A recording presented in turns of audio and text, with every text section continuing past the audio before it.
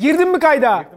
Kolyemi s**eyim. Çıkart kolyemi arkadan. Hadi artık çıkart ama ne olur. Kaan. Şeyi yok abi. Neyi yok? Ben onun içinde bir doğdum a**ayım. Benim kafamdan nasıl çıksın Kaan? Teşekkürler. Benim için çok değerliydi. Kamera akıyor zaten. Kamera mı akıyor? Bir alışamadım efendim sizin şu sinema jargonunuza. Hadi herkes gelsin de başlayalım. Başlamayalım mı ya? Bir bot dadandı benim Instagram'ıma. Aman Allah'ım. Bir şeyi attıktan 30 salise sonra 7 tane yorum geliyor. Biri taytımı yırtar mısın yazmış. Biri sülalemi s- falan. Öyle onun gibi şeyler yani. Ben büyük severim. Bu sana has bir şey değil. Yok ben şöyle yaparım. Beni böyle s- bir anda bak çat çat çat çat diye diziliyor. Ben ölüm haberi paylaşıyorum. Altında donumu yırt yazıyor. En son bir tanesinin altına yazdım. Sizinle dedim uğraşacağım. Bulduracağım size. Hackerlara sesleniyorum dedim. Avustralya'dan bütün memleketi temsil eden bir hacker. Daha önce Google'da çalışmış bir adam bana maille ulaştı. Biri sana maille ulaşıyorsa önemli bir şeydir. Adam dedi ki ben Babala TV'ye hizmet vermek isterim. Karşılıksız. Dedim adamsın. Ta Avustralya'dan. Bizden istediğin ne? Hepiniz dedi şifrelerinizi gönderin bana. Ne mübarek adammışsa ben buna şifreleri gönderdiğim günden beri bana ne kötü yorum geliyor. Ve ben Instagram'a girebiliyorum. Nereden para kazanacaklarını biliyorlar. Seks, seks ulan demek ki bu mesajlara cevap atan, bu mesajı yazan hesaplara DM atan, gidip onları takip eden insanlar var. Taytımı yırt diyor. Dayı giriyor oraya. Ben yırtarım diye sana DM atıyor. Şimdi bu dayılar, bu kardeşler olmasa bot hesaplar olur mu? Ama yıldımdan, yıldım. Peki biri bu kadar insan. Ben neden güneş gözlüğü takıyorum? Çünkü çıkarmadım mı? Wow. Neden çıkarmayayım ya? Ben romantikmişim. Romantizm henüz beyninin damarlarına yeni elektrik yemiş bir adamın verdiği tepkilerle birebir aynı. Bir çocuk elektrik çarpıldı bizim. Anlatmıştım bir hikayede. Bizim oturduğumuz sitede çocuğu elektrik çarpıyor kafasından. Çocuk böyle oldu iki gün. Allah. Allah. Otobüste bir tane çocuk uyumuştu yanımda hatırlıyor musunuz? Gayet düzgün konuşan bir çocuktu. Eğer sizi rahatsız etmeyeceksem birazcık uyumak isterim. Otobüsteyim a** koyayım. Kibarlığa bak. Yani Allah rahatlık versin dedim ben doğal olarak. Allah'a inandığım için. Aldı böyle ceketini. Koydu o kibar adam. Önce dişlerinin sesini duymaya başladı. Asfaltta giden otobüs camına kafanı yaslarsan ne olur? At, at, at, at. Tak tak tak enigma. Bir anda o adam dedi uyku efendim evet. Aslında bu beyin felci gibi bir şey oluyor. Sistem bir anda uykuya dalarken beyniniz şok gönderiyor. Diyor ki hala hayat. Ya tamam s- uyan ya. Koydu kafayı. O kibar adamdan şöyle bir ses gelmeye başladı. Çıkmasınlar şöyle. Aa konuşuyor. Aman yanlar. Emevi diyor oğlum herif varken. Bak o adam oluyorsun romantizm geldiği zaman. Benden hiç öyle bir adam çıkar mı? Böyle olamaz falan diyorlardır. Oldum. Bir balık restoranında rakı içeceğiz. Balık, rakı, ben. Aklımda et yemek var. Açlıktan öleceğim. Ama sevgilim var. Romantizm bir anda geliyor. Korona gibi bir anda geliyor. Açım, et yemek istiyorum. Sevgilim var. Hava sıcak, her şey çok güzel. Hani erkek adamsın bir de. Tam böyle gel seni Hasan Usta'ya götüreyim diyeceksin. Yani o moddasın. Gel seni Hasan Usta'ya götüreyim diyeceksin. Elini atıp şey bakıyorsun ya bak. Orada işte bir şey oluyor. Ne yemek istersin? Balık. Tabii. Rakı, balık, rakı, balık. Fedon gibiyim ama. Kaç haftadır böyle beslendim. Evde flipper gibi dolaştım. Gik gik gik gik. Tuğrul geliyor beni besliyor arada sırada kovayla böyle balık atıyor falan şimdi. Tuğrul'a şov yapıyorum. Kötü müydü şovlarım? Benim evimin her yeri bilek perdelerle kapalı. Kadın güneş seviyor. Benim evdeyiz. Aa dedi perde. Şaşırıyor tabii kadın. Ben de beni biliyorsun karanlıklar prensi böyle. Telefonumun melodisini biliyorsunuz yani. Ara. Telefon titreşimde salaklar. Evde böyle oturuyorum bak. Sessize mi aldım? Çekimdeyim. Sonra arayayım mı seni Berk? Buruldu a** koyayım. Niye buruluyorsun oğlum? Çekimdeyiz şu anda. Tamam lan dur arıyorum ama. İbneye bak. Anasını programı gel. Ne oldu oğlum? Çekimdeyim şu anda. Sen neredesin? Sen de mi çekimdesin? Sen niye benimle saatinle konuşuyorsun? Power Rangers mısın sen? Gördünüz mü? Saatiyle konuşuyor. Oha. Oha. Oha. Oğlum ses hızından hızlı hareket ediyor kafam gördünüz mü? Bak şimdi. Oha. wow. Ses, ses, ses, ses, ses. Hay, hay.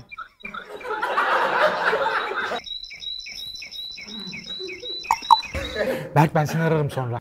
Sonra diyorlar ki abi bir şey anlatıyorsunuz sonra unutuyorsunuz anlattığınızı. Nasıl unutmayalım? S**tim ya. Ben ne anlatıyordum? Ne oldu? Romantizm. Evet. Zor. Bir de nerede geleceği de belli olmuyor. Bir anda gelebiliyor. En ciddi olman gereken yerde bir anda romantik adam olabiliyorsun. Araba kullanıyorum. Balık yiyeceğiz.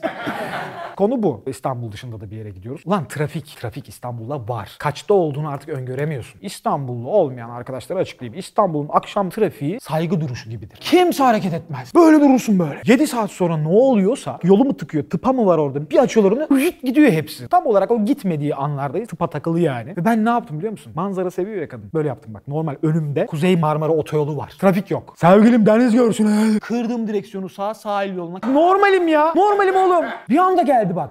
Biz gidene kadar balıkların hepsi bitmiş. Avlananların hepsi de bitmiş. Bütün sahil kasabası kurumuş. Biz ulaştık. Beyin damarlarım kilitleniyor abi. Bundan mantıklı bir şey beklememek lazım. Terk edilen adam da yapıyor aynısını. Romantik adam da yapıyor aynısını. Bir anda böyle olursun. "Ee, Deniz görsün benim aşkım. Kız arkadaşımla gidiyorum arabada. Kavga da çıktı. Lan bunu da yaşadım. Daha ilişkimiz iki aylık ilişkin. Benim de en sevmediğim şey yanımda kız arkadaşım varken kavga etmektir. Korktuğumdan değil. Kızın yanında döverlerse abi bütün karizmamız gider. Benim korkum o değil. Benim korkum kadına bir şey olur. Ya da o beni engellerken bana bir şey yapar. Çünkü oldu bu. Eski bir kız arkadaşım. Taksiciyle kavga ediyorsun. Sen ne yapıyorsun? Ben. Hiç anlaşılamayan küfürler. Dedim ki dalacağım buna. Kapıyı açtım böyle cırt diye bir şey duydum. Böyle tırnakları vardı kızın. Kavga etme dedim. Coo dedi beni. Ortadan ikiye bölündüm.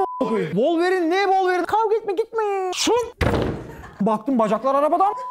Ben böyle gittim taksiciye ben senin anamı Lan böyle şey olur mu? Zaten abes bir şey. Ayıp. Yapmayın. Yokken de kavga etmek çok ayıp ve Allah var. Neyse linç yemeyeceğim her şeyi söyleyeyim de. Adamın bir tanesi kırmızı ışık yeşile döndü. Ben sola döndüm. Hayvanoğlu hayvan nasıl bir hızlı geliyormuşsa ben sola dönerken fış diye bir fren duydum. Düdüdüt yaptı bana. Bana. Bana düdüdüt yapıldı. Hiç yanımda sevgilim mi var falan. Beni biliyorsun. Açtım camı. Hı, hı. Ne var? Böyle yaptı bana. Senin a- o kadar tanınıyoruz ki. Davar da tanıyor. Böyle yaptı bana. Oğuzhan Uğur. Sevildiğini bil dedi. Ben Oğuzhan Uğur olmasam beni dövecek inip. Sevildiğini bil. İyi dedi kapattı camını. Sevildiğini bil. Hala konuşuyor. Tamam cookie yaptım. Camı kapattım. Sonra tabii dönüp hatırladım konuyu da. Neden buradayım şu anda? Araba neden balık kokuyor? Bir döndüm. Eğer sevgilin var. Tabii alışmak kolay değil. 7 yıldır manitam yoktu biliyorsunuz. Bir anda olunca alışması zor oluyor. Sinema filmi var, seti var. İnsanı bu romantizmde kız arkadaşının çalıştığı yere seni götürebiliyor. Tatil diye kandırıyorsun kendini. Marmaris'te mi çekiyorsunuz filmi aşkım? Ben de geleyim. Bizim çocuklar da gelir takılırlar. Sen çalış biz orada tatil yaparız. Böyle bir şey olur mu lan? Böyle tatil olur mu mesela? Olur gittik. Emir bana gelip bir gün ben tabii Emir'le Marmaris'te tatil yapıyorum ama bunu da Emir'le el ele Marmaris'te koşayım diye yapmıyorum. Sete gitmiş. Deniz manzarası, orman manzarası. Böyle sevgilinle uyanmak istersin. Böyle içeri. Emir geliyor. Fok balığı gibi geldi böyle içeri. Elmasını attım. Oynadı. Yazlık kiralamışız. Biraz da şekilli şukullu bir yazlık kiralamışım. Hani sonuçta oraya değil mi? Parmak arası terlikte erkek erkeğe gitmiyoruz. Her yeri cam. Yeni stil yazlık. Havuzu var. Zengin yazlık kiraladık yani. Dışarıdaki ışıklardan biri de beni rahatsız etti. Hakikaten rahatsız edici bir ışık. Emir de evin içinde salonda yürüyor böyle. Her yer cam. Salonda yürüyen Emir'i görebiliyorsun. Bunu net anlatacağım. Her yer cam. Her yer cam. Ve Emir yürüyor. Salonun içinde, ben evin dışında bahçedeyim. Emir salonun içinde, ben evin dışında bahçedeyim. Arada ne var? Cam. Neden cam var? Çünkü Her yer cam. her yer cam. Evet. Abi Emir'e söylemek istediğim şey şu. Dışarının ışığını kapatır mısın? Bu kadar. Emir yine bir amacı belli olmadığı şekilde yürüyor evin içine. Buraya gidiyor, buraya, buraya geliyor. Cama. Bakın arkadaşlar nereye? Cama. Cama. Cama vurdum. Emir beni duysun diye. Yani Emir'e olduğum yerden, camın yanından Emir diye bağırdım mı? Bağırmadım. Ne yaptım hanımefendi? Cama vurdum. Cama vurdum. Yani beni duysun, dönsün ve bana baksın diye ne yaptım? Cama vurdum. Emine ne yapmışım? Cama vurdum. Çıkan ses neydi biliyor musun bak? Boink boink. Bu ses nereden çıktı Emine? Camdan çıktı. Yani elimin cama vururkenki halini bir hayal et böyle. Yayvanlaşıyor, inceliyor. Yayvanlaşıyor, inceliyor. Elimin izi böyle camda kalır mı Emine? Kalmaz mı hiç? Neden? Çünkü orası ne? Cam. Şimdi bunun üzerinde neden bu kadar durduğumu anlayacaksınız biraz sonra. Şimdi öyle bakmayın bana deli deli. Bam bam bam vurdum. Emir baktı. Baktı ya. Böyle yaptı bak. Ver cam sesini. Emir öyle bilmiyorum. Boş zamanlarında böyle ya içinde Venom var ibnenin terk ediyor bir süre sonra. Tamam mı? Böyle kalıyor. Neyse. Bak Emir böyle yaptı bak. Vur cama. "Oy, oy" dedi bana bakıp. Dedim ki gel. tamam abi dedi.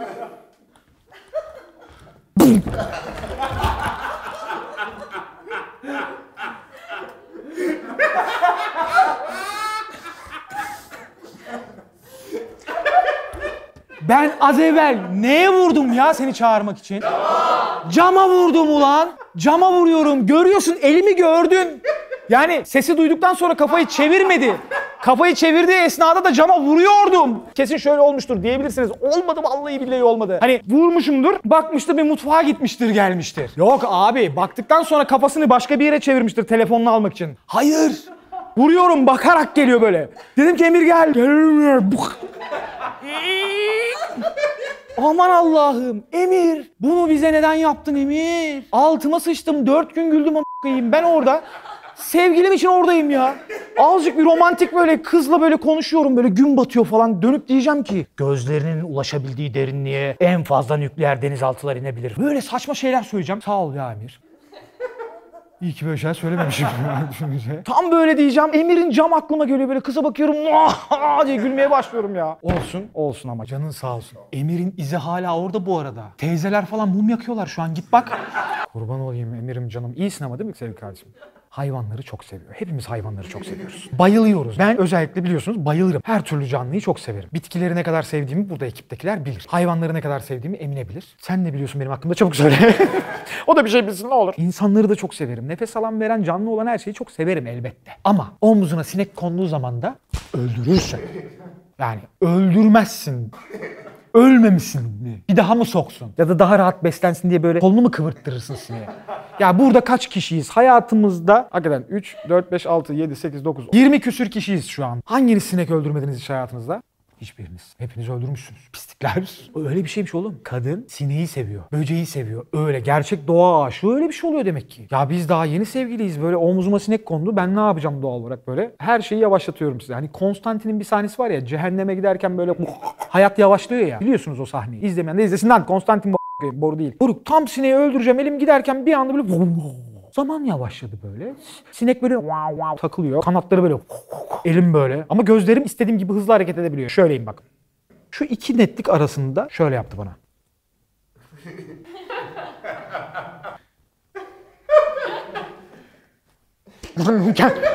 Küt diye kendime koydum bir tane böyle. Ne yapıyorsun dedim. Sinek o kadar tanımış ki kaçmıyor artık. Lan bu ablanın olduğu yerde sorun çıkmıyor gel gel gel. Yedi tane sinek yan yana böyle öpüşen var, sevişen var. A**ayım Kimse öldürmediği için doğal olarak. Dedim ki ne oldu? Dedi o da bir can. Dedim eyvah. Emir, ben, Özlem oturduk masaya bahçede okey oynuyoruz. Neden? Yaşlıyız. Bir insan yazlıkta ne yapar değil mi? Okey oynar. Güzel de bir aktivite benim için ben severim. Okey oynuyoruz. Abi gece vakti ormanın ortasında bir yazlık. Ne bekliyorsun ki? Şöyle bir peygamber devesi Çekirge mi desek? Çekirge mi desek hakikaten yine linç yer mi? Peygamberin devesi mi olur? Bu kadar çekirge böyle. Okey oynuyorsun. buraya atladı kondor çocuğu böyle buraya at gibi. Ne yaparsın ya? Ben Oğuzhan Uğur olarak ne yaparım? Ekibim bilir. Ananı Ya böyle yapmam da hani "Sık onu s**eyim" falan yaparım değil mi? Oğlum bak böyle yaptım doğal olarak refleksle böyle onu s- falan filan. Havada tuttu çekirgeyi.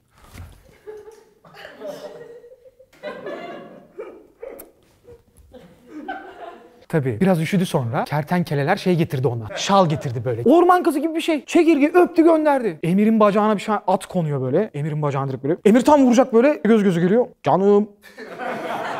Canım. Haydi haydi falan. Oğlum Özlem ben gecenin üçünde gördüm. Özlem karıncalara böyle düdük çalıyordu. Buradan geç. Buradan geç. Özlem'e de büyük ihtimalle gidip şey demiş. Karıncalara yol göstermeyelim mi Özlem falan.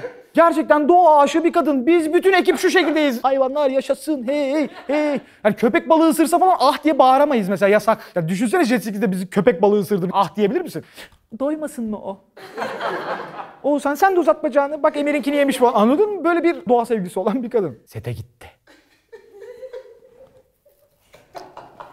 Bahçede ben, Özlem ve Emir var. Ve nihayet bahçede şöyle oturalım. Oturdum şezlonga, yanımdaki mindere o oturdu. Diğer sandalyeye o oturdu. Araya iki tane içecek koydular. Sohbet ediyoruz. Babalar nasıl? Çok ünlüyüz ama koyduk ortalığım falan konuşuyoruz işte. Moruk bak şöyle söyleyeyim. Çat buraya bir tane böcek kondu Emir'in. Emir direkt böyle yaptı bak bana baktı. Abi dedim ki anasını s- Özlem var ya gel buraya tipe bak Özlem'in. Şu tipe bak. En son terlikle lan ölmüş zaten orada böcekten. Çocuk, çocuk, çocuk. Bu tutmuş cımbızda kanat koparıyor falan. Aa! falan. Ben üzerine kaynar su döküyorum böceklerin falan. Ama işin kötüsü biz şimdi böceklerin a- koyduk. Bak şöyle söyleyeyim sana. Arka tarafımız orman. Ormandan göç ettiler. Dediler ki bunlar manyak ama diye. Bütün böcekler böyle topluca Oğlum arılar gelmedi. Havuzdan su içerlerdi. Gelmedi. S**erim deyip yan villaya gittiler. Ağzımızda yüzümüzde kanatlar var, yeşil sıvı var bunun alnında falan. A- koyduk ortalığı. Bir böyle bir rahatladık çünkü abi sabaha kadar kaşınmamı neredeyse engelleyecek. Düşünsene yani. Ne oldu sinek sinek soktu diye mi? Yani niye kaşıyorsun ki? Bıraksana zerk etmiş oraya şeyini falan. Sonra biz tabii böyle bir rahatladık. Sigara yaktık falan. Özlem böyle cesedi yanında gezdiriyor böyle vuruyor sürekli falan. Sonra mesaj attı. Dedi ki ben dedi 3 dakikaya oradayım. Bir şey istiyor musunuz? Özlem bir anda ağzında maske böyle kriminalcilerin şeyi giymiş. Geliyor bu elinde mor ışık. Böcek leşi arıyor etrafta. Bayağı ceset temizledik. Ben geldim. Hoş geldin. Gece böcek yok.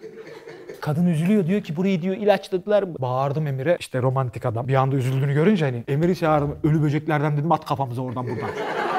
Villanın ikinci katından bizim kafamıza ölü böcek atıyor Emir böyle. Ben de böyle yapıyorum. Aa bak böcek üzülmesene aşkım. Kuku kuku deyip böyle. Bu tabii ki çok abartı oldu. Sonunda yemedim. Geri kalan hepsi gerçek. Yok gerçekten. Abi tabii ki işte insan olmak böyle bir şey ama biz tabii ki burada geyin yapıyoruz ama her canlıya da saygı göstermek lazım. Ya düşünsene karınca eziyorsun. Neden onu ezdiğinle ilgili hiçbir fikri yok hayvanın. Ya düşünsene böyle "Ha, bir şey taşımam lazım, bir şey taşımam lazım falan. Takılıyor böyle. Köprümü kurayım bugün ne yapayım? Çalışkan da hayvan biliyorsun falan yapayım falan. Cırk! Neden a- koyayım? Neden ya? Gerçekten ama çok acımasız bir durum değil mi? Sırf sen ondan huylanıyorsun diye bir şey öldürmek hak mıdır? Bu açıdan bakabileceğimi düşünmüyordum ama konuyu biliyorsunuz. Beşinci sezona başlıyoruz. Şu anda emanet bir stüdyodayız. O yüzden her şeye çok dikkat ediyoruz. Merak etmeyin hanımefendi. Orada o ne diyordan bir hanımefendi çünkü "Ha, sigara içiyorlar resmen çok teşekkür ederim. Kurban olurum. Ne iyi. manipüle etmeye çalıştım sizi edemedim de. Ne iyi insanlar, ne iyi kadınlar, ne iyi bireyler var gerçekten. Ee, o zaman pinç başladı mı ne yaptık? Şu anda bu arada sevgili o ne diyorsunuz diyorsunuz ama onu söyleyemiyor muyuz?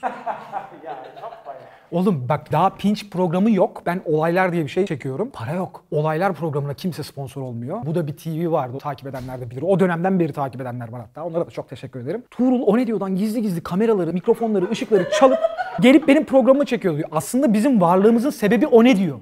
Ben böyle hayvanlar gibi izleniyorum, trendlere giriyorum falan. O ne diyor? Beni toplantıya çağırdı. İş teklif edecekler belli. Tuğrul orada hiçbir şeyden haberi yokmuş gibi abi sakın kameraları söyleme falan. Önemli adamlar iş teklif ediyorsun. O ne diyor da yani böyle abiler. Gömlek, takım elbise, beylizler böyle hepsi sarhoş. Girdim içeri. yok yok hayır. Kaan Kayabalı biliyorsunuz o ne diyorsunuz CEO'sudur. Ona çok selamlar. O asla alkol kullanmıyordu.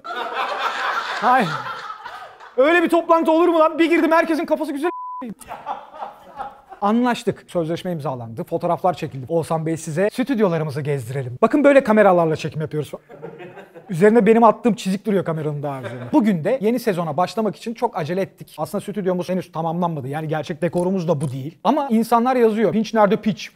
Tabii. Tabii canım. Neler diyorlar bana. Finalde çok yoğun istek olduğu için bir pinç bölümü çekmek zorundayız dedik. O yüzden yine gece vakti gizlice O Ne Diyor'un stüdyosuna girdik.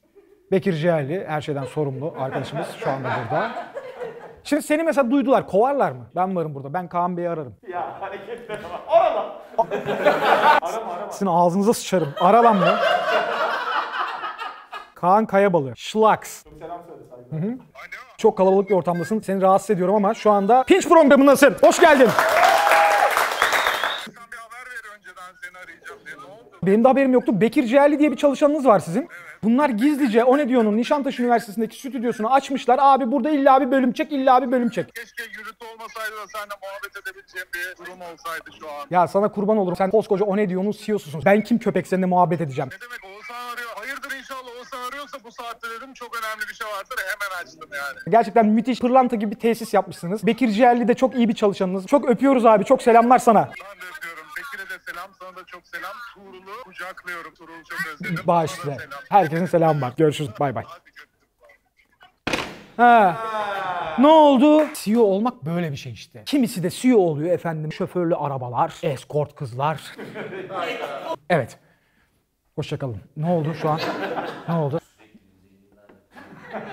Sürekli zenginlerle mi? Ben mi oturuyorum şatoda acaba APO Bey? Ha? Sen niye hiç evinden fotoğraf atmıyorsun Instagram'a? Maliye gelmesin diye mi? Bir gün sevgili Apo yani APO dedi ki yo motherfucker. Efendim dedi ki kanka dedi bize gel dedi mangal yapacağız. Moruk APO'nun evi bir gördüm. Zaten APO'nun evi buradan da görebilirsiniz. Bak çok ayağa kalkmana gerek yok. Bak şöyle kafanı bir döndür görürsün yani. Beyaz böyle kaçakçısı gibi böyle anladın mı? Dev gibi bir malikane, ortasında havuzlar, çimler, bir şeyler. Adamın bahçesinden içeri girdim. Adamla selamlaşmaya gidiyorum. Arada mola verdim. Öyle büyük ev. Yoruldum. Mutfağı benim ev kadar. Öyle mı? Ne oldu orada ya? Ama olsun hak ediyor. Canım kardeşim benim gerçekten. Yok yok gerçekten dev gibi. Neyse. Biz linç yedik ya hocalardan, hacılardan.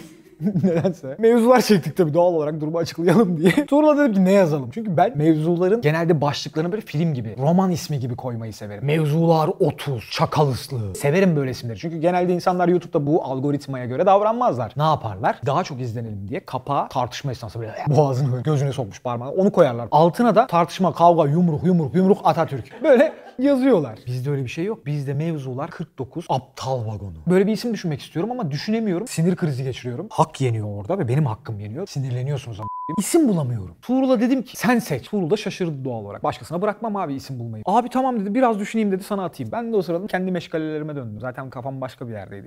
Mevzuları durumundayım. Link link diye bir ses geldi. Telefonu aldım. Bir açtım WhatsApp'ı. Ne yazıyor biliyor musun? Mevzular 49. Hacılara yürüyor korkmuyorum.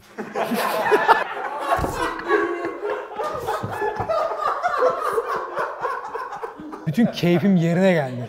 Yumuşadım ya. Siz de yumuşayın oğlum. Gülünce insan yumuşasın. Sinirlerim bozuldu ondan gülüyorum demek gibi bir saçmalık da var ya biz de yaparız şakasını. Gülmekten utanmayın. Gülene de kızmayın. Gülene kızmayın ne lan? Ha siktir ben şu an FETÖ'cü oldum.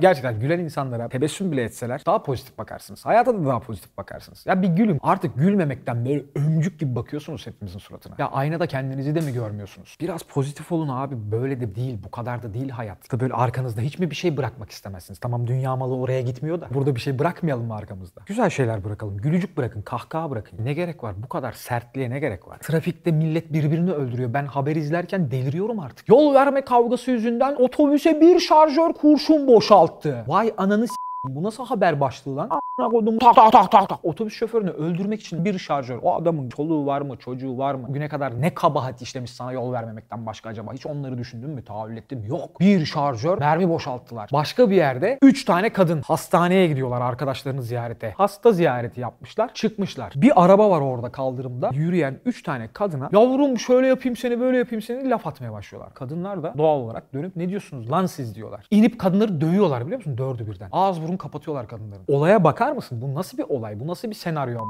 Bu nasıl bir matematik? Bir gün sonra kimsenin aklında kalmıyor. Niye? Sıradanlaşmaya başladı. Daha önce söylemiştim ya. Şaşırmayı bıraktığın zaman konu kapanır. Arkadaşınla da kapanır. Sevgilinle de kapanır. Dostunla da kapanır. Konu kapanır abi. Şaşırmayı bırakmışsındır çünkü. Bu da öyle işte. Ben niye böyle şeyler anlatıyorum? Bağladım mevzulara hiç hoş değil. Merak etmeyin şimdi başlatıyorum. Ve pinch başlıyor. Beş. Öyle boktan, öyle yok ebesinin a- bir yaz yaşadım ki arkadaşlar. Anlatacak çok hikayem var. Hikayelerim bir sezona sığar çünkü o hikayelerin tespitleri de var. Üf. Soruşturma falan açtılar bana ya. Tarikat liderleri soruşturma açtılar bana. Cumhuriyet savcısına gidiyorlar tarikatçılar. Cumhuriyet savcısına gidiyorlar. Nereye gidiyorlar? Cumhuriyet savcısına gidiyorlar. Ya anayasada tarikatlar yasak. Bizim teaser'ı izlediniz. Sadece Twitter'da 15 milyon insan izlemiş. O teaser için bana başlatılan soruşturmanın başlığı ne biliyor musunuz? Bak 5. sezon pinç bu. 5. senemiz. Daha burada bundan bomba şaka yapmadım. O videodan dolayı bana başlatılan soruşturmanın başlığı insanlık suçu. Sen avukatsın ama sen de böyle bakıyorsun. Bari sen anlıyormuş gibi bak biz gerçekten anlamıyoruz çünkü. Çok acayip olaylar yaşadığımız için çok acayip bir pinç olacağına inanıyorum. Yakın zamanda bir ilişkim oldu. Sonra o ilişkim bitti. Daha evvel sıkıntı çekmeme sebep olan travmayı tetikledi. Ben de ayrılma kararı aldım. Kararı aldıktan hemen sonra terk ediyorsunuz bu arada haberiniz olsun. Hani kararı aldım 3 sene sonra terk ederim falan yok. Onu erkek yapamıyor. Kadın yapabiliyor onu. Kadın seni 6 ay evvel kafadan terk ediyor. Gidiyor. 6 ayda kendine bunu kabullendirmeye çalışıyor. Düzelir ya düzelir. Adamın düzelmesi için bir kadının gitmesi lazım ya. Çeki düzen veriyor adam kendine. E kadın da yıllarca aylarca yanında kalınca adam da diyor ki yanımda nasıl beni seviyor. Düzelmeye yönelik tek bir adım bile atmıyor. 6 ay sonra da kadın dönüp diyor ki bitti. Adam diyor ki nasıl ya? Ne oldu ki ya? Ne oldu ki? Ne yaptım? Kadın sana 6 ay yaptığını mı saysın ama Kadın sonra gidiyor bir ay sonra, iki ay sonra biriyle manita oluyor. Adam da diyor ki Bir ay geçti daha bir ay be. Gözyaşım kurumadı. Halbuki kadın gideli 8 ay olmuş bile. Çünkü o seninle beraberken seni terk etti. Biz erkekler bunu yapamıyoruz. Biz düşünüyoruz, hemen terk ediyoruz. Benim ilişkim böyleydi biliyor musunuz falan filan yapacak değilim. Hayatta başarılar diliyorum. Fakat ilişkiyi anlatmayacak olsam da bu ilişkinin bana neler yaşattığını şahsen hissettiklerimle anlatmayı çok istiyorum. Bunun bünyemdeki etkisini anlatmak istiyorum mesela. Bu ilişkiyi anlatmak olmuyor değil mi? Bünyedeki etkiyi anlatmak oluyor. O yüzden rahat rahat anlatabilirim. Mesela aşk acısı. Bundan önce kesin karardan evvel sürtüşmüştük. Fotoğrafları falan sildik ama 4C'den olsan Uğur. Anladın mı? Ne yapıyorsun o. Sanki bu kadar yıl boşuna yaşadın. Bir anda 15 yaşında bir herife dönüyorsun oğlum. Mevzular falan yapıyorum. Evde nasıl biliyor musun? Açtım, açtım, açtım, açtım. Bu ne lan? Pilli bebek gibi böyle oynadım oynadım. Bunları anlatmak istiyorum mesela. Dahil midir? Değildir. Acayip tecrübeler edindim. Sokağa daha fazla çıktım en azından. Daha fazla insanla iletişime geçtim. Ne kadar sevdiğinizi gördüm sokakta bizi. Yürütmediler oğlum beni. Tarkan mıyım ben a**ayım? Yolda arabalarla önümü kestiler falan. Dövdüler. Kanımla da abi seviyoruz ya. Yok. O kadar güzeldi ki. Amcalar, teyzeler, kardeşler, çocuklar, gençler hepsi geldi. YouTuber'ın kitlesi böyle olur mu? Olmaz. Daha sevgilim olduğunu annemlere söylememiş. Eren Türk'te görüyorum ya. Ne yapıyorsunuz oğlum? YouTuber'ım ben. Posta gazetesi. Şok. Şok ayrılık. Şimdi Ümraniye'deki teyzem okuyor gazetede böyle. Sağ olsunlar. Kıymet veriyorlar. Teşekkür ediyorum. Magazinsel olmak da çok zevkliymiş bu arada. Yani insanın hoşuna da gidiyor bir taraftan. Ya magazin değil. Bir şey seni yazdığı zaman hala Kral TV'yi aç. SMS var. Altta adın geçsin diye. Hı? Mesela orada Berk Uçar yazıyor böyle geçiyor. Nasıl bir haz alırsın mesela? Almazsın. Ebesinden milyonlarca izlenen programdasın ya. Sen de alma artık Berk. Ama millet alıyor. Sen o işlere artık empati kuramazsın. Zaten RT ediliyorsun, like'lanıyorsun. Bazısının tweetini kimse retweet etmez ya da favlamaz. Ne kadar acı bir psikoloji aslında. Onun farkında mısın? Saçmalama ya sosyal medya ne olacak ki ben istediğimi yazdım derler. Nasıl bir kaçıştır o? Milyonlarca insanın aynı alanda yürüdüğünü düşün. Biri bir şeyi protesto ediyor, biri birini dövüyor, biri kaçıyor kapatıp. O milyonlarca insanın içinde ona buna çarpa çarpa yürüyorsun. Ve diyorsun ki bu düzen değişmeli. Biri bile sana dönüp bakmıyor. Kimse sana bakmıyor. Çıldırmaz mısın? İşte sosyal medya insanlara ulaşamayan kişiler için bu durumda. O yüzden kapatılsın mı? Ne oldu? Ben niye gaza geldim yine a- koyayım? Neye bağlayayım? Ha ben bir şey bağlayamıyorum. Sen benim neye bağlayacağım mı? Vay am koyayım. Pinçi başlatamıyor. Tıkandı galiba. Ben onun arkadaşıyım. Çok tatlısın. Bak şu kadın dizilerde oynamış. Memleketin tanıdığı bir kadın. Taş gibi de maşallah. Mavi tiki de var. Binlerce insan takip ediyor. Geliyor buradan bardak alıyor. Ne tatlısın. Senin dışarıdan ben bu profilini böyle olduğunu düşünmüyordum mesela. Daha böyle üf, ay falan bir kadın zannetmiştim seni ilk gördüğümde. Hakkını yemişim. Gerçekten çok tatlı bir insansın. Oo en azından ağzını hareket ediyor koyayım. Yemin ediyorum bizden nefret ediyor zannettim. Senem meğer botoks yaptırmış. Ya bu botoks böyle bir şey mi? Ne dedi doktor? Bir de Almanya'dan geldi Senem bu arada. Yani ters Türkçe konuşabilir. Shakespeare Türkçesi gibi. Aslında Türkçe'de o birazcık sıkıntılı biliyor musun? Çünkü Türkçe sürprizsiz bir dil. I love you. I love potato da diyebilirim yani. O esnada karşı tarafın merakını düşün. I love... Ah, ay, kimi seviyor acaba? Ananı. Sürprizi var. Shakespeare Türkçe diziliminde konuşur. O yüzden İngilizlere ters gelir. To be or not to be gibi. Senem de bize göre ters. Yani İngilizlere göre ve Almanlara göre düz bir konuşma yapabilir. Bu yüzden kafanız karışmasın diye size bil bilgisini verdim. Senin elini kolunu s**eyim artık ha. Bu kameranın arkasındaki ibneden yıldım. Mikrofonun kolyene çarpıyor. Gideyim alayım bir kolye de sana kıskanç ibine. Kolyem gözüksün istemiyor kolyemi. Allah Allah. Almanya'dan neredendi Senem siz? Berlin'den değil mi? Benim eski arkadaşımdır. Gelip Senemler şunu diyen tayfaydı. Oğlum var ya televizyonda yapsan şu yaptıklarını anasını s**ersin ortalığın diyen arkadaşlar vardır ya. İşte oradaki arkadaşlar onlar. Halil abi var yanında mesela. Müthiş değerli bir insandır. İyi kalplidir ve çok Müslümandır. Çok Müslüman şöyle namaz kılıyorsun, abdest alıyorsun, temizsin. Sen benim evimi görmedin mi? Temizlik imandan geliyorsa sana daha çok geliyor demek ki. Benim evimde yerde bok var. Abi yapma şu an. Yapma.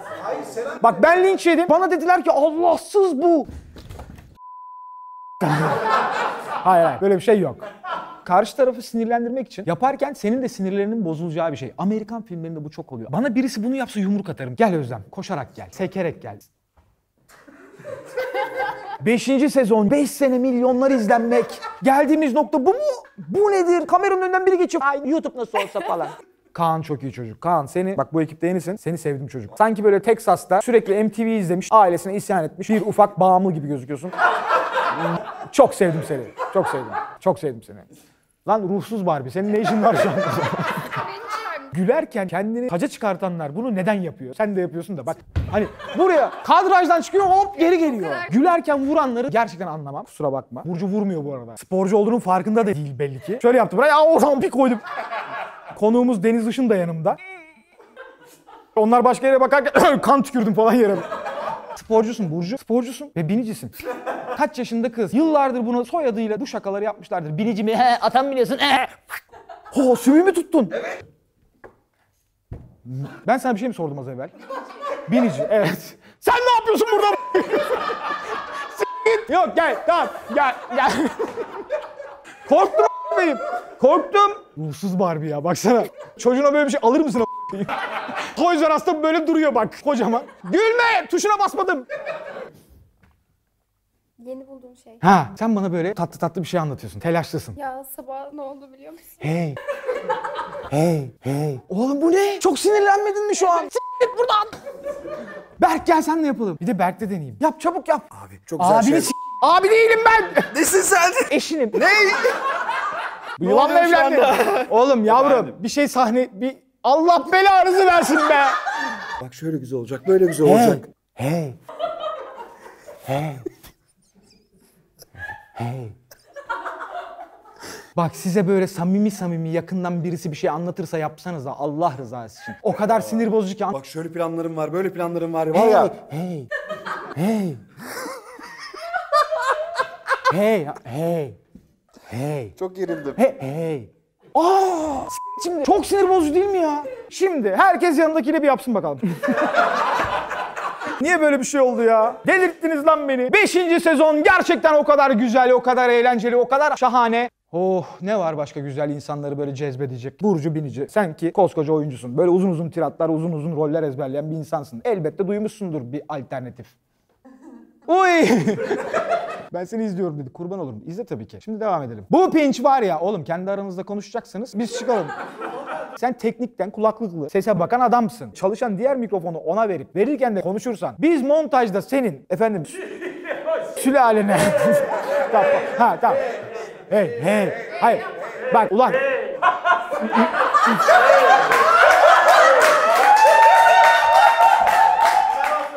sinirlenmedim. A**hır.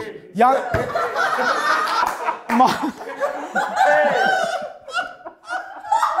Ulan a**ıyor. Bir sus artık da devam edeyim. Söyleyeceğimi unuttum. Bütün matematiğim kaçtı a**ayım. Hep böyle yapıyorlar Burcu bak. Çok güzel başladım. Bir yere götüreceğim ama ben ne anlatacaktım a**? Al çek pinçi. Al sen çek.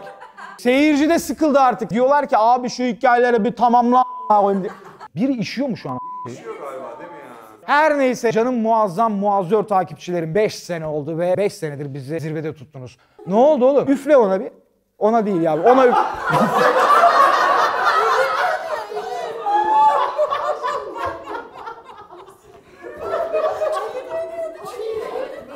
Yangın dedektörü var burada. Mum yakamazsınız. Kalsın kalsın kalsın kalsın kalsın. Ne olur devam etmem lazım. Ne olur. Burcu niye elledin kızı? Giderken kızı elledi böyle. Yeliz oturdun mu? Sezgi'cim o şişeyle oynayacak mısın daha? Kırçı tut. Hayır, ister misin? Kendi kendine yaptın. Bu çocuk benim elime doğdu ya. Bokçuk gibi böyle. Gel çabuk. Ay ben oynamayayım. Gel. Kafası kadardı ben ilk tanıdığımda. Bu kadardı. Avukat oğlu 1.80. Sülaledeki tek kısa benim koyayım. Kardeşime bak. Babam 1.80. Benim annem kısa işte. Mis gibi Uğur ailesinin içine göbekleme dalmış şu kadar. Bir de babam da bizim sülalenin en yakışıklısı ya. Böyle yeşil gözlü sarışın falan bir herif böyle. Genlerini de sömürmüş adamın. Çocuğu Hintli sanıyorlar ya. İstiklal'de görüp böyle yapan oldu buna ya. Hello my friend. Ah anacığım. Güzel anacığım benim. Mevzula be ne oluyor ya şu an?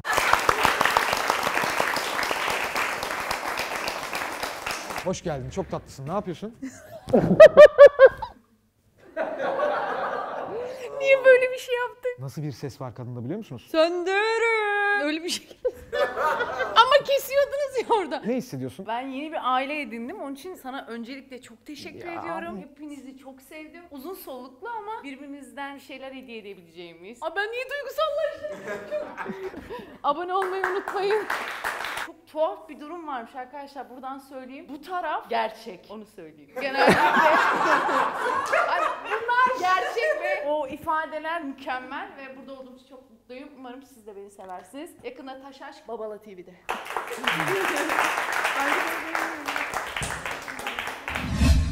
Sen demek askere gittin. Garsonum dedin. Astroloğum niye demiyorsun direkt genel kurmayda başlamıyorsun? Gel gel anlat bunu bana. Ama hızlı hadi dansa kaldırıyorum sanki a**ayım. düğün burası. Askere giderken mesela Kimin saçı bu? Beyaz. Beyaz saçın var. Askere gidiyor olsam, senin gibi çok tanınmış bir astrolog olsam, girdiğim gibi genel kurmaya giderdim. Ve derdim ki İran'a dikkat edin komutanım. Çok fazla soru sormasınlar diye garson dedim ama duyuldu. Sonra masalardan çağırıyorlar. Rahat geçti o zaman aslında askerliği. Rahat geçtim. Nerede yaptın? Amasya. 18 gün mü yaptı? Sana ne oğlum? Söyle.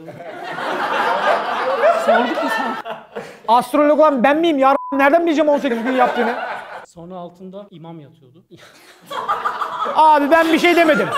Ben bir şey demedim. Bir hikaye dinleyelim mi?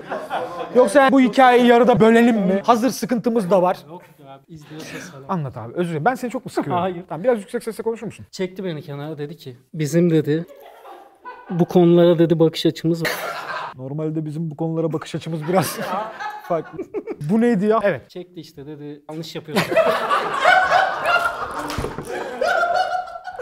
Yanlış yapıyorsun. Sen yanlış yapıyorsun. Şöyle yapacaksın. Bunu bil.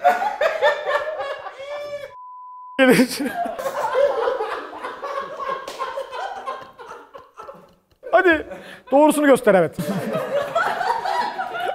Yatıyordu. Sen çavuş muydun? Neyse dedi ki girme bir dakika. Ne? Girme araya.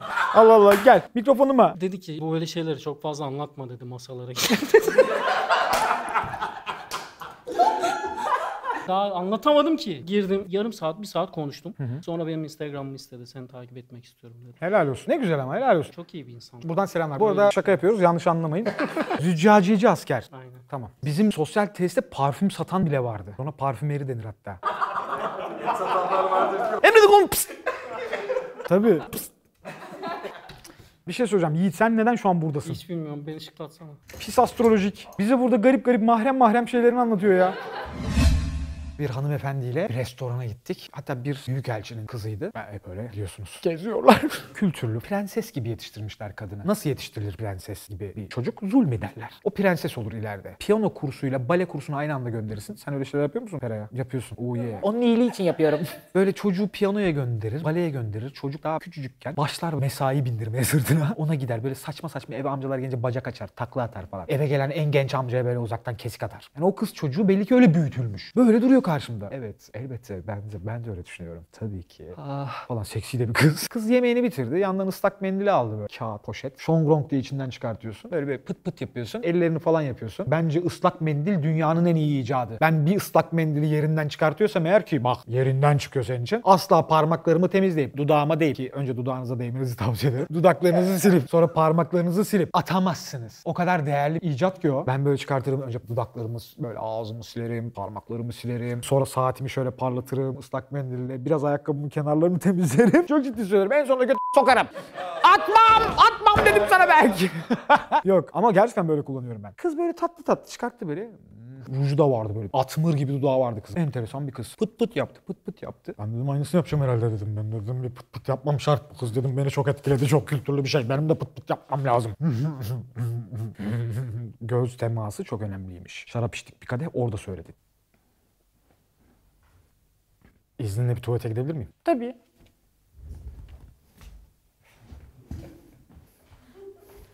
Gözünü çeviremezsin. Evde FaceTime'la arıyorsun. Yatana kadar bakmaya devam ediyorsun. Göz temasımı kaybetmeyeyim diye ben de aldım oradan ıslak mendil fıçı fıçılarını oraya soktum elimi. Aldım çıkarttım.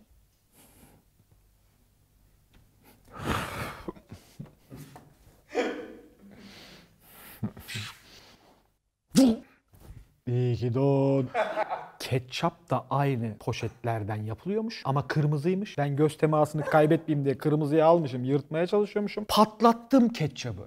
Karşımda alnından vurulmuş Jason Statham. Bir de böyle böyle yaptırmış saçlarını. Nasıl saç yaptırmış biliyor musun? Yani bu saçı nasıl yapıyorlar acaba ya? Böyle böyle saçlar. Elbise giymiş. Açık yeşil bir elbise. Yeşili sevmem. Onun üzerinde güzel durmuş. İnce bir kolye falan. Geniş omuzlu bir ablamızdı. Süt yani takmış mı takmamış mı seni havada bırakıyor diye. Öyle bir elbise. Duruyor. Şok!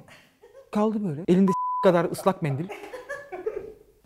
Mahvettim kadını. Kendimi de mahvettim. Kadını da mahvettim. Olay yeri inceleme geldi. Hangisi vuruldu diye ya. Şansımı bahtımı s**eyim zaten. Animatör kız arkadaşınız bu zannedip asılmış. Sen de ben. Emine'nin de arkadaşı bu arada o eski kız arkadaşım. Düşün. O kadar eski arkadaşız Emine ile. Ben kızın suratını hatırlamıyorum şu anda. Bana böyle yapıyor. Ben de ona böyle yaptım. E biliyorsun kızı 1.81 boy, sarışın, bembeyaz bir vücudu var. Daha da anlatıp şu an YouTube'dayız çünkü. Bizi izleyenlerden kimin 16 yaşında olduğu belli olmaz. Kızı burada tehlikeye atmayalım. Artık sarışın değil mi? Hmm, anlatmam o zaman hikayeyi. Suratına kaynar su döker misiniz? Teşekkürler. Bunları toplayayım mı? Neden? Gözükmesin Seni diye. çok beklettim bugün değil mi? Evet. Neden beklettim biliyor musun? Neden? Çünkü sen benim arkadaşımsın. Öyle arkadaş da. Beni rencide ettin şu anda. Ama çok bekledim. 8'de geldi. Saçımızı maçımızı yaptık. Sabahtan beri saçım bozulmasın Hey. diye. Sabahtan beri. Hey. Hey. Ya sana kurban olurum. Bu adamın mizahını zaten hepiniz biliyorsunuz. Ama yakından bilmek çok daha farklı oluyor. Yani bu adamı sosyal mecralarda, telefonlardan izlemekle yanında olmak arasındaki fark inanılmaz fazla. Çünkü gömmeye yönelik bir tarafın var. Yok be. Lan oturuyoruz muskarda hep beraber. Böyle sanki şey gibi, böyle bir kavga gibi. Gelen düşüyor, gelen düşüyor. Gömmeye yönelik bir tarzın var. Hiç eve gittiğinde, akşam yastığa kafanı koyduğunda Niye düşünüyor yaptın musun niye insanları yerin dibine sokuyorsun? Kanka vallahi öyle bir şey yok ya. Ya bir tık Biz var. Ama kendi arkadaşlarımız arasında yapıyoruz. Sen de yapıyorsun şimdi ortamda. Ben Küçüğüm. gel- Ben zaten öyle. onu oynuyorum, bunu oynuyorum. indirip çıkarıyorum. Ben de indirip çıkarıyorum arkadaşlarım. Ama ya ortamımız şenlensin diye anladın mı? Ya mizah mesela bir yerde oturduğun zaman ortamı şenlendirmek için birine yürümen lazım. Birinin üzerinden biraz da kurman lazım. Emir yazık bir sene değil mi? Bir, bir sezon Emir'e yürüdük 6-7 kişi. Ben mesela bu pint çıktı ben izliyorum ama biraz da babalar tarafını izliyorum mesela. Bir videom var ben onu var sapık gibi herkes izledim. Mevzular. He, eve biri geliyor misafir geliyor mesela. Oturuyoruz böyle muhabbet sıkışıyor. Ben YouTube'dan açıyorum seni izletiyordum falan. Sonra bir gün mesaj attım ya çok iyisin falan filan. diye. Baktım mesaja cevap yok. Ya işi gücü bıraktım iki günde bir bakıyorum mesaja cevap yok. Ya kurban olurum. Mesajı geri çekiyorum sonra bir daha yazıyorum kardeş çok iyisin falan. filan. Baktım gülüyor. Ondan sonra o misafirler tekrar gelmeye başladı. Senin bu program açılıyor. Ya s**kerim bu da iyice abarttılar onu. Bak ne kadar doğru söylüyor. Valla. Dedim ki Hatta Furkan'a mı dedim la bunda iyice göt attı falan diye. Ben asla görmedim. Çünkü görmedim yani. Tamam kanka o boku biz diyoruz. Ya mesaj trafiği çok DM akıyor görmüyoruz falan filan ama. Senin de mavi tikin var sonuçta görmem Elimde bir lazımdı. Mavi tikim var yani orada belki başa tutuyor yani o mesaj. Oğlum onlar mı karıştı bana böyle geliyor ya. Konular tamamen karıştı galiba ama Bizim zaten genelde bir insanların anlaşamama gibi bir şeyimiz var programlarda. Ben Olsun. anlaşamıyorum. Seni çok seviyorum ama muhabbette akışı sağlayamıyorum. Ben yani şimdi Ömer'cim iki hafta evvel benim evde bir sohbet yaşadık. Sen, ben, Apo üçümüz. Evet. Şimdi akmıyor mu yani bizim sohbetimiz? Bir düş- Hatırlayalım o geceyi. Yok, hiç İzleyelim. gerek- Oğlum bak gerçek sanarlar şunları yapma Yok. ya. Oğlum bugünün yarını var. Bak ben şakşakçı arkadaşlarımla geldim. Size ne dedim? Ben size ne dedim arabadayken? Düştüğüm anda alkışlayın. Çünkü burada alkış serbest değil mi? Mesela sizin programda en çok özendim. Mesela ekiple bir meç var ya böyle. Evet. Berk Merk atlıyor ortaya falan. Seviyorum yani kardeşim benim. Evlendin sen de. Sen düğününe gitmemişsin. Allah çağırmadı ki. Bana diyor ki abi düğüne gelmedin. E çağırmadın ki diyorum. E ben Doğan abiye söylemiştim. Ulan Allah Allah. Ben Doğan abiye söylemiştim mi dedin? E şimdi ben sana bir şey söyleyecekken Furkan'a mı söyleyeyim Berk'e söyle diye. Her boku biliyorum Berk bir mesaj atabilirsin yani telefonum var. Beni isteyen adam çağırsaydım bir 200 dolar takardım sana mesela. Oo. valla. Kamil hazır mısın yavrucuğum? Gel bakalım. Kanka benim internet kendine. şeylerim ne ya? Ya. Ha yazanlar çizenler. Tabii canım. Beni bir taraf çok sever bir taraf hiç sevmez. Hepimiz öyle. Herkesin sevebileceği kadar karaktersiz olmamak lazım. Herkesin sevebileceği kadar karaktersiz olmamak lazım derken nasıl yani? Şey mi dağıtmak? Hayır hayır herkes seni seviyorsa bir sıkıntı vardır sende zaten. Ben ama herkesin sevmesini istiyorum. Hepimiz istiyoruz. Mesela yaptığım içeriklerde de biraz kendimden bahsetmek isterim. Lütfen. Mesela kanka özür dilerim. Hayır. Ulan şerefsiz be dur. Hande Sar buradayken hep alkışları sen başlattın tamam mı? Şurada bak kaç dakikadır konuşuyorum bir tane alkış başlatmışlığın yok. Ama anne sarmında ben başlatıyorum alkışları. Sen adamsın. Ha. Ben de hoş buldum, ben de hoş buldum. Öyle bir şey var. Şey anlatıyordum. Mesela sosyal medyada ben mesela herkes tarafından sevilmek istiyorum. Mümkün değil. Ama şöyle sevilmek istiyorum. Yani mesela biz bir içerik yapıyoruz. Bunun içinde ne siyaset var, ne dildir, ırk, işte o dogmatizm konular falan filan hiçbirine girmiyor. Et. He, şunda bir şaka yapacaksa bu şakayı yapıp çekiliyoruz. Yani hiçbir zaman bir tarafa mensup olup bir tarafa elimi teslim etmek istemiyorum. Çünkü ortada yaptığımız tek şey mizah. Yani mizahın içerine bir ayrımcılık istemiyorum ben. Onu da gördüğüm zaman yaptığım işlerden nefret ediyorum. Mesela en basitinde seçim döneminde bana mesaj yazarlardı. Tarafını belli et. Ne tarafımı belli edeceğim? Yani ben ben şaka yapıyorum. Seni güldürmeye çalışıyorum. Güldürürken de para kazanıyorum. Anladın mı? Bu konuya da girdim bak mesela. Çok değişik girdim değil mi? Çok ağır olmuş. Çok iyi konuştun. Ben Buradan da neden Marmara mevzular Kafe'ye- çekiyorum o zaman? Sen benim yaptığım yanlış mı peki sence? Kanka sen çok cesaretlisin. Ben bunu Furkan'a dedim. Bende o göt yok. Ben kimse öyle karşıma alamam. Bir şey diyeceğim ben alırsam ya ben o psikoloji sahip değilim. Yani ben çok bu iş ilk zamanlarda falan filan işte 6 yıl oldu bizim de. Böyle ağır küfür edeni bulmuşluğum var benim yani. Sen o küfür nasıl edersin? Bir şey derim bir şey yazarlar bu sefer adam ara.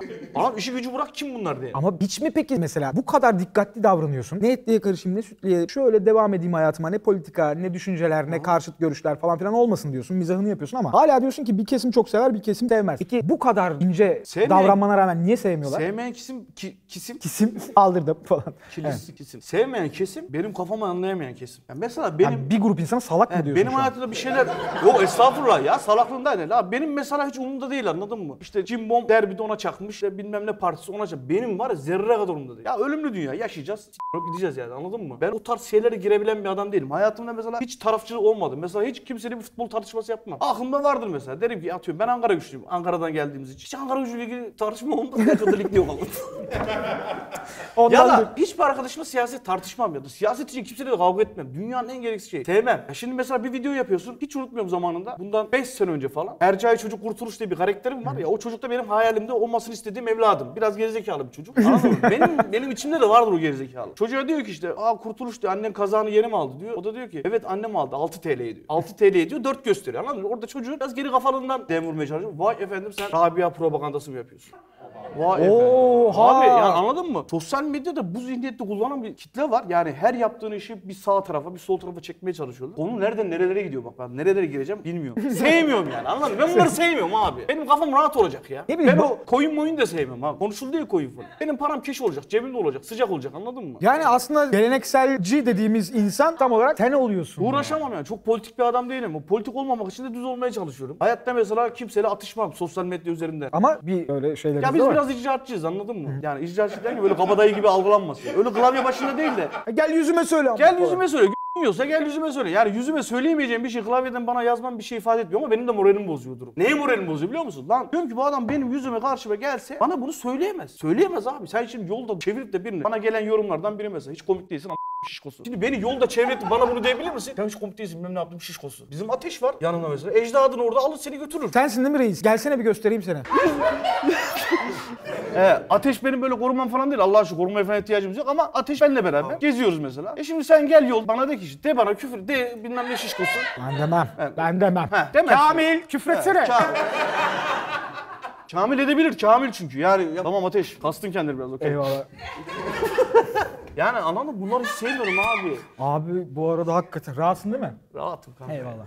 Kanka benim öyle bir durum yok. Sen beni tanıyorsun ama. Tanı ateş öyle değil diyorsun. Ya ben biraz dağınık bir adam olduğum için ateşle geziyoruz işte. Neyse. Ne soruyordun sen? Ha şey getir şu telefonu. Şey bilgisayar. Instagram son iki seneler bence çok bozuldu mesela. Kötü. Ben biraz Instagramcıyım. Benim YouTube diyorsun sen ama ben çok YouTube'da başarılı bir adam değilim. Yani benim kitle yaş ortalaması büyük olduğu için biz çekemiyoruz. Siz çekiyorsunuz çünkü siz böyle başladınız. Velhasıl kelam yani. Nefret ediyor benden şu an. Yok ya ben bunu çok seviyorum. Ben de seni çok Estağfurullah. seviyorum, kurban olayım. Estağfurullah. Sen de beni eklemişsin ben kabul etmemişim falan. Sen de onu anlatsana.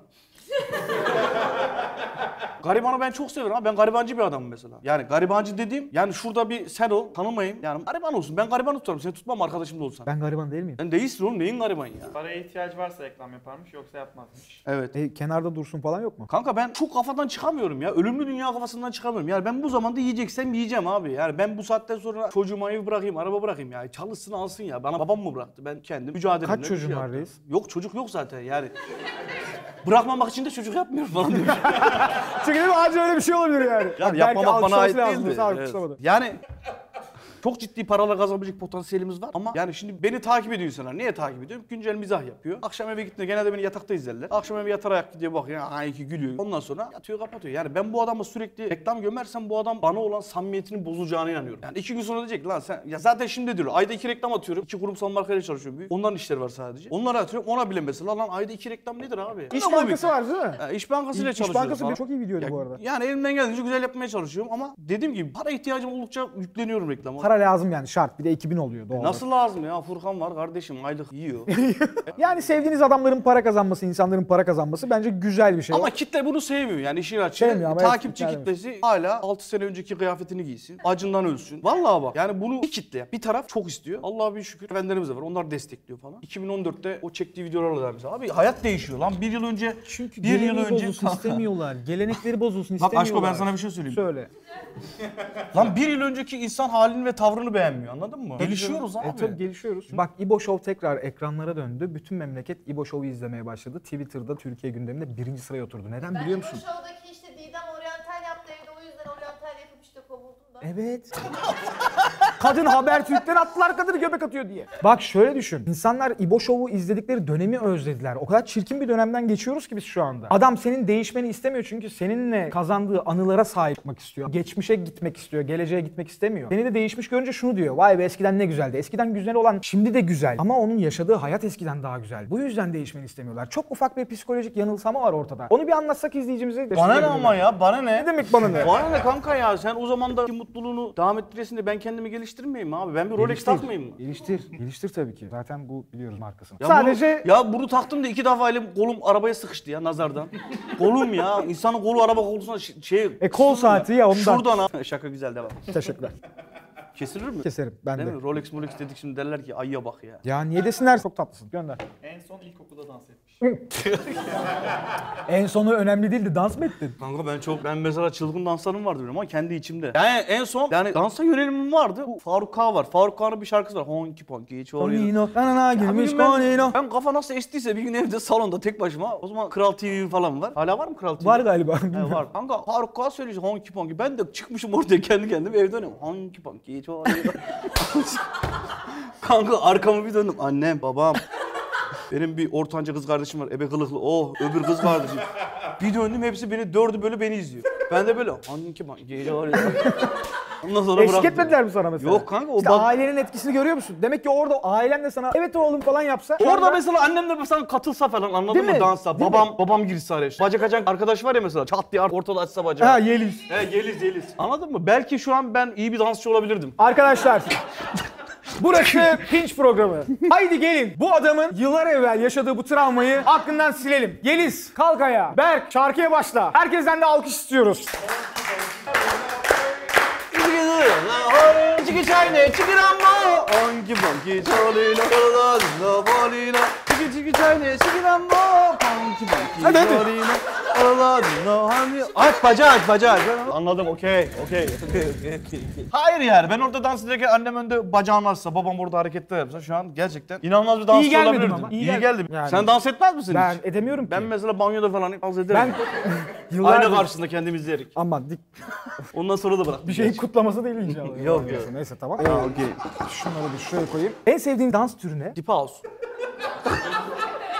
Niye? Neden? Yo. Ya var ya bak durduk durduk yere başımıza iş alacağız ha. Kanka Deep House'da bir müzik tarzı değil mi? Evet. Ne tarzı?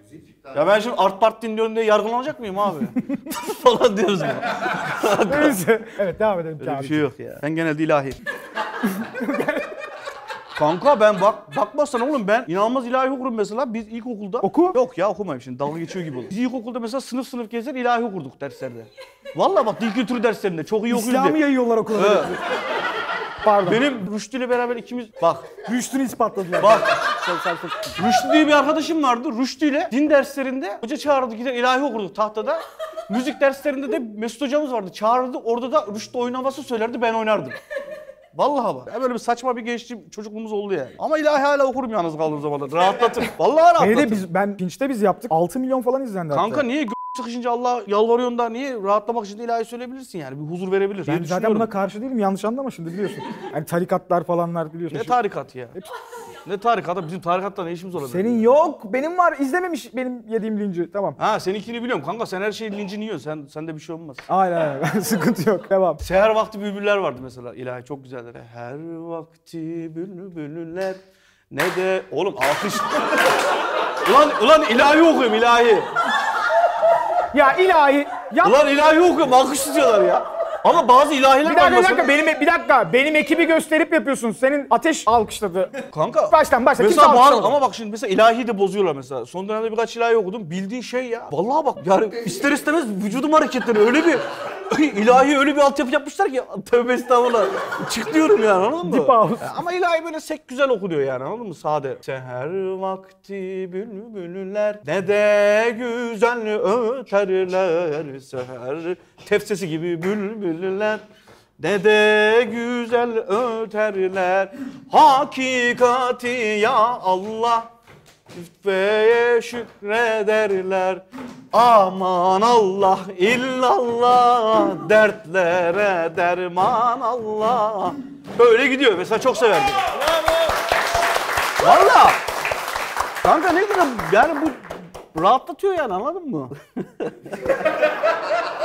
falan. O bizde değil. Kanka ben onu çok... Bizi s**ler yine bunları susalım mı şu an? Dön buraya. Ya kanka hani niye herkes ya? seni sevsin istiyordu. Seviyor kanka ne var ya Allah Allah. Müslüman bir ülkede ilahi sevmekten daha net ne olabilir yani? Cildi çok hassas olduğu için kışın bile güneş kremi kullanıyormuş. Evet. Ya cildim çocuk poposu gibi abi. Vallahi bak. Yazın sıcaktan kızarıyor, kışın soğuktan kızarıyor. Yani ben sürekli bir domates havasında geziyorum yani anladın mı? Ayaş domatesi vardır mesela. Kırmızı Ankara'da bilirsin. bilirim. İyi bir ayaş domatesiyim. Güzel. Evet. Güzel. Bunları nereden mi yazmışlar lan? Gençler önce meslek sahibi, altın bilezik sahibi olmalılar. Sonra fenomen YouTuber olacaklarsa olsun. He sen oldun rakip istemiyorsun. Ay kanka böyle. Ben bu işe başlamadan önce de Allah'a bir şükür işim vardı, gücüm vardı. Yani kendi hayatımı devam ettirdiğim bir şeyim vardı yani maddi anlamda. Bize bu iş ekstra geldi. Ekstra geldi derken doğaçlama oldu. Herkesin hayalleri vardır ünlü olmak falan filan belki. Ama ben hiç böyle bir hayalim vardı onu gerçekleştirdim diye değil. Hasbeli kadar bir video atarken yürüdü yürüdü biz üstüne gittik profesyonelleşti falan fişman. Çok hayal edenler de tam yapamıyor galiba. Yok, olmuyor. Çünkü sektördeki Benim- birçok insan aynen. bu işe hadi beni tanısınlar diye girmemiş. Aynen öyle ya. Benim bir de zaten öyle hayallerim yok. Ben onu şeye dedim mesela. Çocuk fenomen olacağım diyor. Lan cebinde kontürü yok. Oğlum kontürün olmadan o işi yapamazsın. Önce bir kontürün olması lazım. İnternet paketinin olması lazım. Bir iş sahibi ol. Önce kendi standartlarını belirle. Ondan sonra bunu hobiymiş gibi gör. Yürürse profesyonel dön. O anlamda onu bir yerde söylemiştim. Oğlum herkes Enes olursa ne olacak ya? Ya da herkes Oğuzhan Uğur olursa ne olacak? Anladın mı? Bu tarz işler, fenomenlik, ünlülük, süperstarlık bunlar herkesin olabileceği şeyler değil. Anladın mı? Bu ben mesela şans eseri oldum. Yeteneğim vardı. Biraz da ilerlettim. Bir noktaya geldi. O şans bende olmasaydı olmayacaktı. Yani o şans herkese vurmuyor. Ya da o yetenek herkeste yok. E şimdi Kabullen diyorsun. Kabullen abi durumu kabullenmezsen kafayı yersin. Ben hep hayatım, benim hayatım budur. Benim hayalim nedir biliyor musun? Benim hayalim mesela alabileceğim şeyi hayal kurarım. ben. Atıyorum ne alabiliyorum? Atıyorum Mercedes'in bilmem ne markasını alabilecek gücüm var. Oo. Ben ya misal cebimdeki para bundan 5 sene önce diyorum. Bir 5 sene değil 7 sene önce diyorum. O zaman parasıyla atıyorum gücüm Skoda Felicia'ya yetiyorsa 2001 model miydi? Neydi o bizim araba? Ona gücüm yetiyorsa benim hayalim o arabaydı mesela. Onu almak. Ben hiçbir zaman onun üstünü üstünü düşünmüyorum. Çünkü benim hayatım, yaşadığım şartlar, ailevi düzenim, maddiyatım bunu alabilecek güçte. Bunun üstünü istersem hasta olurum. Ama çok enteresan. Senin gibi hayal gücü dipsiz bir herifin gelip de kendini böyle belirli sınırlar içerisinde hapsedip kendine göre hayaller kurması. Bana da bu çok acayip geldi. Senin çektiğin videolardaki adamlar senin yalnızca görüp tasvir ettiğin adamlar değil ki. Sen orada bayağı hayal dünyandan replikler katıyorsun. Ya kanka ama o hayatı bak şimdi şimdi mesela bir masaya oturuyor mesela yani saçma sapan paralar konuşuluyor. Anladın mı? Bir masaya oturuyor mesela arkadaşlarım. Şey, arka, arkadaşlarım çok zengin tamam mı? Benden mesela bin kat daha fazla maddiyat olan arkadaşlarım var. Abilerim var falan pişman. Bunların hepsine selam. Şimdi ben onlarla aşık etarsam ya da ben onlara özenirsem sürekli ben ben olamam. Anladın mı? E Benim standartım belli, kazandığım belli. Ben bu yolda yürüyorum. Ekstra iş mi geldi? Ekstra üstüne koy. Yani bilmiyorum bu aslında biraz psikolojik bir şey. Tavsiye ederim gençlere, arkadaşlara. Yani olduğumuz hayatı kabullenmek lazım. Evet hayali tabii ki olması gerekiyor. Ama hayallerim gerçekleştiğinde de hasta olmaya gerek yok. Dediğim gibi ölümlü dünya ya. Şurada aydınlandım biraz da saatimde geldim. Geç aldınız. Orada birkaç kişi izlemek durumunda kaldım. Bir şey çok zevkli izledim ve inanılmaz bir ekip. Valla laf olsun diye söylemiyorum. Eyvallah, yani. Öyle çok gereksiz övmeleri sevmem. Mükemmel. Yani e, bana deseler ki gel böyle bir şey yap. Böyle bir YouTube'da bir şey ben yapmam sen varken. Bak. Bak işin özü benim bir de böyle bir çok yaşa. yaşa kanka. Yani eğer Nasıl ya? hapşırıksa. Nasıl hapşırık olan? Tabii, tabii, tabii, çok yaşa gerçekten. Delikanlılık yapmaya gerek yok. Atıyorum ben bir programa senin karşına çıkmaya cesaretim yok. Çünkü iyi giden bir iş bak. iyi giden bir iş. Hazır iş anladın mı? Yapmışsın bir yere getirmişsin. Ben şimdi onun karşısına çıkacağım da "Ah, ne yapacağım ya? Abi yapın Anladın, ki, ne yapacağım ki? yapın ki birbirimize laf atalım. Bir mecra Ya olsun. kanka, Adam. Öyle ya. iş olur. Çok güzeldi. Valla çok güzel ağırlandı. Bazı noktaları kesersek çok mutlu olurum. O kadar tatlı bir adam ki. Hem Allah hemşerim razı hem de özü sözü bir bir adam. Ama toplumun özü sözü bir insanlara ihtiyacı var artık. Ona inanıyorum yani. İnsanlar kendilerini düzgün şekilde ifade etmeli. Bazı nesillere kucaktan kucak. Bir alimin lafı var dostlar. Gel oğlum ya. Ve Nalet Bebe konuğumuzdu.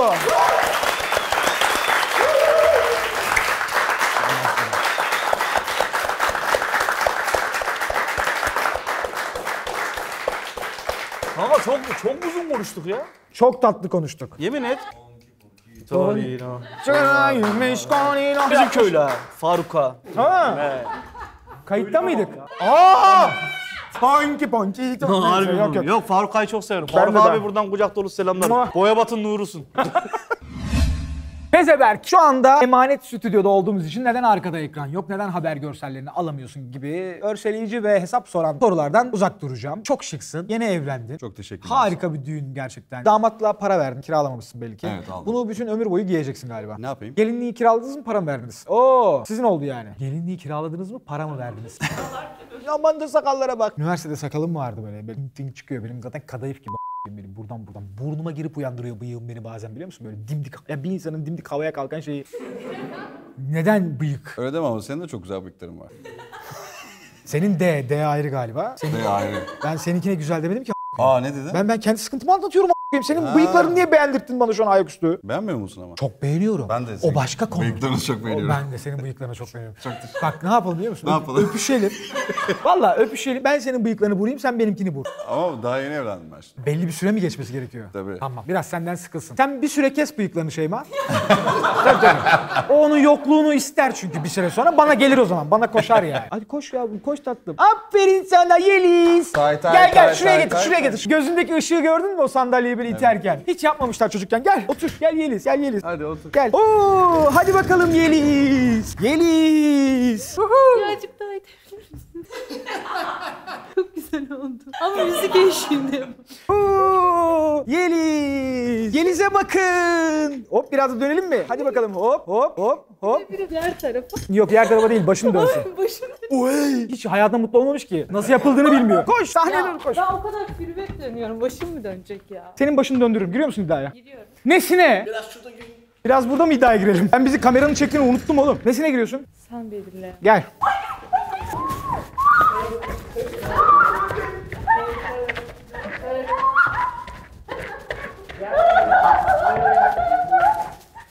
Koş!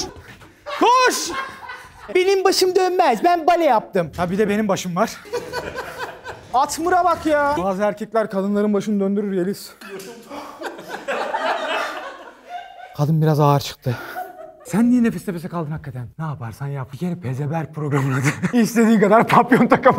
ne olacak ki en fazla? Papyonlu pezeberk olursun. Yok yok. Hadi değiştirelim şu Hazır pezeberk yeri işini. gelmişken Evet, evet. yine biz oylamayı açmasak mı? Açmayacağız. Bak Pezeberk bir lakap gibi. Haberkler program ismi gibi. Aslında biz program ismi aramıyoruz. Bu adama lakap arıyoruz. Çünkü evet onun örselenmesi çok hoşuma gitmedi mi? Gitti. Ama ben yanındayken de Pezeberk diye bağırıyorlar. Mecidiyeköy'de 600 kişi bize baktı. Abi katalog var mı diye yanımıza gelen oldu.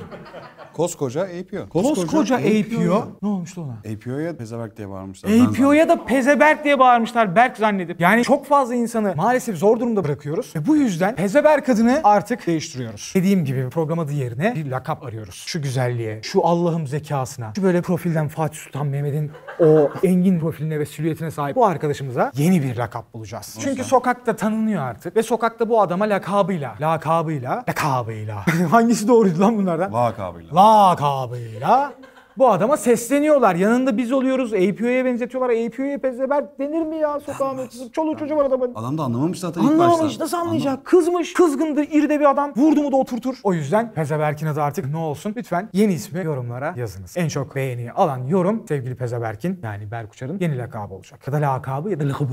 Lıkı. Lakabı. Lakabı. Evet. Söyle bakalım Pezeberk 5. sezona hazır mısın? Hazırım. Yok yok o yaptı ben. Mimik mi yapıyor şu an? Çünkü yani botoks... Şöyle yapmaya çalışıyorum. yaparsın kurban olduğum yaparsın. Sen zaten çok güzelsin. Botoksa ne ihtiyacın var diyeceğim de botoks da bir ihtiyaç arkadaşlar. Herkes yapıyormuş. 15 yaşında çocuk yapıyor ya. İnanır mısın? ben de inanmazdım. Ama önemli güzel bir şey. Güzel estetik bir şey. Ama bu hepsini bir anda yaptırmasaydın. Yani bunun seansları var. Böyle ayda bir giden oluyor, iki ayda bir giden oluyor. Sen yıllık yaptırmışsın galiba. Full hareket yok çünkü. Gerçekten heykel olarak başla gel. Hala mimik yapıyorsun ama gerçekten anlaşılmıyor. Biz mesela şu an üzgün müsün, mutlu musun? Gel gülüyor gülüyor. Gülüyor, gülmüyor. Ya şu gülmek mi? ya bir dişlerini gösteriyor sadece. O emoji var ya bir tane diye duruyor. Yap bakayım. Onu yapıyor işte resmen. Sen çok iyi poker oynarsın bak. Kendine gelmeden aynen poker face. Bir ay zarfında. Pezeberk 5. sezona hazır mısın? Harbiden 5 sene oldu ya. 5 sene a**ayım ya. 2 sene sonra emekliliğimizi istesek alırız. Almamız da lazım. Alır lan Yaş pinçten geldi. emek. Geldi geçti be hey hey. Ben senin burada 31 çektiğin günleri hat- Bir kadın geldi. Onlarla gözümüzün önünde ilişkilerini yaşadılar. Yükseldiler, indiler.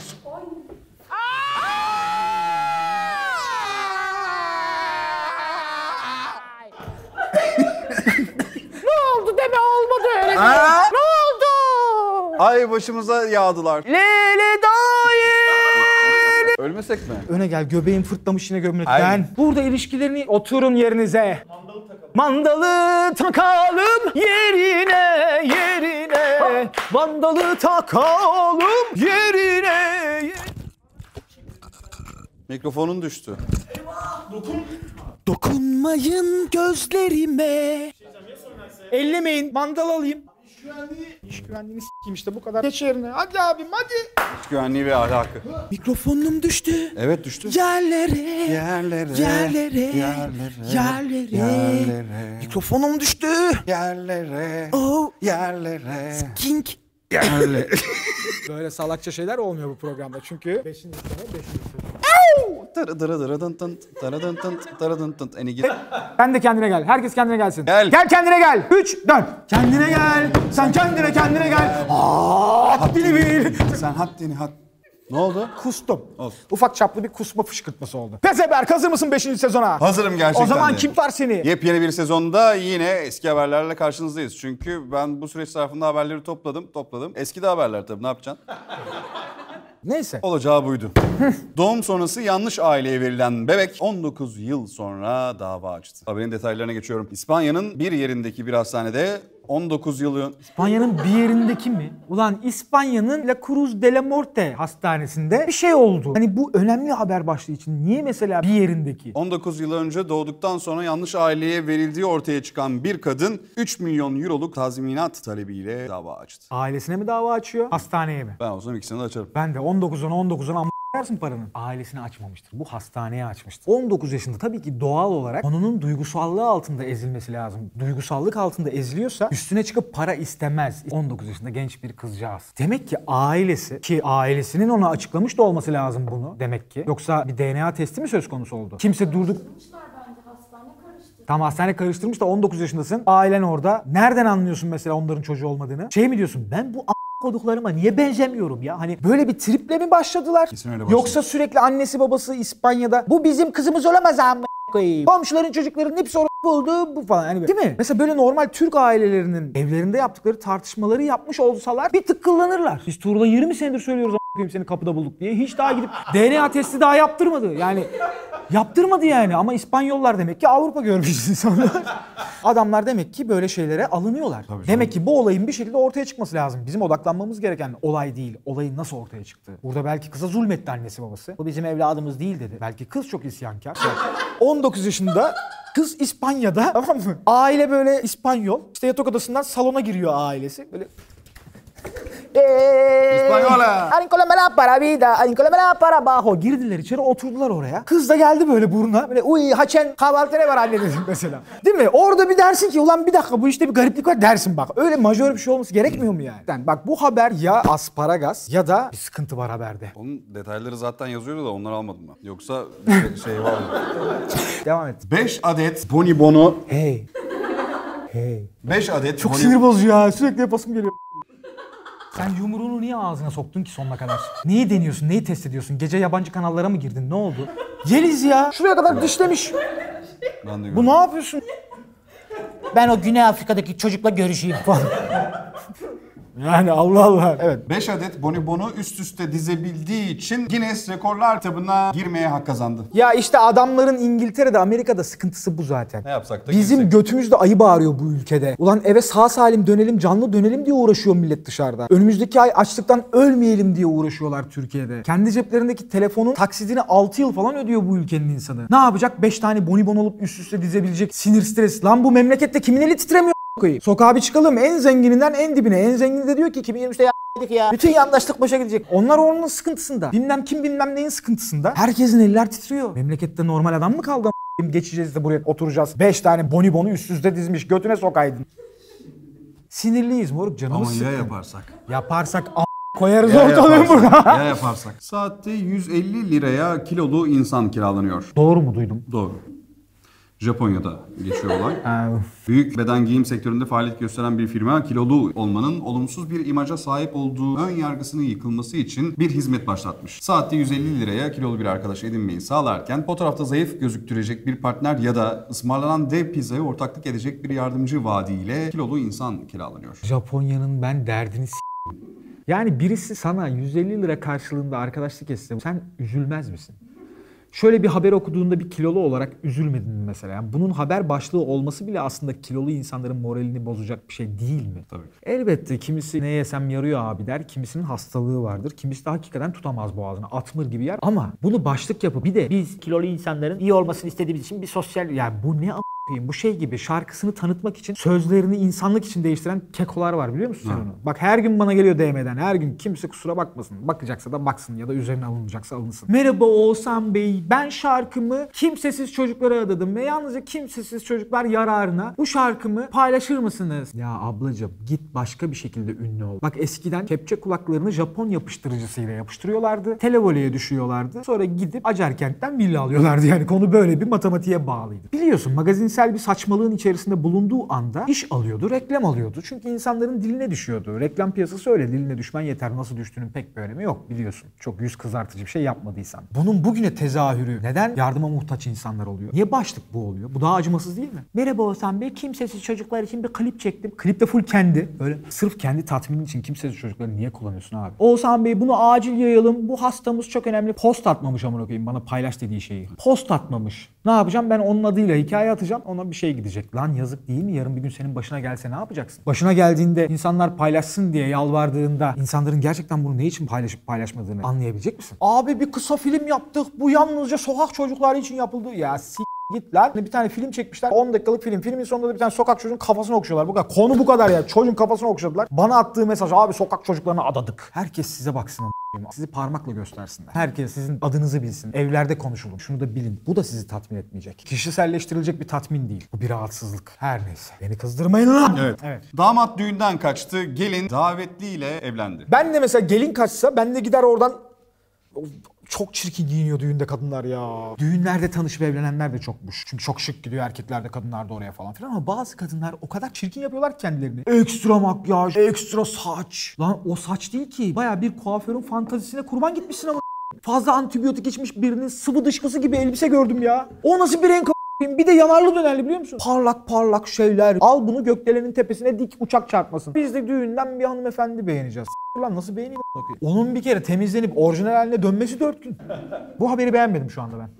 Ben yapamıyorsam başkasının yaptığı şeyleri dinlemem, dinlemeyeceğim. Geçiyoruz bu abi. Kıskandığı için yakın arkadaşının cinsel organını kesti. Bak ben onu Halil abiye mesela yapasım geldi.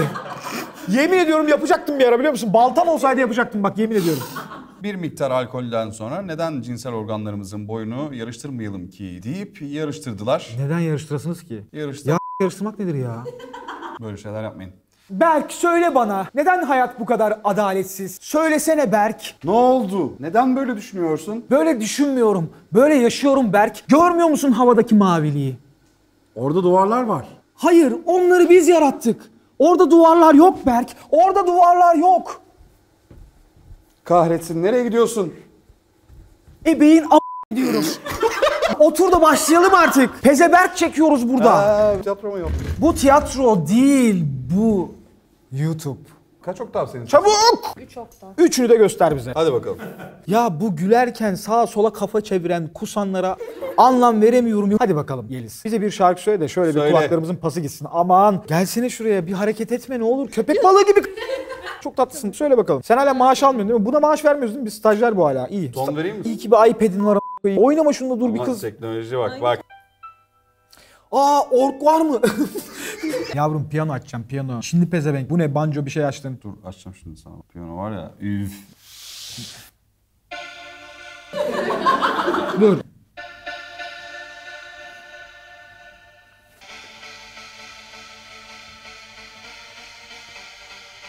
İstanbul!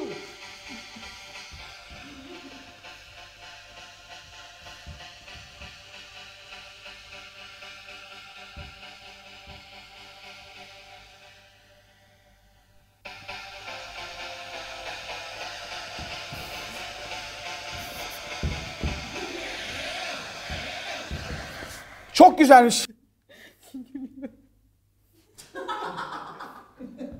Sen niye gülüyorsun a**ayım? Sen psikologsun. Gel şunu bir tedavi et ya. Neyse s- şu an neden böyle bir şey kuyunun içine atıyorsun beni? Kapatır Evet, mısın şunu tamam, artık? kap- S- ya ses vermenizi. Evet. Kapat. Gel bir adım öne. Dikkat! İleri bak. Hop! Selam dur. Sen değil, sen dur. Nasıl dur? Normal dur sen, s**t et selamı. tamam boş ver. Şarkılar yapan, dans eden bir kadın, sanatçı bir kadın yani. Doğal olarak burada belki bir şarkı söylerdi, bir yapımcı görür. S**t dersin. Hayır, pardon, öyle değil. Söyle bakalım. Söyleyeyim mi şu an? Yok şimdi söyleme. Tabii canım biraz. Sen burada bekle biz bir gidelim, bir işeyelim, sıçalım. Söylesene kurban oldum. Böyle bakınca dikkatini dağıl. Tam bakmıyor. Bakmayın lan. Kimse bakmasın. Kimse bakmıyor. hasta olduğumu düşünüyorlar. Telaffuz edeyim dedi ki şu an benim hasta olduğumu düşünüyorlar büyük ihtimalle.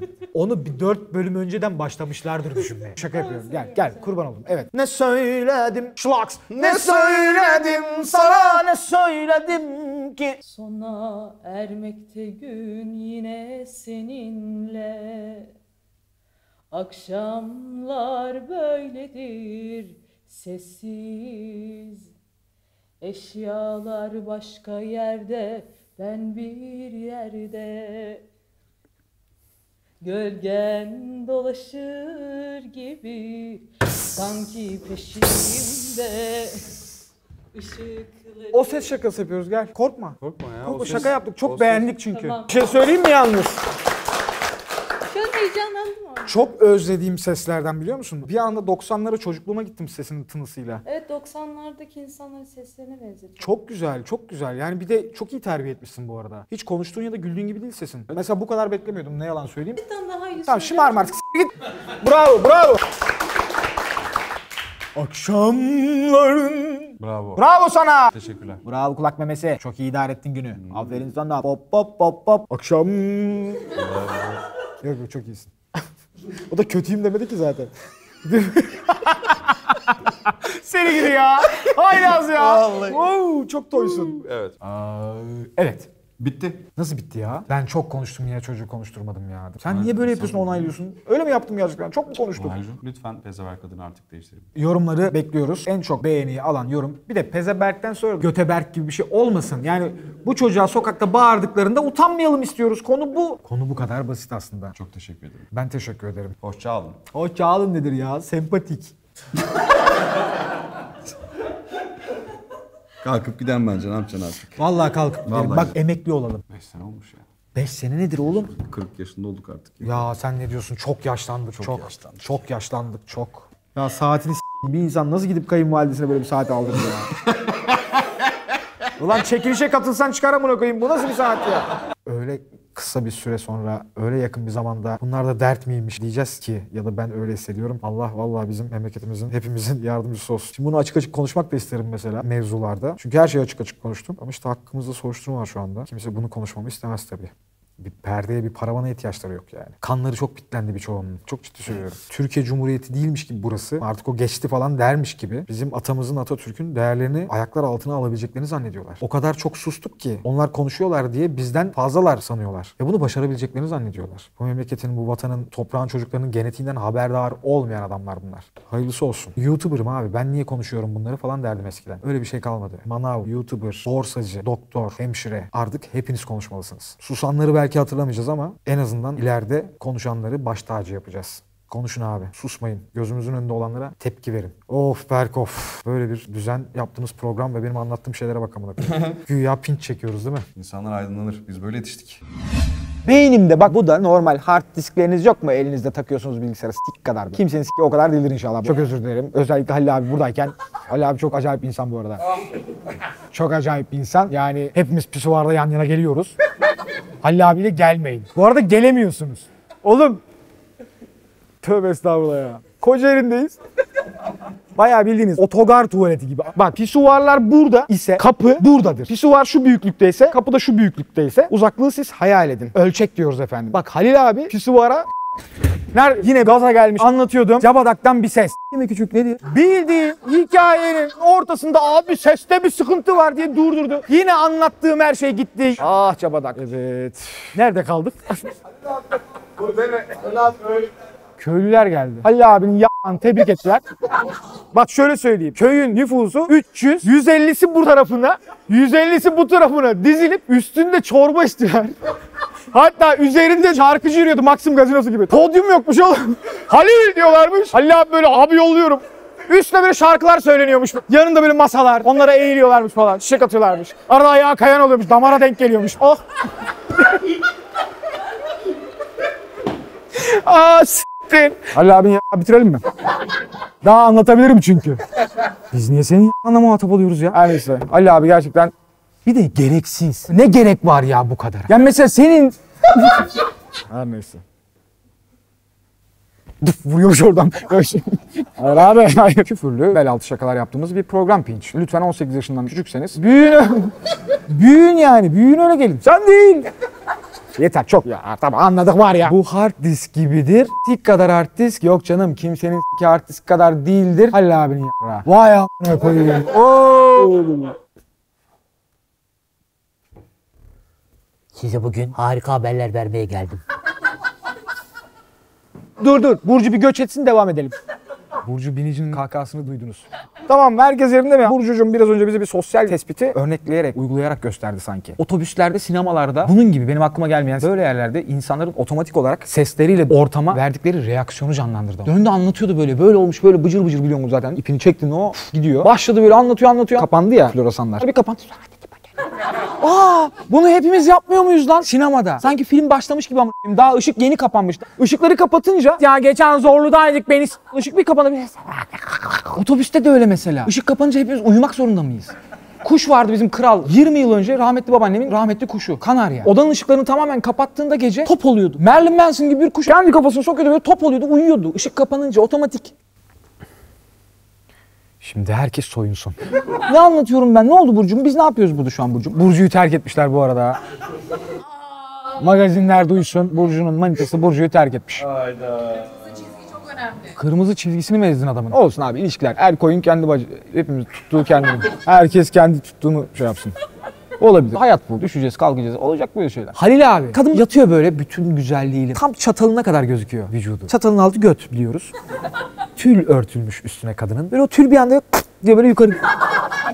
Soğur musun? Bana bunu anlat. Soğur musun? Şu an soğudum. İnsanın içinden çıkan şey gaz, sümük de öyle, tükrük de öyle. Yani bence birbirimizden bu kadar tiksinmenin manası yok. Bunlar anlamlandırdığımız şeyler olduğu için böyle tiksiniyoruz herhalde. Sen söyle bakalım. Sen hiç bir erkek arkadaşın mesela uyurken rüyasında konuştu mesela. Taklarım başlıyor. Ay bir şey dedi mesela. Soğur musun? Yeliz. Soğumazsın. Kaşır mısın? Hayır tamam. O bizi ilgilendirmez değil mi? Kamil senin mümkün değil soğuman ya. Bok içinde kalsa dersin gibi geliyor. Hayır, hayır, hayır, hayır. Öyle öyle ayıp, böyle küfürlü konuşmayın burada. Herhangi bir şey dedim ya. Yiğit. Boktan soğumuyorsun ama boktan karakterlerden, kişiliklerden soğuyorsun. Aferin. O yüzden yıllardır sürdürebildiğin güzel bir ilişkin var demek ki. Bir de yengemizin enerji yoga ustası, master'ı olması da. Çünkü sen tam ayrılacakken hadi seviyorsun, yapabilirsen. Adam astrolog, sevgilisi enerji kuantum tanrıçası. Neydi ya yenge? Bilinçaltı terapisti. Yenge seni bağlamışsa mesela sen gece uyurken kulağına böyle seviyorsun bilinç. Bilincini böyle diliyle kaldırıp altına böyle seviyor seviyor seviyor seviyor demiş olabilir mi lan bunca yıl? Yazım yanlışı. Soğunacak bir şey gerçekten. Ben de soğuyorum. Bir kadının küfür konuşmasından soğur musun? Siz soğur muydunuz küfür eden kadından? Yani ne bileyim böyle oturuyorsunuz mumlar yanmış. Aşkım bir şey söyleyeyim mi? Bak yemin ediyorum ananı bacını Mesela bu seni soğuttu mu şu an? ağzı bozuk böyle bir şey mi? Ama küfür değil ağzı bozuk dedi. Küfür artı ağzı bozuk. Yani amına koyayım. Amına koyayım. Bunun gibi bir şey ya. Argo konuşan insanlar. Ha. Evet o benim de çok hoşuma gitmez açıkçası. Bilemiyorum. Ben küfürlü kadın severim galiba. Aşkım gel sen koyayım. Çağırıyor içeriden. Hadi. Saçma iyi. Senem warum nicht? Gel seni bir göstereyim izleyicime. Berlin'i anlat bize. İyi Berlin güzel. Tavsiye ederim gelmeni. Sen ne zaman gelmeyi düşünüyorsun? Nasıl geleceksin? Arabayla geleceğim tabii. bırakıyorum. Aa, Psikopat ya o kadar uçaktan korkuyor. Geceleri uyumadan önce şeyleri açıyor böyle. Uçak kazaları falan böyle. uçak kazası raporunu izlemek seni daha güvenli kılıyor. Çünkü diyorsun ki ha bu sebepten düşmüş bu uçak. Bak pitot tipi diye bir şey var. Uçağın yanında böyle kim kadar bir şey. Çüncük kadar bir şey. Daha nasıl tarif edilir? Böyle şu kadar bir şey. Bu deliklerden giren havayla sen ne kadar hızlı gittiğini, ne kadar falan olduğunu elektronik tabloda görüyorsun. Uçağı boyamışlar, bakıma almışlar. Bir o tüpün üzerine bir tane bant yapıştıracaksın a**ına koyayım. Uçak söküp takıyorsun, pitot tüpüne bant takmamışlar. Böceğin bir tanesi giriyor içeri. Diğer bir böcekte bunlar zamanında takılıyorlarmış mı? Tabii sonra barışmışlar, bu bir daha gelmiş mi ne olmuşsa aynı pitot tüpünde buluşuyor ikisi. Bunlar tabii öyle normal bizim gibi s**işmiyor ki. Milyon mu? Koydu mu 5 milyon çıkıyor.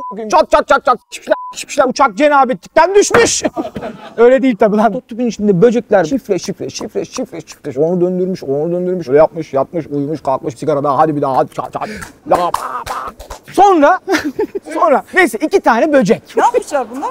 Orası Şişmişler. Neyse dur.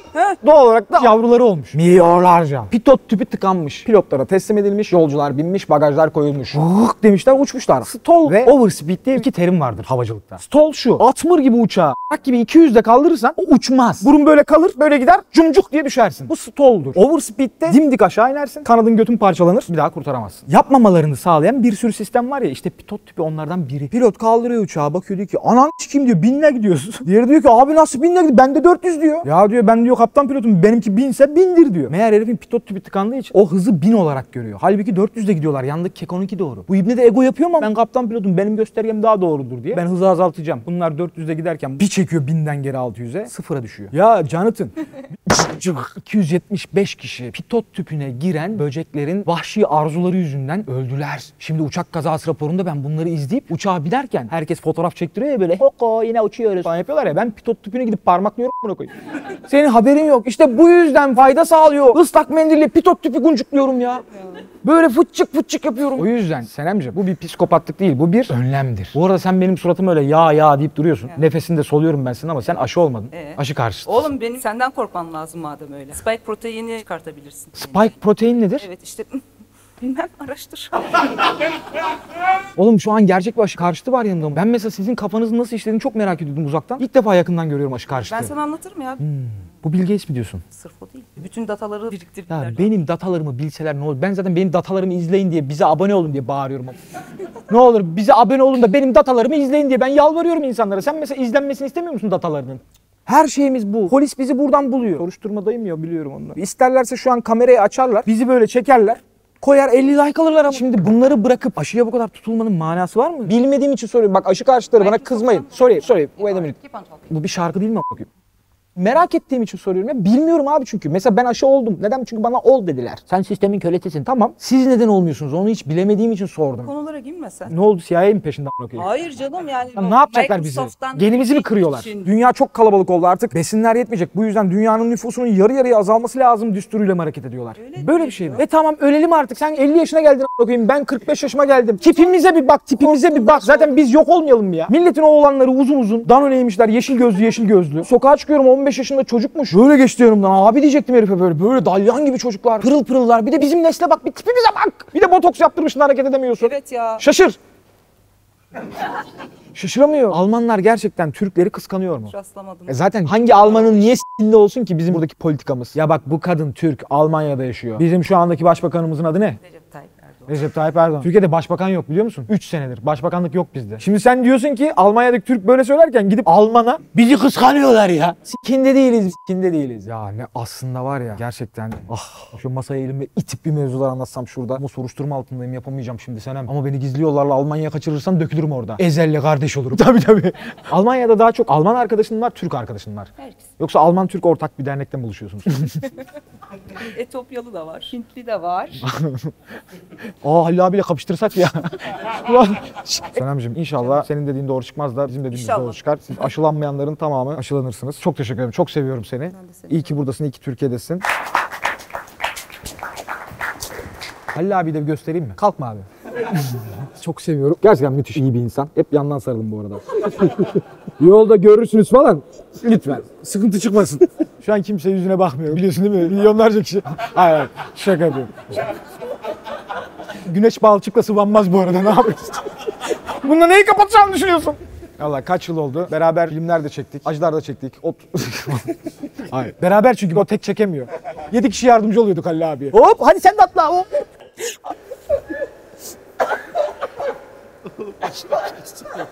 Senem hep parayla gelir bedava döner. Halil abi sayesinde.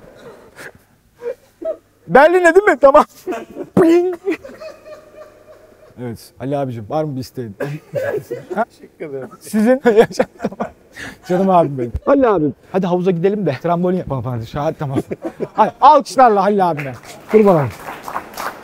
Of Yiğit of. Olsun be kardeşim. Ne yapacaksın? Kendi omzunu sıktırıp acı mı çektiriyorsun kendine? Açmış omzunu, elini sokmuş böyle. O kadar haber merkezinde iş varken burada çalıştığın için bu acıyı çekeceksin Özlem. Özlem mutsuz musun benim yanımda? Gel orada nasıl oturduğunu bir tarif eder misin? Ya sen Dove reklamı mısın a**ayım? Bu niye benim karşımda böyle oturuyorsun ya? Hadi git buradan artık. Kamerada da görecekler şimdi çocuk işçi çalıştırıyoruz diyoruz.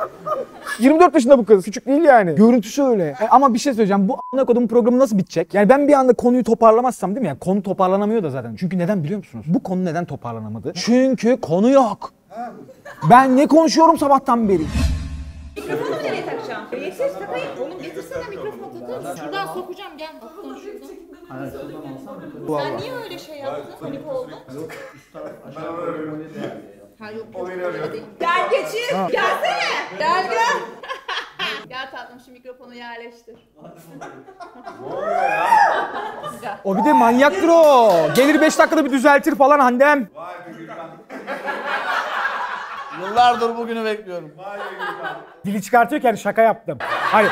Diyor ki yani hanımefendi size asılmıyorum şu an. Oğlum kadına bir çay getirseniz yazık değil mi? Dün böyle şeyler var mıydı? Dün çok acayipti. Dün gerçekten çok acayipti bu arada ya. Abi sürekli de anlatma da düşürme beni ya. Düşme çok iyi şu anda her şey. Ya ama hayır dün çağırsan geleceğim abi. Yalnız Allah nasıl Allah. bir... Ama sen dedin perşembe gelin diye. Hayır ben perşembe sen çarş perş dedin. İyi hadi perş olsun dedim. Mesela diyebilirsin ki çarş daha mevzular var yani. Aa, biz bir bilseydik dün olacakları. Yani mavraya dalardım ben de. Ben öyle seviyorum. Ekşi Gerçekten kadında abi. acayip bir ses teli tonu var. Direkt orta kulağa vurmuyor mu ya? Evet aynen öyle. Hakikaten Çok tebrikler ama. Şeyim yani. Bir taraftan da bir anda da böyle kamera karşısına geçip Ha hemen böyle metne böyle böyle gidip böyle. böyle. anlatabilirim. Evet Aynen. bravo. Her şey yok yok hocam. Biz ne yapalım başlayalım mı? Evet evet hazırız. Gürkan ne zaman kendine gelecek acaba? Gürkan'ı iki gün sonra alalım buradan. O hala inşallah kaydetmemiştir. Kameraman ya. Kayıt altında hocam. aklı da öyle çalışıyor onun çünkü. Bunu 15 yaşında bize öğretiyorlar. Diyorlar ki dokunamazsınız ama kaydedebilirsiniz değil mi? Böyle bir şey oluyor. Biz erkeklerin de zoru bu. Olsun Gürkan'cığım. Her neyse. Handeciğim.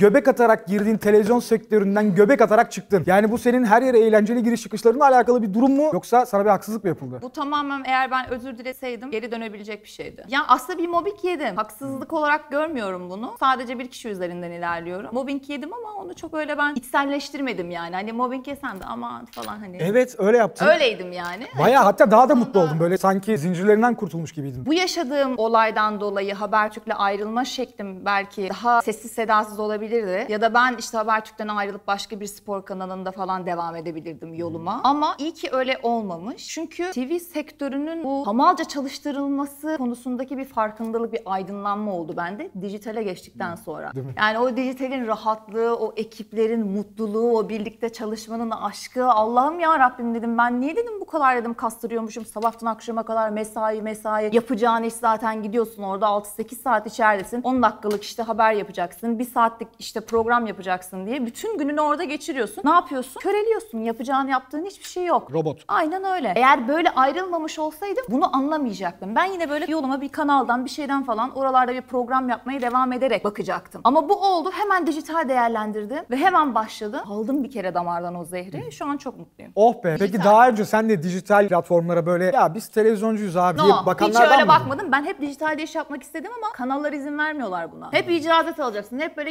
gidebilir miyim, yapabilir miyim falan filan. Hep bir izin almak zorundasın onlardan. Peki şöyle şeyler duyuyorum mesela Bunlar Haber kötü. Türk, CNN Türk bunun gibi haber kanalları artık bizim hepimizin bildiği haber kanalları. Bu kanallardaki bazı spikerler ya da bazı işte kamera önündeki isimler kanaldan ne para olarak tatmin oluyorlar ne de izleyici olarak tatmin oluyorlarmış ama bunu bir vitrin olarak sergiliyorlarmış. Tabii. Onların da aklında artık sosyal mecralara geçmek, dijital mecralara geçmek varmış ama işlerini bırakmamaları sebebi de sonuçta ne olursa olsun bir Prestij. televizyon. Televizyon, Aynen. aynen Ben öyle. CNN'deyim, ben Habertürk'teyim demek için de yapan öyle. Öyle mi? Evet. Vay be. Hani sorduklarında işte ben Habertürk'te ben CNN Türk'te çalışıyorum demek için. O biraz böyle radikal karar. Hani bir şey olmadıktan sonra, bardak taşmadıktan sonra kendisi harekete geçemiyor. Hani ben bunun kararını vereyim de gideyim ayrılayım falan diyen çok az kişi var. Bu biraz böyle cesaret istiyor. Vay be. Aynen Seninki de çok güzel denk gelmiş oldu o zaman. Yani benimki zaten benim hani hayatım aslında hani kariyer, başladığım yer, evrildiğim yer, şu andaki geldiğim noktaya baktığımızda ben Efe ile birlikte yarışma programları sunan bir kızdım. Yani Evet. sokaklarda deli deli falan cırlayan, ses Ya ne çıkartan, güzeldi o. koşan insanlarla Pasaporttu. iletişim. Evet. Pasaport. Ben hepsini izledim onun bu arada. Ümit Erdim buradan selamlar. Ümit Erdim'le partnerdiniz orada. Gerçekten çok eğlenceliydi ve senin orada hepimizi yakaladın. Biz seni çok sevdik o programda mesela. Yani çünkü o benim. Evet. Yani üstüne yazılan bir senaryo yok. Bize görev veriyorlar. Sokağa çıkın diyorlar. Yarıştırın diyorlar işte. Adam bulun diyorlar işte yarışmacı. Ondan sonra da görevleri yapın. O yüzden çok eğleniyordum. Ben hep bunu seviyorum zaten. Bana yazılı metin verme. Bana köşe taşlarını ver. Bu program şöyle olsun de. Ben onu gideyim hemen sunayım, oynayayım, çizeyim. Ben öyle. Şu anda reality show'ları izliyoruz. işte kadın programları izliyoruz. Bakıyorsun yemek programı, o bu falan bir sürü şey var değil mi? Gündüz kuşağına baktığımızda. Hepsinde bir oyun var. Hepsi senaryo. Hepsinin lafı veriliyor. Bunu söyle ona fiştekle onu bilmem ne falan filan. Kaynanalar, gelinler, onlar bunlar, aileler hepsi böyle birbirine ama hepsi yazılıyor bir şekilde yani hiçbir şeyin bir doğalı. Onun bile doğalı yok. Yaşadıkları olay doğal ama o doğalı bile yani bir şekilde doğayı böyle dramatize etmek için falan filan onu bile yazıyorlar yani. O yüzden o konuda böyle daha gerçek, daha samimi bir şekilde bu da yaptıklarımızı ekrana yansıtabilmek için ben buradayım hocam. Öyle işleriniz varsa gelin. Nefret etmiş televizyondan, nefret etmiş. 2010 çarkfelek, 2011 pasaport falan. Bayağı büyüdüm, geliştim ya. O yaştaki bütün erkekler gelip stalkladık seni tabii. Facebook'unu falan tabii. O zaman Instagram falan var mıydı Ama bilmiyorum ama. şey pasaport yarışmasında biz işte şehir dışı bu denizde falan filan görevler Ha, vesaire yeşil mayo diyorsun. olduğunu at- Ay! Mor mayo aynen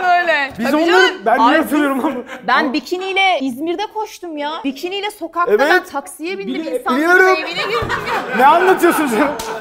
Hepimiz biliyoruz bunu. Fark var o zaman bunlar yoktu. Ha. Demek ki hiç fark Oğuzhan etmiyorsa beni bizim için. aradı. Atıma bindim geldim. Çocukları topladım. Üç kişi geldik işte. Niye tek mikrofon taktın deyip saçmalayıp konuyu uzatmayacağım. Kamil gel buraya çabuk Kamil. İnternette Hande Sarıoğlu ile ilgili neler konuşuluyor? Kim ne diyor efendim? Göt meme. Öyle mi gerçekten ya? Full. Allah Allah. Kesinlikle. Oryantalden sonra inanılmaz Bak bir şey. bazen adamlar şey çok yine ayakta hazır mısın bekleyeceksin. Valiz şeylerini taktın mı? Çok bekliyor yavrum ayakta çünkü. Gel kucağıma. Canım Kamil. Bak nasıl kıskandı. Cabadak böyle oldu. O Vay mikrofonu kim çıkaracak? Senin de sıran gelecek. Sakin olun.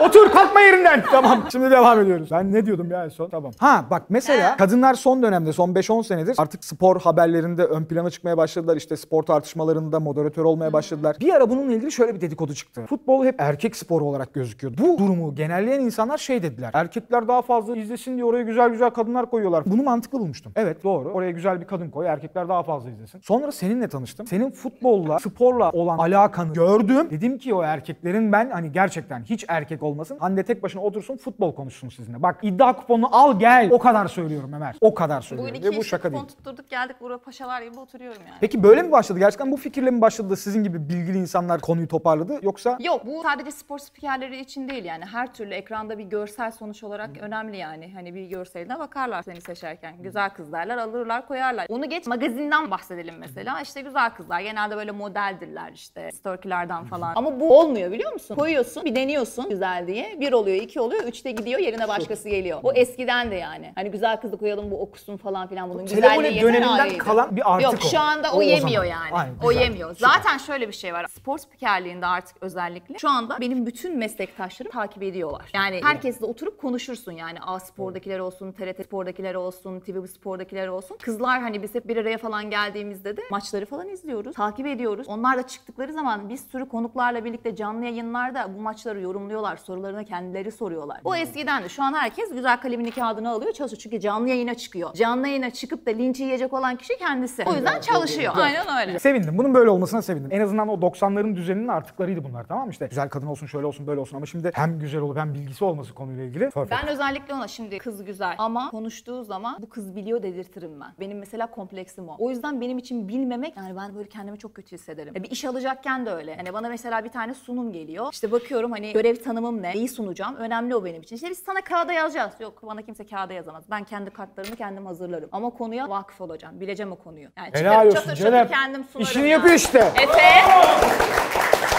Seviyorum böyle kadınları. Yok, Çalışıyor, işin peşinde bayılırım. çat çat. Yeter ki ver bana öğreneyim yani. Mesela kripto para. Hiç bilmiyordum hocam. Ama biliyorum yani sürekli etrafımızda herkes konuşuyor yani kripto paraları. Ve artık geleceğimizde olacak bunlar. Tamam biz Y kuşağıyız ama yani Z kuşağı içinden geçmiş yani kripto Tabii. paraları. E bir şekilde bana bunun moderatörlüğü geldi. Yapmam demedim. Dedim ki bana eğitim verin dedim. Gittim eğitimini aldım bana anlattılar. Öğrendim. Şu an çatır çatır moderatörlük yapıyorum. Sektörde bunun çünkü biliyorum. moderatör olarak açığı var. Sürekli bir ekonomist arıyorlar çünkü bunun için. Ben şimdi ekonomist değilim. Ben Türk Dili ve Edebiyatı okudum.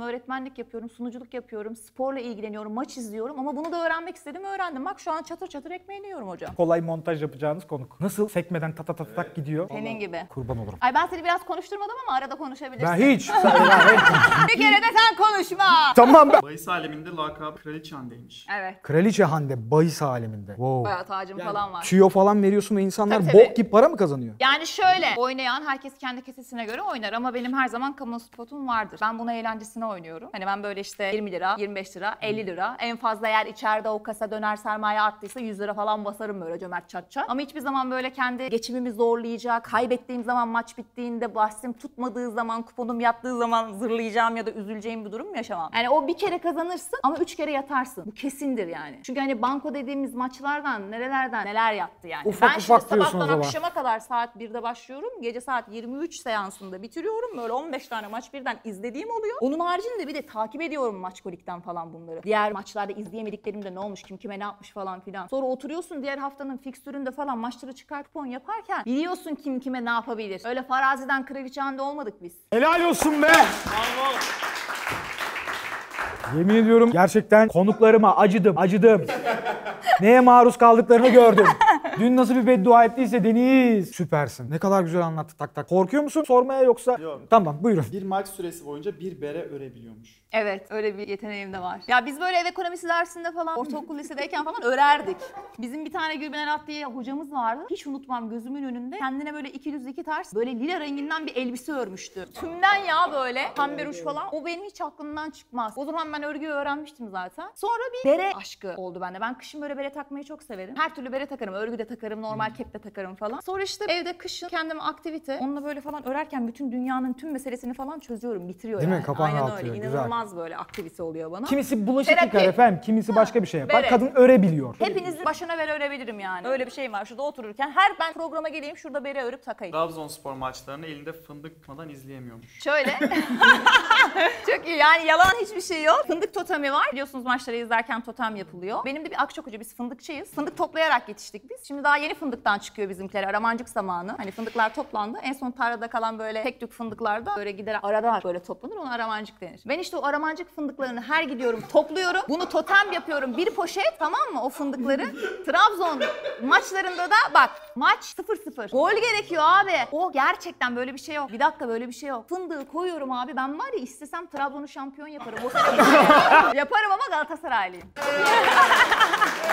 Hepimizin bir çocukluk hikayesi olduğu için yani bu takımı tutuyoruz sonuç olarak. Ya ben spor spikeri olacağımı bilmiyorum. Ki spor spikerleri tuttuğu takımları falan gizlemek zorunda. Öyle bir dünya yok. Ben ona da aykırıyım. Çünkü objektif bir şekilde kim ne yaptıysa bunu eleştirebiliyorum ben yani. Aynen öyle. Öyle bir insan gerçekten. Arkadaşım olduğu için Hiç söylüyorum. öyle Altında çiziyorum. Yani. deli gibi böyle Galatasaray falan böyle fanatikliği falan yapmam Anladım. yani. Sen konuyu, oyunu seviyorsun. Renklerin Ben olması da oyunu- elbette. Aynen öyle. elbette aynen normal. öyle. Çıkıp oyunu oynayanlara bayılırım. Avrupa'da da ölümüne destekliyorum bütün takımlarımızı. Millet böyle Değil mi? birbirini Var öyle. yenilmesini ister ya. Ben öyle değilim mesela Frankfurt maçında işte Perkas'ın kaçırdığı penaltıda biz çığlık kıyamet falan ne kadar Biz de üzüldük. kahrolduk yani arkadaşlar. Oğlum o kadar bilmiyorum ki acaba bak. Ama çok tatlısın. Bakıyoruz zeka var ya gözüme girdi falan şu an böyle artık böyle buradan. Saçıyor kadın zekayı. Sana da girdiyse çünkü zeka fışkırıyorsun sen de. Estağfurullah. Hiç göründüğüm gibi çocuk değilim. Evet. Bu ikimizin arasında. evet siz bilmiyorsunuz aptallar. Pis fakirler biz biliyoruz. Devam. Maç izlerken sürekli komşular gelip Hande Hanım iyi misiniz, güvende misiniz? Ya evet Gerçekten. çok tatlılar. Çığlık ya çığlığa çok durum var. tatlı bir apartmanımız var. Böyle apartman WhatsApp grubumuz var. Böyle mesela perde asmak isteyen falan olduğu zaman işte ya perdelerimi asamıyorum şu anda yardım eder misiniz? Gece mesela 2'de şarj aletimi iş yerinde unutmuşum şarj aleti olan var mı? İşte baş ağrısı hapı olan var mı falan. İnanılmaz. Bak, Gerçekten İstanbul'da böyle bir apartman. Kıçımı kaşıyım nazar değmesin harika bir olay gerçekten. Hepsine selamlar bütün apartman Hakikaten aynen öyle. Şimdi ben çok sesli bir insanım yani. Gümbür gümbür bir insanım. Hani böyle çı- çığlık attığım zaman gerçekten yer gök inler. Hani böyle hele de gol olduğu zaman ya da böyle bir şey son bir dakika işte son beş dakika uzatmalar bir tane gole ihtiyacım var. Allah'ım direklere vurdu falan kaçtı. Neler neler yani evde. WhatsApp grubuna ya işte bir ses duyduk ama hani şu an herkes iyi mi? Bir problem var mı falan filan diye evet yazıyorlar yani. Ya kusura bakmayın ben işte maç izliyordum da hani o ses benden çıktı. Her şey kontrol altında. var. Bir gün kesseler beni ya bu maç izliyor falan diyecekler falan öyle. Sevgilinle böyle dışarı çıktığında, aktivite yaptığında falan çok sesli olduğunda hiç böyle hani ne bileyim çok romantik bir yemektesiniz. Çünkü öyle de bir kadın. Yani konudan hakikaten konuya öyle. çok hızlı geçebiliyor. Dedim ya. Biz beraber o- onu yayında demedim galiba. Biz beraber iyi misin? Tabii tabii. Biz, beraber bir canlı yayın yaptık. Satış falanı filanı yaptık. Markalar falanlar işte mini fırın var şu, şu kadara satılıyor satıldığı falan canlı yayın. Satıldı diyor anlatıyor bu arada mini fırını sanki o yapmış gibi biliyor. Biraz önce söylediği şey gerçek. Her şeyi öğreniyor önceden falan. Hangi kamera nerede? Biz de YouTuber yanına koymuşlar. Ben de Keko gibi onun peşindeyim böyle. Nereye bakacağız Hande? Hande yardım et Hande falan. Hande aldı topu götürüyor tabii böyle falan. Derken Hande ciddi ciddi şöyle bak kameraya bakıyor ve diyor ki evet diyor mini fırın şu anda satışta falan gayet ciddi tok bir sesle. Sonra drink diyor telefon çalıyor. O Manchester gol atmış diyor böyle. Yani hemen değişebiliyor konu. Acaba diyorum sevgilinle böyle oturmuşsun romantik romantik şeyler yapıyorsunuz falan filan. Derken böyle bildirim geldi böyle çığlık atıp sevgilini ve etraftaki masaları... Evet hoplatıyorum. Allah'ım çocuk ne yapıyor mesela? Çocuk çok özgüvenli ve acayip şey bir çocuk olması lazım. Ya açıkçası hani ben sonradan böyle değişen bir insan olmadığım için hani ilk tanıdığında da böyleyim Ha, yani. ha. Şok olmuyor. Zaten bu sesle bu biliyor yani beni. Kız böyle sesli. Konu Yapacak bu. şey. Allah'ım şu anda söylesem mi? Böyle düşünsene sevgilisisin kalabalık bir ortamda sürpriz yapacaksın. Sen yapar mısın mesela? Ben de yapmam. Utanırsın. Bir- bir- hani böyle- Dışarı çıkılmaz. Evlilik teklif etmek için dağın tepesine çıkmış çocuk falan artık kimse duymasın diye düşünsene. Ama çok tatlı tabii devam edelim. Aşk konusunda gelenek, gel, Geleneksel. gelenekselciymiş. El ele değdiğinde titremesi gerekiyormuş. Evet öyle. Vallahi öyle. Çünkü onun hikayesi şöyle yani benim ilk erkek arkadaşımla 13 sene çıktık arkadaşlar. Kaç? Yani Akçakoca'da 13 senelik bir ilk çıktığım erkek arkadaşım. Yani öyle bir şey. Hani çünkü bak bu zamanlarda falan Z kuşağında bunu falan anlatamazsın yani. Bizim zamanımızda böyleydi Ne hocam. güzelmiş ya. Şimdi böyle yaşadığım için benim kodum bu. Yani ben şimdi geldim üniversiteye burada bir sürü ortama girdim falan. Gayet değişebilirdim. Farklı bir evreye geçebilirdim. Tabii. Ortamlara ayak uydurabilirdim. Ama hiç öyle bir insan olmadım. Yani o konuda karakterim çok güçlüymüş. Hani ortamına göre hiç değişmedim ben. Hep aynı kız oldum. Ne Akçakoca'da hangi kızsam şu an buradaki kız da oyum yani. Ne güzel ya. Aynen. O yüzden değecek hani el titreyecek muhabbeti hala öyle. Ben öyle işte günlük takılmalar, flörtler, DM'den falan mesajlaşmalar. Aa, öyle şeyler yok bende hocam. Vallahi helal olsun. Kimsede de olmasın. Çünkü...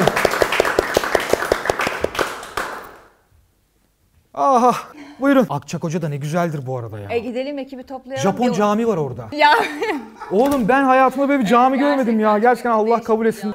Ama böyle biraz Japonlar da kılsın diye mi artık böyle bir değil mi? mimarisi gerçekten Mimarisi çok evet. enteresan. Ben çok Akçakoca Dikkat bu arada çeken- müthiştir sahiliyle olsun. Güzel. İstanbul'da iki buçuk saat uzaklıkta. Ankaralılar daha çok bilirler. Evet, o yüzden evet. hafta sonu cumadan iş çıkışında gelirler. iki gün kalırlar dönerler. Aynen öyle. Biz o iki günlerin- İstanbul'un bilmesi lazım. İstanbullulara da buradan sesleniyoruz arkadaşlar. İki buçuk saat atlıyorsunuz Akçakoca'dasınız. Akçakoca. Aynen Akçakoca öyle. falan. Adımı verin bana hesabı yazdırın. Bunu yapma. Bu programda bunu yapma ciddiye alırlar. efendim.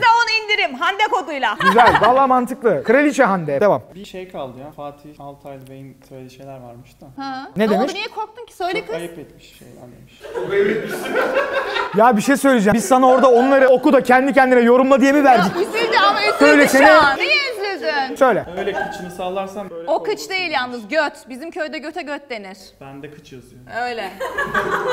Çok özür dilerim ama gerçekten anlamadım konuyu. Ne oluyor şu anda? Ya şey benim Habertürk'ten ayrılma hikayemde gelişen bir konuşma bu. Beni Habertürk'e transfer eden isim Fatih Altaylı. TV Spor'daydım o zaman ben. Fatih Altaylı işte biz sizinle çalışmak istiyoruz dediler. Benim işte spor programım var, spor saati. Orada işte hem sizinle birlikte program yapmak istiyorum hem de kanalın spor haberlerini siz sunarsınız vesaire. Neyse ben transfer oldum. Biz işte programı yapmaya başladık. Programın içerisinde tartışmalar olmaya başladı. Bazı konularda falan ters düşüp tartışıyorduk. Sosyal medyada da çokça Fatih Altaylı tarafından çok linç yiyince kendisi çok benimle program yapmak istemez hale geldi. Son programda da zaten kalkıp gitti. Kalkıp gittikten sonra da bir daha program yayınlanmadı. Yayından da kalktı o program. Bir daha yapamadık yani. Onun üstüne ben bir sene Habertürk'te çalışmaya devam ettim. Bir daha program yapamadım. Bir tek işte bültenlere falan çıkıyordum. Kendim spor spikeri olarak tatmin olmadığım bir dilimde o, o zamanlar. Daha sonra işte neyse bu oryantal meselesi evde arkadaşlarla falan oynadık ettik. Kakara, bikiri falan filan işte ülkenin gündemine oryantal olarak geçtik. sonra kanaldan ayrılma sürecinde ben bütün herkese veda ederken çünkü çok severim oradaki bütün arkadaşlarımı, ekip arkadaşlarımı. Herkese işte veda ediyorum. Tek tek bütün işte odalara gidiyorum işte gidiyoruz vesaire falan filan diye. Fatih Bey'e de o zaman mesaj attım. Fatih Bey ben veda ediyorum. Hani hakkınızı helal edin. Sizde de hani helallik almak için hani yanınıza geleyim göreyim falan filan diye mesaj atmıştım. Mesajıma geri dönmedi ama onun katında Sevilay Hanım'ın odasında biz konuşurken sohbet ederken Fatih Bey kapının önünden geçiyordu. Beni gördü ama görmezlikten geldi. Şöyle bir transit geçti. Allah Allah ne oluyor falan diyorum ama Fatih Bey diye falan şöyle bir kalktım hemen işte kapıya doğru ilerledim. O da geri gelmek durumunda kaldı. Sonra kapıda beni görür görmez söylediği tek şey öyle götünü sallarsan böyle kovulursun oldu. Ben böyle bir şok oldum. Ben de oldum şu an. Yani oldum. Hani böyle bir şey beklemiyordum çünkü kendisinden. Ben hala kendisine olan hani saygım sonsuzdu yani benim. Ama ben biraz böyle polyanlacılık yapmışım kendi kendime. Onu böyle hep gözümde falan böyle çok göğsümde yumuşatmışım yani. Ama aslında o olaylardan sonra yaşadığımız hani masadaki tartışmalardan sonra beni çok sevmiyormuş yani. Senden böyle bir nefret etmiş. Hani gö- gözüm görmesin seni moduna geçmiş kendisi. Böyle de bir cümleyle karşılaşınca son nokta oldu benim için yani. Sonra bakış açım da değişti kendisine tabii ki. Ben gözümde büyütmüşüm. Şimdi bakın şöyle bir şey var. Ben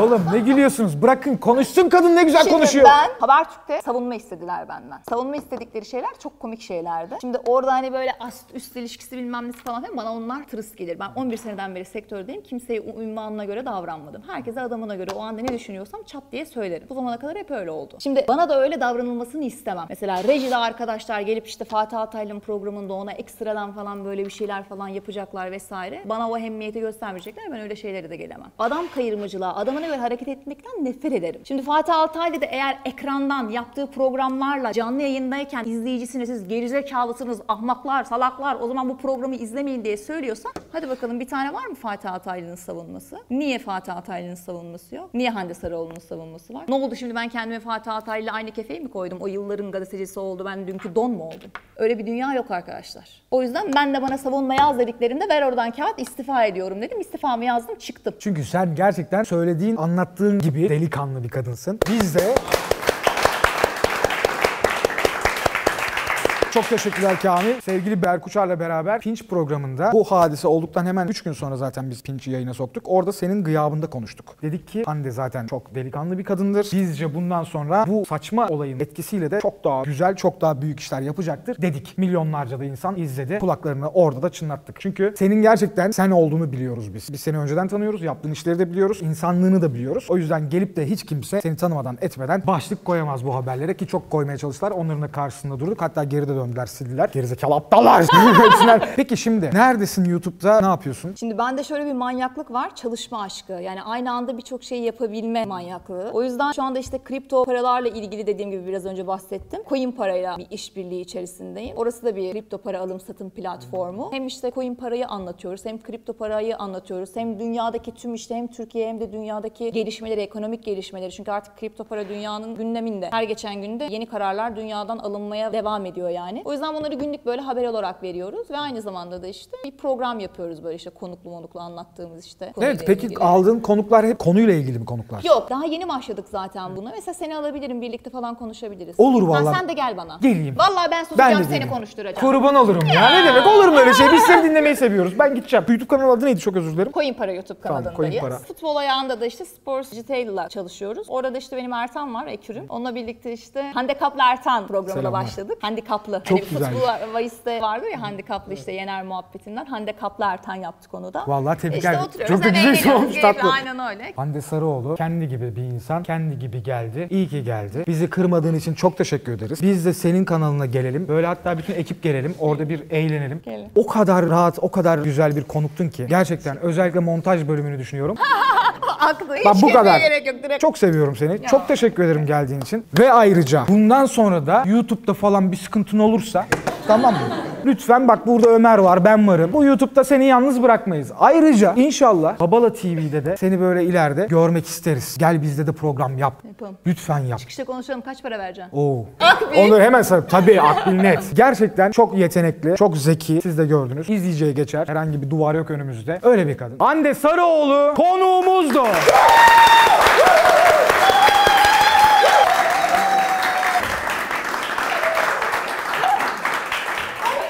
Bu ya geldi ben mikrofonu alayım diye. Al Bu dedi. kayıtta mı? Kayıtta mı? Cabada gördünüz mü? Cabadak mikrofon almaya geldi. Ben hayatımda ilk defa kendine parfüm sıkarak mikrofon almaya gelen bir kameraman gördüm oğlum. Dokunma bana. Hazır mıyız? Çek çek çek. Çek balık var çek. Aynen.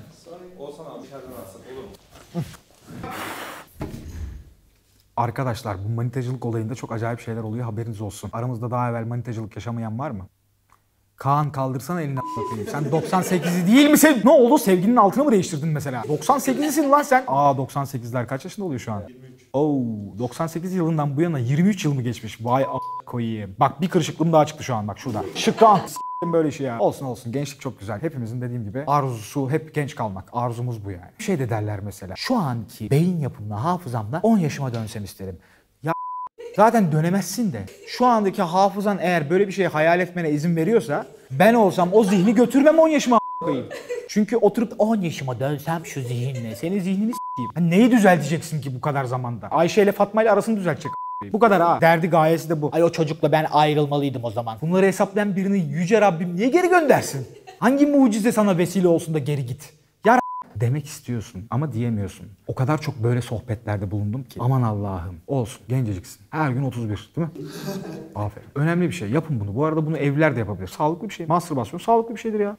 Hadi bence hadi. Hep beraber. Milyon kişi var orada şu an. Duvara yapışırıp 7 gün alamazsınız beni oradan. Hiç gerek yok. Sonuçta hepinizin manitası olmuş. Bunu anlatıyordum değil mi ben? Arada kavgalar ediyorsunuz. İlişki bitince bitiyor. O bitmeden önce ufak ayrılıklar olur ya geri döneceğinizi bilirsiniz de sanki dönmeyecek gibi arabesk yaşarsınız. Hiç başınıza böyle bir şey geldi mi? Yiğit? Hayır, hayır. Sen sana da mı olmadı? Ay a**ayım ya. Yapayalnız mıyım şu an? Sen üç gün yemek yememiş kız senin yüzünden. Sen de mi yiyemedin? Kurban olurum ya. Gel. Sen bakan eşi misin? Böyle yapıyor. Gelsene lan buraya. Sen de gel. Kaç senedir manitasınız? 5 olacak. Beş. Doğru söyle. Burada gözüktüğü gibi biri mi normalde de? İlk başta soğuk bir insan gibi gözüküyor ama Korkmadın mı hiç? Tanıştınız, sevgili oldunuz, uyuyacaksınız beraber diyelim. Beraber mi? Aa doğru lan. Aileleri de izliyor doğru. tamam. Şimdi 5 senedir uyanıklar. Sevgili ebeveynler tabii. Uyumuyorlar. Öyle bir enerji var gençlerde gerçekten. Diyelim ki aynı evdesiniz, farklı odalarda uyuyacaksınız. Ben ona da okeyim. Özlemden bahsediyoruz. Özlem başka bir odada uyuyor. Mesela onun uyuduğuna emin olduktan sonra mı uyuyorsun? Doğru söyle bak. Hiç korkmuyor musun oğlum? Ben korkulacak bir biriyim gerçekten. Şu an öylesin. Şu an öyle olmadı mı? Yok yok. tehditkar ama Yapma. Şimdi bu sana programdan çıkınca inanamıyorum orada öyle dediğine. 5 senelik ilişki diyorum. Cebinden falan neşter çıktığı oldu mu evde böyle gördün mü? Vallahi. Ben olsam ben de öyle derdim. Canlı yayında değil mi? Patlatıyor beni. Dur Joker. Bir dakika. Bizim ne? Önce erkeklerden başlayalım. Aa hareket edemiyorum. Tendonlarımı mı kesmiş? Aa! Ee, ay. Ayrılık dediğiniz şey birbirinize mesaj atmadığınız, görmediğiniz, duymadığınız dönemdir. Öyle bir dönem yaşadınız mı diye soruyorum. yaşadık. Buna işte algıda sıçıcılık deniyor. Beyninin öyle yerlerine kaydediyorsun ki konuyu. Her şey sana farklı geliyor. Anlamları değişiyor. Dünyevi objelerin bile anlamları değişiyor. Telefonun artık sana o acıyı yaşamadan önceki sen gibi davranmıyor sanki. Televizyonun da öyle. Çıkan filmler de öyle. 50 kere izlediğin film 51.yi izlediğinde sana başka bir şey anlatıyor. En hareketli şarkıları bile Ceylan Koynat söylüyor sanki a**ayım. Martıları dinliyorum. Eee diyorsun. Hupçuk hupçuk bir şarkı. Kafayı yiyorum. Moralim bozuluyor. O oldu mu onu sormak istedim yalnızca. Algıda sıçıcılıkta evdeki eşyalardan ziyade bazı şarkılar, bazı sözler. Daha önce hep duydunuz ama o anda duyduğunuzda size daha anlamlı gelen şeyler oldu mu? Yani bir dijital platform acı çektirebiliyor sana. Ayrılmadan evvel bir filmden bahsetmişsiniz. Fazla fazla bahsetmişsiniz. Ne kadar sevdiğini anlatmış falan. Bir giriyorsun dijital platforma haftaya sizlerle. Afişini görüyorsunuz. Ya normalde olması mümkün mü böyle bir şeyin? Elbette mümkün. Ama sen bunun olduğuna şaşırmıyorsun o zaman. Ayırt etmiyor algın bunu. O s**tir diyorsun ya. Anlam yüklediğin şeylere bak, sayısına bak. Televizyondaki filmden duyduğun şarkıya kadar. Hiç bunu yaşadınız mı? Onu merak ettim işte. Evet mesela beraber yemekten hoşlandığımız bir yemek varsa o da olsaydı çok seviyor falan. Oluyor yani o. Ama Değmez mi diyorsunuz? Çok tatlısınız. Seviyoruz ikiniz de. Gerçekten öyle ya. Kuşlar bile bir dertli uçuyor a**ına koyayım. Ediz dinliyorum ya. Ceylan Koynat'ın ne işi var? Bak nasıl oluyor göstereyim mi size? Dinlettin boynu bükük şarkılar. Ses etmem susarım anıların hatrına. Sen yoksan ölümden ne farkı var? Gel etme dön artık. Üzülecek martılar. Edis'in gözleri yaşlı. Bize ne canım falan diyor. Ya vay be. Falan. Birkaç tane daha böyle aklımıza gelen eğlenceli böyle bizi yükselten şarkıyı Ceylan'a söyletip piç edelim yani. Ben mesela şimdi yarın Edis radyoda çıktığında Aklına ben mi geleceğim? Hayır tabii ki aklıma sen gelmiş. Sonra geleceksin tabii ki. Evet, evet, evet. Yok mu eğlenceli şarkı? Öz kardeşin değil mi? Allah niye hiç vermemiş ona? çok merak ediyorum. Ceylan çok acayiptir. Biz mesela Jolly Joker'lerde sahne veriyoruz. Festivallere çıkıyoruz, sahne veriyoruz falan. Ceylan'ın sahne verdiği ortamlara bizi almıyorlar. Yani yağmasın. Bak yemin ediyorum öyle yerlerde. Çok ciddi söylüyorum. Eskinin Maksimi gibi yerlerde falan çıkıyor Ceylan. Almıyorlar. Sen kimsin? Sen bir kere kimsin? Ben gibiler gitmiyor oraya. Oraya millet yatıyla yanaşıyor. Deniz kenarı değil. Tabii tabii gerçekten öyle mekanlar. Biz üç kişi gitsek biz gelir değil mi orada yani? Ya ben varken orada hayırdır? Ya işte Oo, bu. Normal hayırdır? 10 bin liralık şişeyi bize 5 bin liraya mı açtırıyorsun? Nasıl? Hayır o da yani yarısı da bizi istiyor haberin olsun. Bize böyle şöyle bir davet etsene bizi bir gelelim bir sahnene Edeyim ya. valla. Nereye hangisine? İstanbul'da en kısa zamanda. Gidiyor muyuz? Tamam gidiyoruz. Haftaya Kartal'a gidiyoruz. Konseri iptal edelim arkadaşlar. Olur mu? Şu kadarcık insanız burada 30-40 kişi. Bir şey olmaz ya. Mekan büyük bir mekandır ama. Ceylan Koynat öyle küçük mekanlarda konser vermez dediler bana doğru mu? Doğru vallahi güzel yerlerde çıkıyoruz çok şükür. Çok güzel, güzel. de geçiyor. Bayağı da yoğunum. Yani pandemiden sonrası bayağı yoğun gidiyor. Herkes değil mi? Kıyafet almaya giriyorum eve öyle diyeyim. Allah bereket versin ya. Çok şükür. Ceylan o zaman değil mi? Düşününce. Oo. Çünkü oğlum biz mesela 5 konsere gidiyoruz da paran diyoruz ya. Bu bizim 5 konserimizi yarım saatte kazanıyor o mekanda. Ya of. Bir tane o şarkının nakaratını okuyacağım sana söz vermiştim. Evet. Daha çıkartmadım ama... Yine ilk defa bizde mi dinleyecekler? Evet. ilk Yaşasın.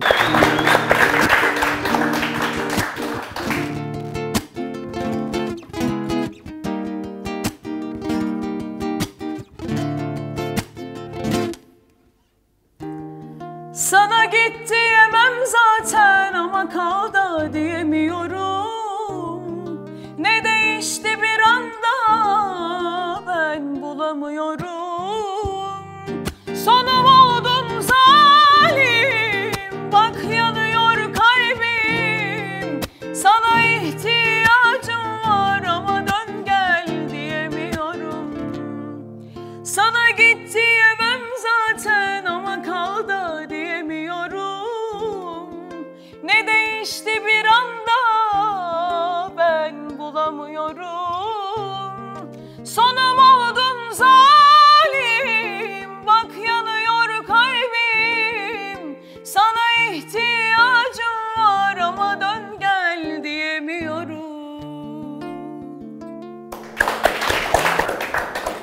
Ya olsun. Ne yapıyorsun? Amacın ne senin ya? Amacın ne senin? Mutlu şarkılar da yap bir ara ama tabii ki... Yapıyorum bu şarkılarda ya. Zaten niye yapmıyorsun evet. Kahve bu dünya bir gününe bile güven olmadı Sen de mi uydun ona? Bir dünya olanlara gelsin Ben çok eğlendim şu an gerçekten. Yıkıldım. Yok çok güzel, çok tatlı. Harika, müthiş. İnsanların kalbine, ruhuna dokunasın diye gelmişsin. İyi ki gelmişsin. Kurban olduğum. Çok sağ ol bizi kırmadığın Ben çok için. teşekkür ederim. Biz de senin İyi sahnene gelip. Çok böyle bardak içine limon suyu sıktıkları ve üzerine salatalık koydukları şeylerden yiyip böyle orada tabii tabii rakı içeceğiz. Büyük ihtimalle Burgaz rakıyı bize göbek diye iteleyecekler 100 liraya ama hiç önemli değil. Ceylan Koynat geldi, içimizden ediyorum. geçti gitti. Abi senin ismini de alayım. İnsanlar merak edecekler. Evet bugün Hakan bize eşlik etti. Normalde etmiyor mu? Ya bu- ediyor ara ara bugün- ediyor. Bir saat oldukça ediyor. Ha. Sen de böyle geniş kitlelere çalan yani mesela hem Ceylan'a hem gidip işte Herkesi falana çalıyor tabii. çalan Çok biri misin abi? Ne güzel ya. Allah bereket versin. Allah bereket Biz daha önce karşılaştık mı? Karşılaştık. Değil mi? Çok teşekkür ederiz sana da. Ruhuna, yüreğine sağlık. Sağ. O zaman Saygılar sevgiler. yok öyle saygılar sevgiler yok. Ben şey istiyorum. Ne ya? Bana böyle mesela bir çocuk şarkısını arabesk oku ki çocukların da anasını ya şey böyle çocuklara da dert verelim. Bak postacı geliyor, selam veriyor. Herkes ona bakıyor, merak ediyor.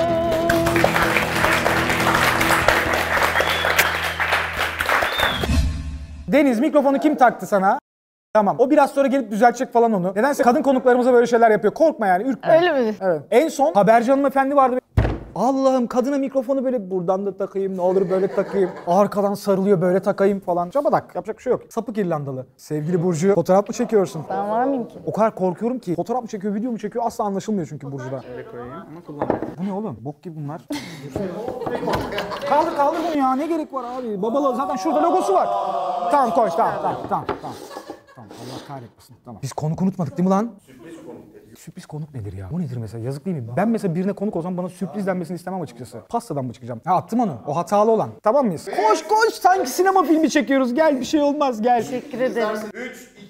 Neyin üçü, neyin ikisi, neyin biri ya? Olur mu öyle şey? Bana hiçbir şey söylemediniz. Ne yapacağız ki ya? Vallahi ben de ne yapacağımızı bilmiyorum. Bizim program hep kanlı takip olur. Gelenlerin ne yapacağı belli değildir. Benim ne soracağım da belli değildir. Konu tamamen kanlı takiptir. Yani burada senin vereceğin cevapların benim soracağım sorularla da bir alakası olmak zorunda değil.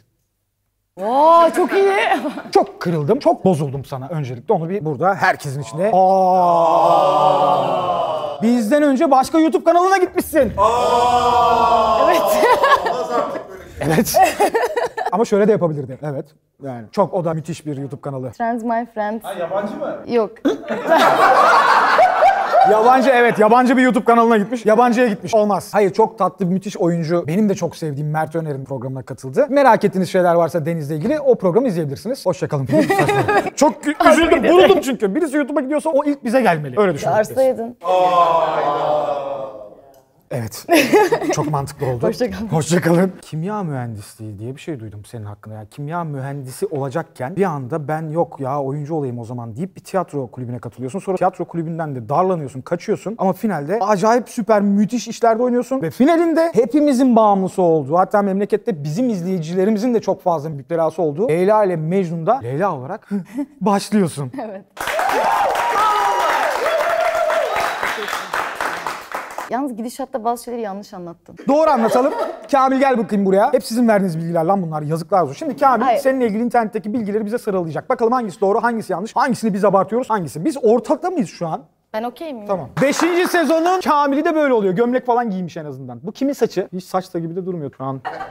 Buyurun. Leyla ile Mecnun dizisinin yeni Leyla'sı olduğunu İzmir'de laboratuvarda öğrenmiş. Evet doğru. Detay versene ne? Kimya laboratuvarında öğrenmiş. Evet ama ne yapıyordum kimya laboratuvarındayken? Çok pahalı. Siz kendiniz mi yapmaya başladınız? Pardon. Hayır. Öyle, öyle değil. Öyle değil. Tabii. Kimya laboratuvarında aşı mı araştırılıyor? Evet. Hayır ben İzmir'e gitmiştim 3-4 günlüğüne. Benim arkadaşlarım da hala işte doktorasını yapan var falan. Ben yükseğimi yaptım İzmir'de. Sonra İstanbul'a taşındım. Ondan sonra arkadaşlarım yapıyor hala işte saç. Senin üstündeki saç mı ağzıma geldi? Saçıyor çünkü saçar yavrum benim. Bu mevsim Kamillerin Öyle mi? kıl dökme mevsim böyle. Atıyor sağa sola yavrucuğum. Evet kimya laboratuvarında arkadaşlarım da hala oradalar. İşte orada ben onlardan bir tanesini ziyarete gitmiştim. O zaman aradılar oldu Leyla diye. Yani ben o sırada deney yapmıyordum. Arkadaş ziyaretine gitmiştin. Ya benim hayatım farklı yönlenince işte onlara bakıp siz hala çalışıyorsun falan. Bayağı aşağılamaya gitmiş arkadaşlarını. Arkadaşlarını Hayır, aşağılamaya okuyun, gitmiş. okuyun, okumak iyi bir şey. Peki sen o zaman genius bir kadınsın bayağı. Estağfurullah değilimdir o kadar. Çok alçak gönüllü ama öyle yani. Biz evvelinde de tanışıyoruz. Sarp Bozkurtlar'la bir dizi yaptılar biliyorsunuz. Çok da güzel bir diziydi bence. Biz Babala'da yayınlayacaktık. Sonra bizi sattılar başka kanala gittiler. Ama iyi ki de öyle yapmışlar. Çok da güzel oldu. İnsanlar çok beğendiler o diziyi de. Berk'le şunu demiştik. Ya kadının enerjisine bak. Çünkü o dizide mesela bir anda ürküten bir kadın olabiliyordun. İzlerken böyle "Hı, falan oluyorduk. Bir anda yerlere yatıyorduk gülmekten. Yani hem mizahı çok iyi kullanıyorsun hem de böyle ciddi falanlı filanlı rolleri çok iyi kullanıyorsun. Bunu bir internet dizisinde gördük biz sadece. Ve sonrasında Leyla ile Mecnun haberini şöyle aldım ben de. Berk beni aradı ve dedi ki abi dedi Deniz Leyla olmuş. Ne dedim biliyor musun? Başka kim olacağı Gerçekten Çok ya? ciddi söylüyorum. Teşekkür O ederim. yüzden de bizi hiç şaşırtmayan bir şey. Ama acaba izleyici senin hakkında ne düşündü? Onu da şu anda söyleyeceklerdir büyük ihtimalle videonun altında. Çünkü biz 3'te 3 biz çok beğendik yeni bölümleri. Ya evet aslında beklediğimden daha iyi tepkiler aldım. Çoğunluk iyi tepki yani. İlk başta korkuyordu değil mi herkes? Ya ben zaten kendimi çok hazırladım yani linçlerler beni diye. Ama çok linçlemediler, az linçlediler sağ olsunlar. ne istemezler? Leyla ile Mecnun izleyicisi tabii ki işi çok sahiplenen izleyiciler yıllardır da bekliyorlar. Herkesin aklındaki korku şuydu. Ben bunu ciddi ciddi birebir gördüm. İnsanlar da söylediler. Dediler ki abi eski tadı olmaz ya. Abi aynısı gibi olur mu abi falan filan dediler. 3'te 3. 3 bölüm birden izlediniz. Üçü de müthişti. Tamam tamam. Görüyor musun? Konağa iş yaptılar. Sen de biraz dikkatli ol ama Deniz. çok özür dilerim. Ay valla kızardım mı ben? Moralim bozulmaya başladı. İzmir bombasını hiç beğenmezmiş. Vallahi haklı. İzmir bombası 3 seneye kadar yoktu. Tamam yoktu ama bu güzel bir icat oldu. Kurabiyenin içine çikolata Bak Deniz'e o kadar hak veriyorum ki bir kere konsere gittim İzmir'de dediler ki hatta Berk dedi. Abi bir şey buldum İzmir'e özgü bir lezzet. Ne olabilir acaba? Getirdi. Şöyle bir şey verdiler bana bak ısırdım içime giren şekerle Herkes uçakla döndü ben koşarak döndüm İstanbul'a öyle düşün yani. Ama bazen güzel olmuyor mu o şeker? Sen Ulan onun güzel ol... Doğru. Onu mu anlatayım Berk burada? Bazen... tamam onu anlatayım. Bizim bazen ekipçe... Kurabiyenin içine çikolata basmışlar yani. Çok kötü bence. İzmir'de çok daha güzel şeyler var. Bu söylediğim şeyi hatırlıyorum. Söyledim İzmir bombası o kadar abartacak bir şey değil. Ayrıca dediğim gibi 3 sene önceye kadar yoktu. Ben buraya geldiğimde İzmirli arkadaşlarım diyor ki İzmir bomba falan dedim. Bilmiyordunuz 3 sene önce. Şimdi mi meşhur? Çok sinirlendim falan bu konuyla ilgili de. Allah Allah. Çünkü çok mantıksız değil mi yani? Ne bileyim Nutella kaşıkla daha iyi bence. Ayrıca evet İzmir'in kendine özgü o kadar çok lezzeti, o kadar Bence çok de. özelliği var ki gelip de burada böyle içine çikolata basılmış bir kurabiyeyle de İzmir'i karşılaştırmayın. Mesela çikolatalı boyoz daha güzeldir. Geceleri uyuyamazsa mutlaka inip voleybol oynarmış. Ne? Geceleri uyuyamadığın zaman voleybol oynuyormuşsun. Kim diyor ya bunu? Kim demiş? Açıklanamaz. Açıklanamaz. Ne açıklanamıyor oğlum? Gece uyuyamayınca kim? İncin ve ben mi oynuyoruz? Nasıl ya? Duvara karşı dedi o da ya. Ulan, Akneli Fatih Akın. Anlat bakalım. Devam et söyle. Bu yalan bunu yapmıyorum. Böyle bir şey yok değil mi? Hayır geceleri uyuyamazsam voleybol oynamıyorum yani arkadaşlarımla anlaşıp sözleşip buluşup voleybol oynuyoruz. Gece uyumayı beklemiyoruz yani normal Ha, saatte. sen voleybol oynadığını söylemişsin. Herhalde. Bunlar da uyuyamayınca oynuyor diye habere şey mi yapmışlar? Ay çok değişik geldi. Evet devam edelim çok merak ediyorum. Bu yalan haber. Bu yalan. Deniz Işın hakkında böyle yalan haberler de olabilir. Biz burada en azından teyit ediyoruz. Süper. Oyunculukla evliymiş ama tiyatroyla yasak aşk yaşıyormuş. Bu doğrudur. Bir dakika neydi? Kimya mühendisiyle evliyim diyorum değil mi? Yok oyuncu. Bu da yanlış Sen ya. kiminle evlisin ya? Ne diyorlar şu anda burada? Yanlış yine yanlış. Ben dedim ki kimya mühendisiyle evliyim ama tiyatroyla yasak aşk yaşıyorum dedim. Ya sen de lütfen artık ya. Çünkü ay bu yazılı röportajda söylemiştim bunu. Ay şapkanda sinek gibi bir şey var. Hayır onu tiyatroda hoca sormuştu. hoca dedi işte tiyatro ile ilgili ne düşünüyorsun? O zaman yüksek lisans yapıyorum. İşte kimya mühendisliği yapacağım aslında. Tiyatroyu hobi olarak yapıyorum falan. Ben de şey dedim. Ben herkes mesleğiyle evlidir mecburi ya da işte isteyerek. Ben de kimya mühendisliğiyle evliyim ama şu an tiyatroyla yasak aşk yaşıyorum dedim falan. Sonra da boşadım kimya mühendisliğini. Mantıklıymış, güzelmiş. Devam edelim sevgili Kamil. Mühendisliği de küçükken evde deney yaparken olmak istemiş. Bu lan şaka. Bu böyle bir formatınız mı var? Yok Hangisi? demedim. Allah Allah Hiç öyle ya. bir şey demedin yani. Hayır ya. Peki senin talihin nerede zıpladı? Yani oyunculukla ilgili çünkü çok fazla oyuncu arkadaşım var benim. Onların da mesela bazen çok şansları yaver gidiyor. Bazen kendi gittikleri oynadıkları işte kendilerini ön plana çıkartacak performanslar sergiliyorlar. Halkın takdirini kazanıp bir yere geliyorlar. Bazen de biliyorsun işte. Ya, ya, ya öyle bir şey yapmıyorlar. Ama yapan vardır. Ama mesela hani senin o sıçrayış nasıl oldu? Ya aslında bir anda nasıl olduğu tam şey yapamıyorum ben de Çünkü bir ama- anda olmadı. Ya evet ama biraz kısa sürede olduğu için belki insanlara bir anda gibi geliyor olabilir. Masumiyet işte biraz farklı oldu. Bir de Sefir'in kızı vardı. iki ay Bodrum'daydım. Ona bir son anda girdim falan. Onlar etkili oldu ama Masumiyet bayağı bir etkili olmuş olabilir. Mesela bir tane bir reklamda oynadım. Söyleyebiliyoruz mu? Tabii tabii istediğin gibi. Fox reklamında oynamıştım. Orada işte annem fasulye ayıklıyor falan. Onunla işte bir şey yapıyorum. Bir şey ne yapıyordum onu da hatırlamıyorum. Ufak diyaloglar. Çok küçük bir diyaloğum var. Oradan mesela dizi oldu benim işte Fox'ta bir kas direktörü görüyor falan. Ama olur ya. Aurası, ışığı falanı filanı müthiş bir kadın gerçekten. Bilmiyorum, ben şu an biraz gergin gibiyim sanki öyle mi? Ben de biraz gergin gibiyim 5. sezon ya. Ben mi bozdum? peki? Yok asla sen bozmadın. Bir de hızlı konuşmamız gerekiyor gibi hissediyorum. Ağzımı Sen yavaş da konuşsan ben onu hızlandırıyorum montajda. Ha, numara yok mu sende çok o kadar o zaman? Yok, ben Hızlı benim genel. konuşmuyorsun tamam. Ben kendi konuşuyormuşum gibi. Sen çok mu hızlı konuşuyorsun normalde? Hızlı konuşuyorum da şimdi de bir heyecanlı gibiyim. Herkes bize bakıyor. Çok Ama herkes çok... Bak senin geleceğini söylediğim zaman herkes çok mutlu oldu. Genelde bazı konuklarıma şöyle yapıyorlar. Ya, aa. Arkaları dönük izlediler. hayır, hayır şaka yapıyorum şaka yapıyorum. Valla ne fenasınız. çok pişler. Devam edelim. İlkokul zamanı bir gösteriye çıkmış ve utandığı için rolünü oynamadan sahneden Ne diyorsun ya? Hiç böyle şeyler olmadı. Delireceğim ya. Hangi konuk lan Kim bu? diyor? Başka biri bu Abi o bence. kadar tutturamıyor ki hiçbir şey çünkü. doğruymuş. Öyle yazıyor. Hayır ilkokul zaman bak. Bir dakika bak duydun mu? Ama bu doğruymuş öyle yazıyor dedi. Hayır yani yazı direkt copy paste bu. Sen Black Sabbath mı dinliyorsun? Çok geç. Ne oldu tırnağına? hani- Ay geçmiş. olsun. Ezilmiş tırnak böyle mi oluyor lan? Kan oturmuş galiba. Ozzy Osbourne gibi olmuş çocuk. tamam.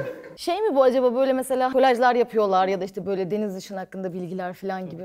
Yani Deniz Işın yazınca çıkan. Çok güvenilir bir kaynakmış gibi tabii. Deniz Işın yazınca çıkan kaynaklar diyor. Yanlış o zaman. Bu da şey ya, lisedeyken tiyatro kulübüne yazılmak istedi bir arkadaşım. O arkadaşım da aynı zamanda şeydeydik, matematik olimpiyatlarındaydık TÜBİTAK'ta. Bu kızın ne işi var oğlum dizilerde dizilerde? Git bizi yurt dışına temsil et. Aa. Dedi ki gel bir hobimiz olsun dedi. Ben de gittim. bir baktım böyle girdim salona işte. Bizim edebiyat hocası herkese şey diyor işte. Şimdi mutlu ol, şimdi ağla falan. Dedim ki ben hayatta böyle bir şey yapamam, koş falan. Çıktım sonra. Çok utangaçtım ben ya, iğrenç. Asosyaldim yani. Asosyaller iğrençtir demek istemiyorum ama ben kötü hissediyordum kendimi. Peki nasıl açtın onu? Yüksek lisans zamanı Vine falan izliyordum ben. O zaman da böyle çok az video var. Yani oyalanayım diye. O zamanlar bir aşk acısı çekiyorum. Bu söyledim ya 3 ayda 14 kilo verdiğim. 3 ayda 14 kilo Öyle vermek. bir Aşk aşk acısı çok iyi diyet biliyor musun? İnanılmaz bir diyet. O zaman böyle sıkılıyordum. Bir şeyler izleyeyim falan diyordum. Vine indirmiştim. Onu izledim. Sonra Scorp'u gördüm. Scorp'ta baktım ha başlıklar var hani bir şeyler üretebilirim belki. Zaten o zaman 5000 be- 3000 kişi falan izliyor yani. Çok insan da kullanmıyor o zaman. Çekmeye başladım. Sonra baktım beni izliyorlar. Dedim ben iyiyim galiba. Allah Allah. Baya öyle bir skor durumu mu oldu? Evet, öyle öyle macera oldu. Evet izlenildi yani beğenildi. Sonra dedim ki ben acaba böyle bir şeyler yapsam mı oyunculuktan? Sonra tiyatro kursuna yazıldım zaten. Hala kurs hani hobi kafasındaydı ama sonra değişti. Yani ilkokulda gidip de öyle ilk gösterimde sahneye çıkmamak falan öyle şey yapar mıyım bu arada? Sorumluluk sahibi bir insanım. Lisede lakabı Şen Kahkahalı kızı. Bunu ne olduğunu anlamamıştır izleyici. Söyle bir daha bakalım. Şen Kahkahalı kız. Şen kahkahalı kız. Evet. Ama öyle baksana hiç sessiz sessiz gülerken bile öyle bir şen bir durumu var. Yok ya evet çok gürültülü gülüyorum aslında. Bir yıl mühendislik yapmış ama bir daha asla yapmak istemiyormuş. Aa öyle bir şey demem. Demez. Yani yaptım ama yani çok zorda kalırsam yaparım. Çünkü sektör kötü. Ben çok severek okudum aslında ama severek çalışmadım. Yani özel sektör bayağı kötü. Yani bir daha yapmak iste o kimya mühendisliği güzel meslek okumak isteyenlere tavsiye ederim. Bize bir deney yapsana. Hadi getirin bakayım malzemeleri. Oha deney mi yapacağız? Tabii. Neyse artık. Canım Sezgi. Bu ne Sezgi? Bir anlatır mısın bize ne olduğunu önce? Ee, bunun adı... ha, bu karbonat sadece ama komple deneyin adı volkan deneyi. Şimdi kalan malzemelerimiz de geldi. Hangi okulda gösteriyorlar bunu? Bize öyle orada kimya falan biz görmeden inanmayız bir kere. Bunlar ne oğlum? Karbonat eklememiz gerekiyor. Ekleyeyim mi? Hanımefendi bir dakika siz bilmiyor musunuz bunu? Ben kimyager değilim ki. Ben kimya mühendisiyim. Biz fabrika tasarımı yapıyoruz normalde. Böyle deney yapmıyoruz. Oğlum biz konuyu çok yanlış anlamışız ya. Çok yanlış çok anlamışız. istiyorsanız yapayım ama. ben bir tek üniversite ikinci, birinci sınıfta hatta galiba kimya laboratuvar dersi aldık. Onu da herkes alıyor zaten. Bütün mühendislikler Orada öğretmediler mi bunu? bunu öğretmemişlerdi. Tamam sana o zaman bak öğrenmenin yaşı yok. Kamil bize göster bakalım burada. Toz şeker gibi. Güvende hissetmiyorum burada. Yok ya ne olacak Allah aşkına? Biraz daha koyayım mı? Yap yap bir şey yok. Nefret edecek bizden. Ama bak analitik zekamla. Evet ya işte bak kadın 6. kapakta çözdü. ya hak- harika bence. Dökeyim mi ne? Bence yeter. Sen nereden biliyorsun ulan? Oğlum sence ne demek ya? Karbonatla sirke köpürecek falan Tepkimeye bildiğimiz şeyler. Bunun için kimyager olmaya da gerek yok bu evde. Değil mi? 4 yaşında olmak yeter aslında. Niye böyle bir şey yapıyoruz ki şu anda acaba? Ama Burcu'nun izleyişini görmelisiniz bak. Hayatında hiç demek böyle bak böyle. Heyecanlısın. Allah Allah mentos atın mentos atın. Bu niye var? O renk versin diye. Önden bunu mu dökelim o zaman? Damla dökersek onu. E bebişim önce bu dedin bu mu karar ver. O güzel koku yapıyor. Koku mu yapıyor? Sirke pis kokuyor ya. bu. Biliyorum biliyorum kokladım şeftali suyu sanki. Suyu ne yapacağız? O hiçbir şey. O boşaltmak için sadece. Neden boş getirmedik. Kamil? Çünkü dolu gelmiş. Önce bunu döküyorum. Evet çok az çok az. Tabii, çok az. Evet yeter. Şöyle biraz şöyle yapayım mı? Biraz şey olsun. Gerek yok mu? Ya bu mu yani? Çok çok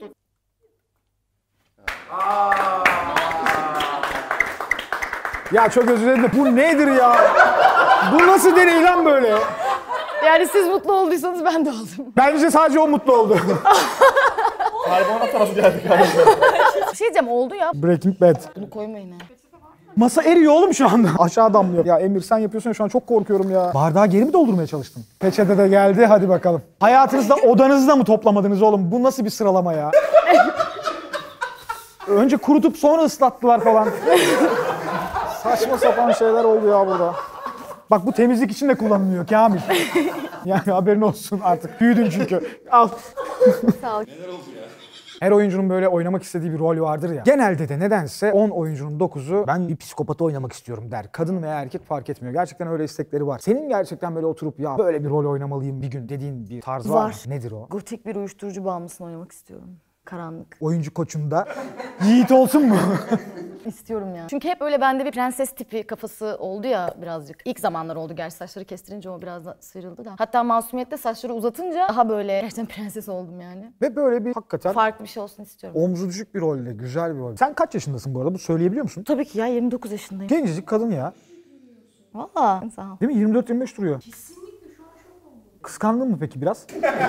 doğru. Ay doğru söyle ne oldu? Yok. Tamam. Meslektaşım olmaktan gurur duyuyorum. Peki sen nasıl bir rol oynamak isterdin? Çok merak ettim. Pavyon sanatçısı. Pavyon sanatçısı.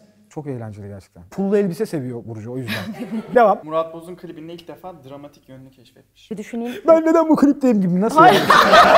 Hayır öyle değil. Öyle değildir. Öyle değildir. Hayır hayır hayır doğru. Doğru çünkü e, Bu arada gerçekten müthiş adamdır. Çok iyi adamdır. İyi şeyler söylenir ama bu gerçekten iyi bu adam. Allah bir yerden vermiş, ya, bir yerden inanılmaz. almış değil yani her yerden vermiş. Yüce Rabbim yaradanım müthiş, harika insan.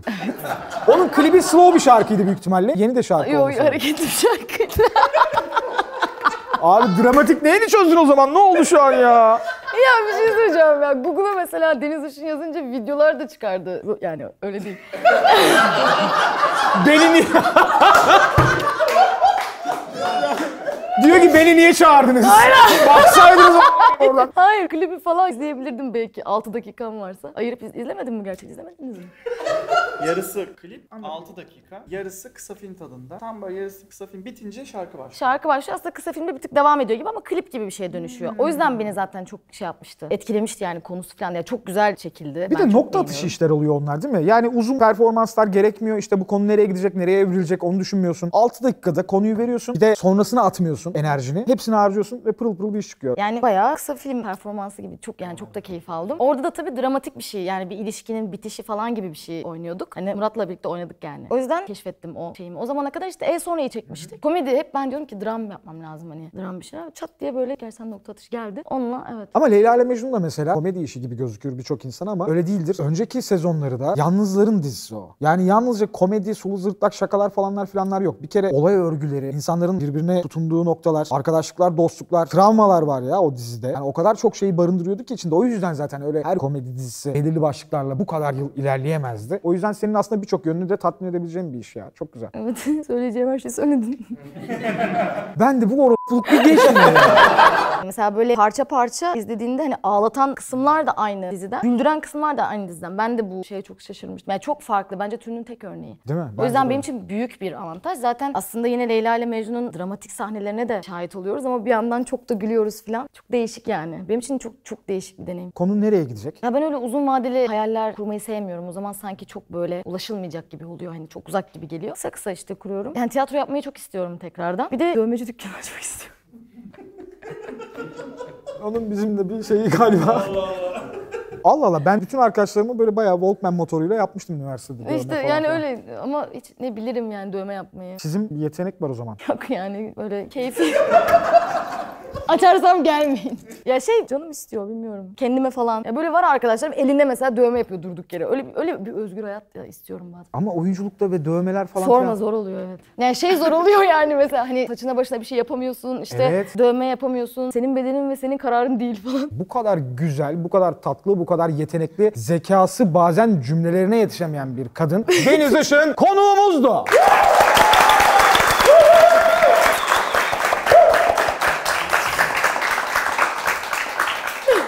Ben konuşacağım hep. Ben çok özledim. Beşinci sezon bu. Konuksuz yapsaydım.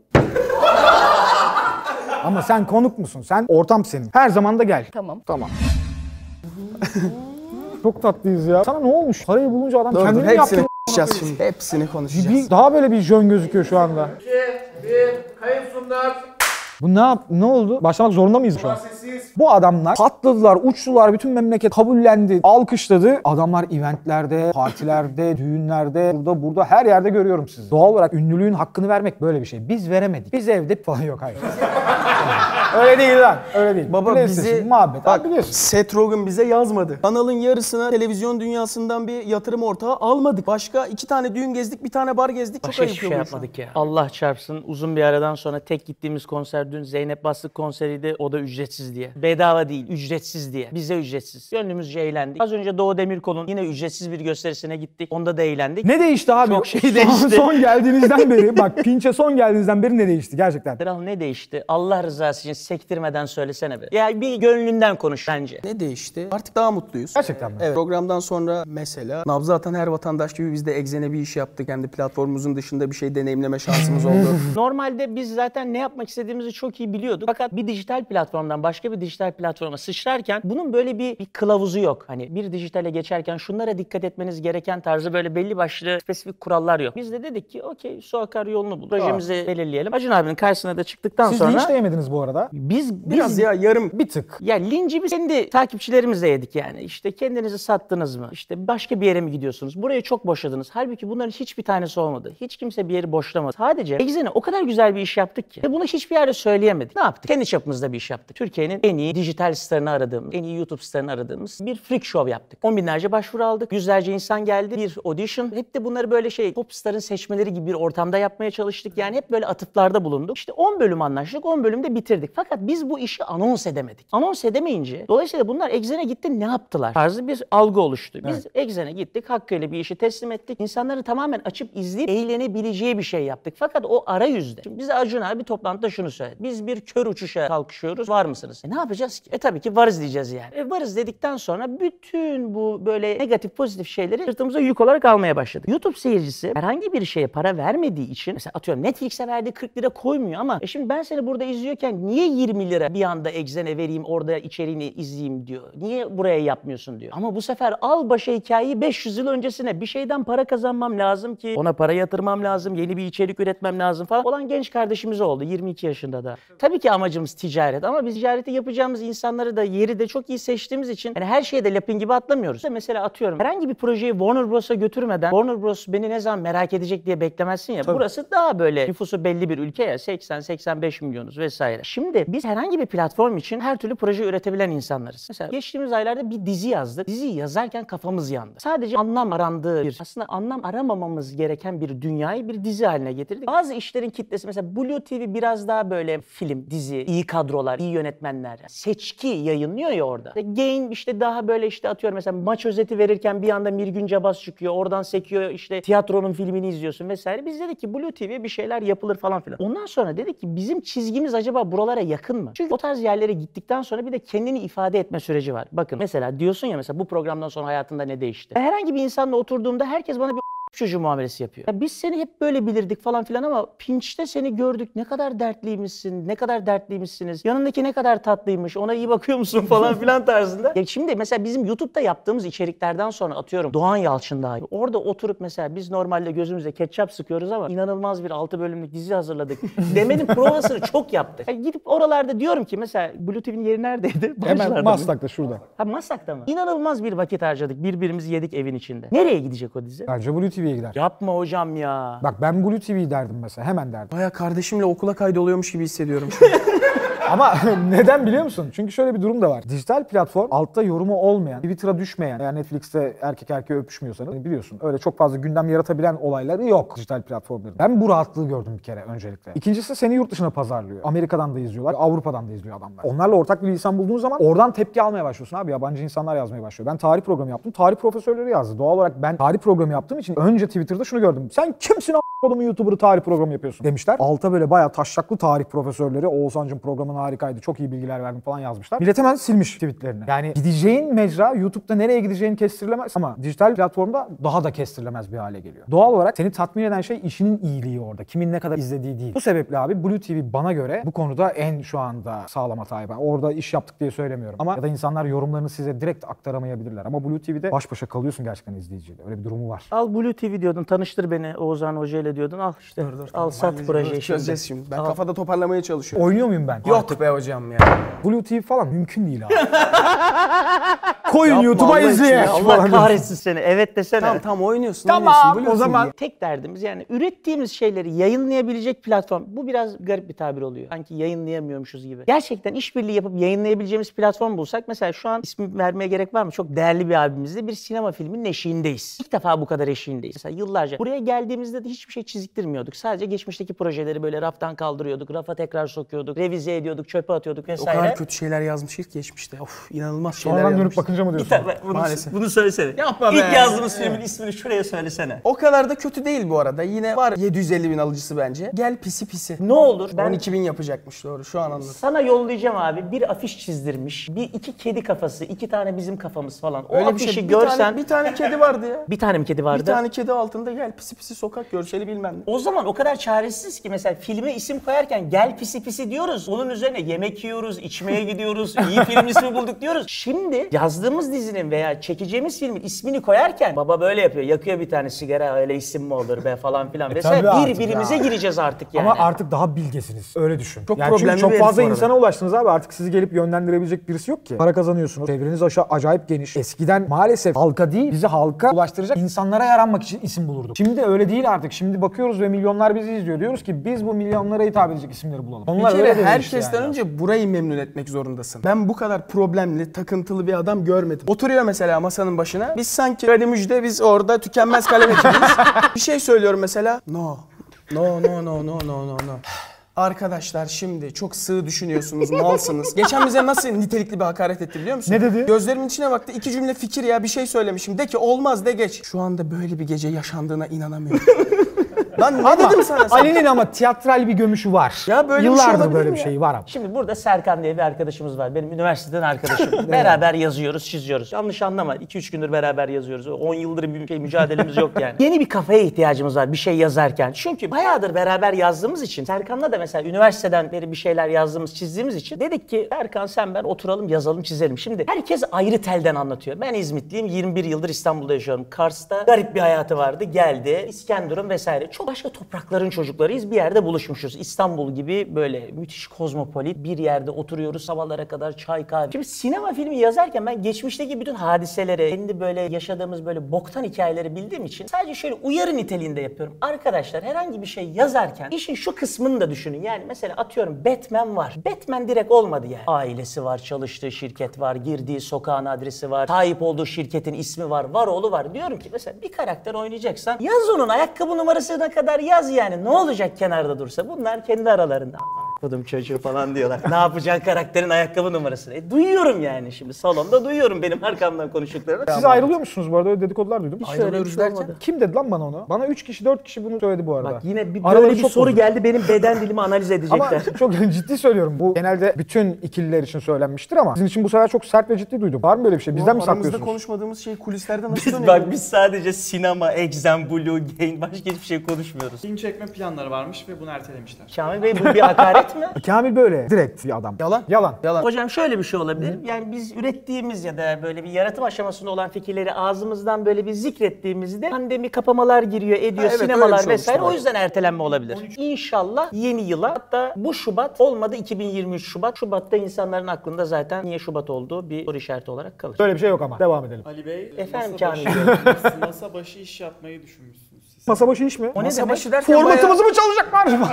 Her şey mi ya? Bedaş'ta fatura takip gibi öyle bir şey mi masa başı derken? Yapımcılık Böyle bir açıklama birine mi yaptın? Ha yapımcılık tarzı masa başı bir iş. Kamil Bey kova ya da akrep burcu muyuz? Aha. Yükselen? Bilmiyorum. Pekala. Biz masa başı iş yapmayı düşünmedik. Masa başında video çekmekle ilgili ikinci yıl dönümümüze özel belki sen de buradayken ikinci yıl dönümümüze özel biz bir masa başı videosu çekmek istiyoruz. Yani masa başı dediğimiz böyle bir masamız yok zaten. Bir masa başı videosu çekeceğiz Kamil Bey. Belki o şekilde bu yansımıştır. Bu başka yansımıştır. Arada Devam edelim. kaynatmayalım hocam. Siz de orada inşallah olacaksınız. O kadar sevinirim ki çok mutlu olurum. Tabii. Siz bize ikinci Hocam kez çok geliyorsunuz. Bir inandırıcı kere bile ama çağırmadınız ya. beni.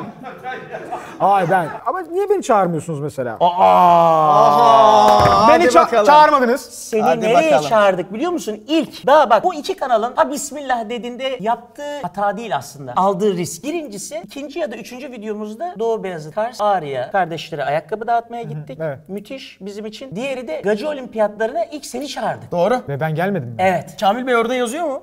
Sen direkt bana mı dedin abi? Evet evet evet. Ben ne dedim? Konser vardı senin. Aa konser ama ondan gelememişimdir abi. Ya konser falan çünkü başka şehre gidiyorsun. Abi ne gülüyorsunuz lan? Yani ben geleyim çok isterim. Evet hocam Evet ya. çok isterim. Artık çok bekliyor gerçekten. seyirci Evet ya. abi geleceğim zaten çok istiyorum. Evet. Yeni bir proje düşünürlerken genelde dans ediyorlarmış. Abi bir dakika dur. Bunlar, Bunlar, off the bunlar çok bilgiler. sıkıntılı bir yerden alınmış bilgiler. Ya Merak götümüze camır soktunuz abi. Çok net bir şekilde söylüyorum. Doğru bunlar. Çünkü evde yaşadığımız ve sadece Mesut'la benim bildiğim bir şey kimse bilemez. Bak net bir şekilde söylüyorum. Sen birini anlattın mı? Yok kim Ben birini anlattım mı? Bilmiyorum. tereddüt ne bileyim ettin lan şu an? ben? Sen kendi anlattığını bana niye soruyorsun? Senin kız arkadaşın yok değil mi hala? Hayır. Dökülüyor. Biz var ya neler yapıyoruz falan. Her şeyi anlatıyordur bak söyleyeyim sana. Daha çünkü Ulan yaşayacak. millete mi anlatıyorsun? Yapma ya. Saçmalama. Sensin milletle apır sapır kenarlarda konuşan benim bilmediğim. Hadi oradan. Ne yılan ne? Hadi oradan be. Yo Oğuzhan hocamın Bu böyle bir kadına yönelik istihbarat durumu söz konusu olacaksa tek çıkabileceği kanal buradır. Ben efendi gibi insanlarla otururum sadece en sevdiğin yemek ne, hangi kokuyu kullanmaktan hoşlanırsın, kimlere gülersin, ne yaptın, ne ettin. Esra Erol programı gibi çok sıkıcıymış. Niye öyle şeyler yapıyorsun? ben ne yapayım ben yaşlandırdı bu adam beni çok erken vakitte artık Ah, böyle ah. İlerleyebiliyorum. Ama çok değişik bir motivasyonmuş. İşe yarıyor mu? Dün sevgili Zeynep Bastık'ın kulisinde onun değerli eşi sevgili Tolga biz dedi gelin dedi Rain Man'le tanıştıracağım dedi. Biz de dedik ki abi sağ ol Allah razı olsun dedi. Çok, benim de kardeşim çok tanışmak istiyordu. Kulise kadar çıktık. Şeyi gördük böyle yazıyı. Dedim, bak- Yüce Rain Man yazıyordu onda.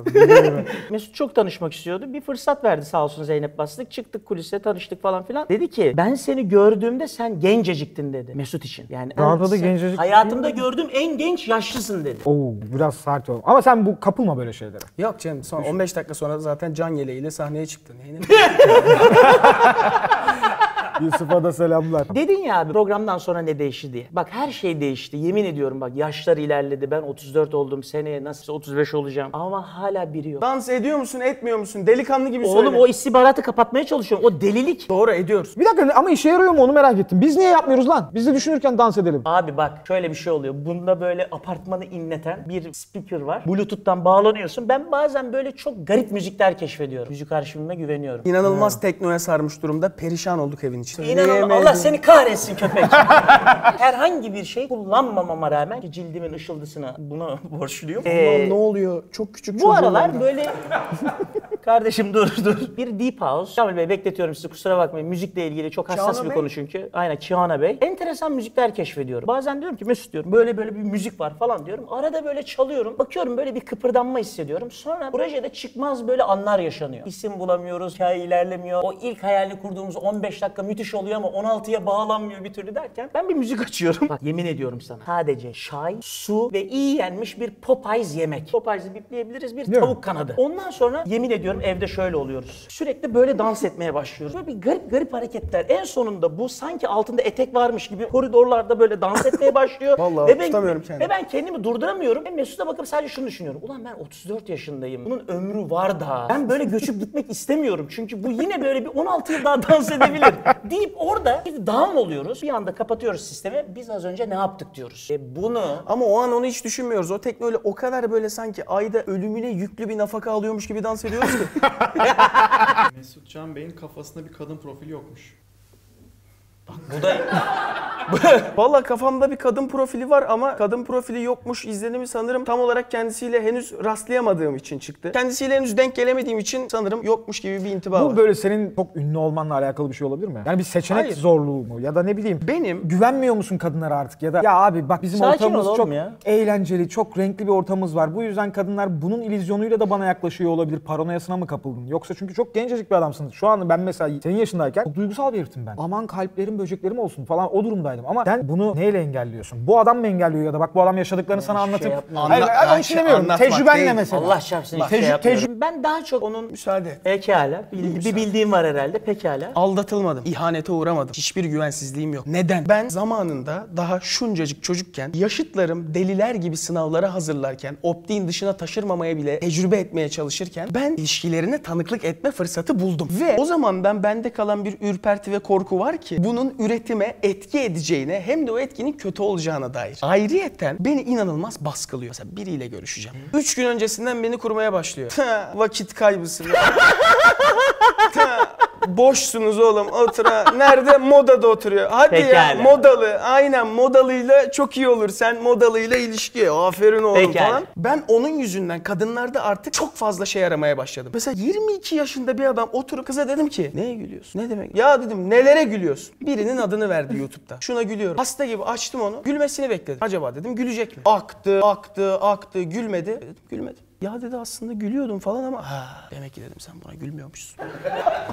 Öyle dedim mavra yok kime gülüyorsun? Hadi ya gülüyorsan kahkahalar atman gerekir ki benim karşımda ben net bir şekilde göreyim. Sen neye gülüyorsun? Neye gülmüyorsun? Bizim mizah, espri, şaka, komiklik anlayışlarımız ortak mı yoksa çok farklı tellerden çalıp ortada bir yerde buluşmaya mı çalışacağız seninle? Kriterlerimi bu kadar değerlendirdi, nitelendirdi, dışarıdan beni yaftaladı ki çok arar oldum artık. Bu bir kardeş koruması mı yaptığın yoksa Pekala. bu kimseyi s***sin? Yani ne istiyorsun tam olarak yani? Sevgili Erol Mütercimler abinin meşhur bir lafı vardır. Her YouTube videosunu şöyle açar. Selamlar çok severim. Efendim merhaba. Bu ses tonunu hatırlayan sevgili Erol Mütercimler takipçileri zaten bütün yorumların altına pür dikkat tutuştu. Bu bir. İkincisi. Ben senin hayatında herhangi bir şeye karışmadım. Seni saygı ve dikkatle dinledim. Sözümü kesmezsen çok sevinirim. Hayatta hiçbir şeyine karışmadım. Sadece yaşım gereği seni birkaç yerde uyarmak istedim. Dedim ki ilişkine, işine ve ailene dikkat et. Basamak basamak gidelim. Ailene dikkat ettin mi? Evet. Pekala. İşine dikkat ettin mi? Evet. Pekala. İlişkine dikkat ettin mi? Hayır. Pekala. İlişkine niye dikkat etmedin? Çünkü ailen ve işin ön planda olduğu için. Neden? Çünkü ilişkine daha fazla dikkat ettiğinde ailen ve işin arka plana geçebilir diye senin arkanda hep tereddütle adım adım ilerleyen, seni aslında çok da fazla sıkmayan nacizane bir ağabeyim vardı. Bu ben miyim? Evet. Hikayedeki ben miyim? Pekala. Şimdi ben babamın meşhur bir lafıyla ortaya doğru geleceğim. Tecrübe yediğin kazıkların toplamıdır diye. Doğru mudur? Bunu ben demiyorum. Napolyon diyor. Ben de babamdan duydum. Buraya kadar da okey miyiz? Okey. Okeyiz. Pekala. Tüm bunları yaşamışken sen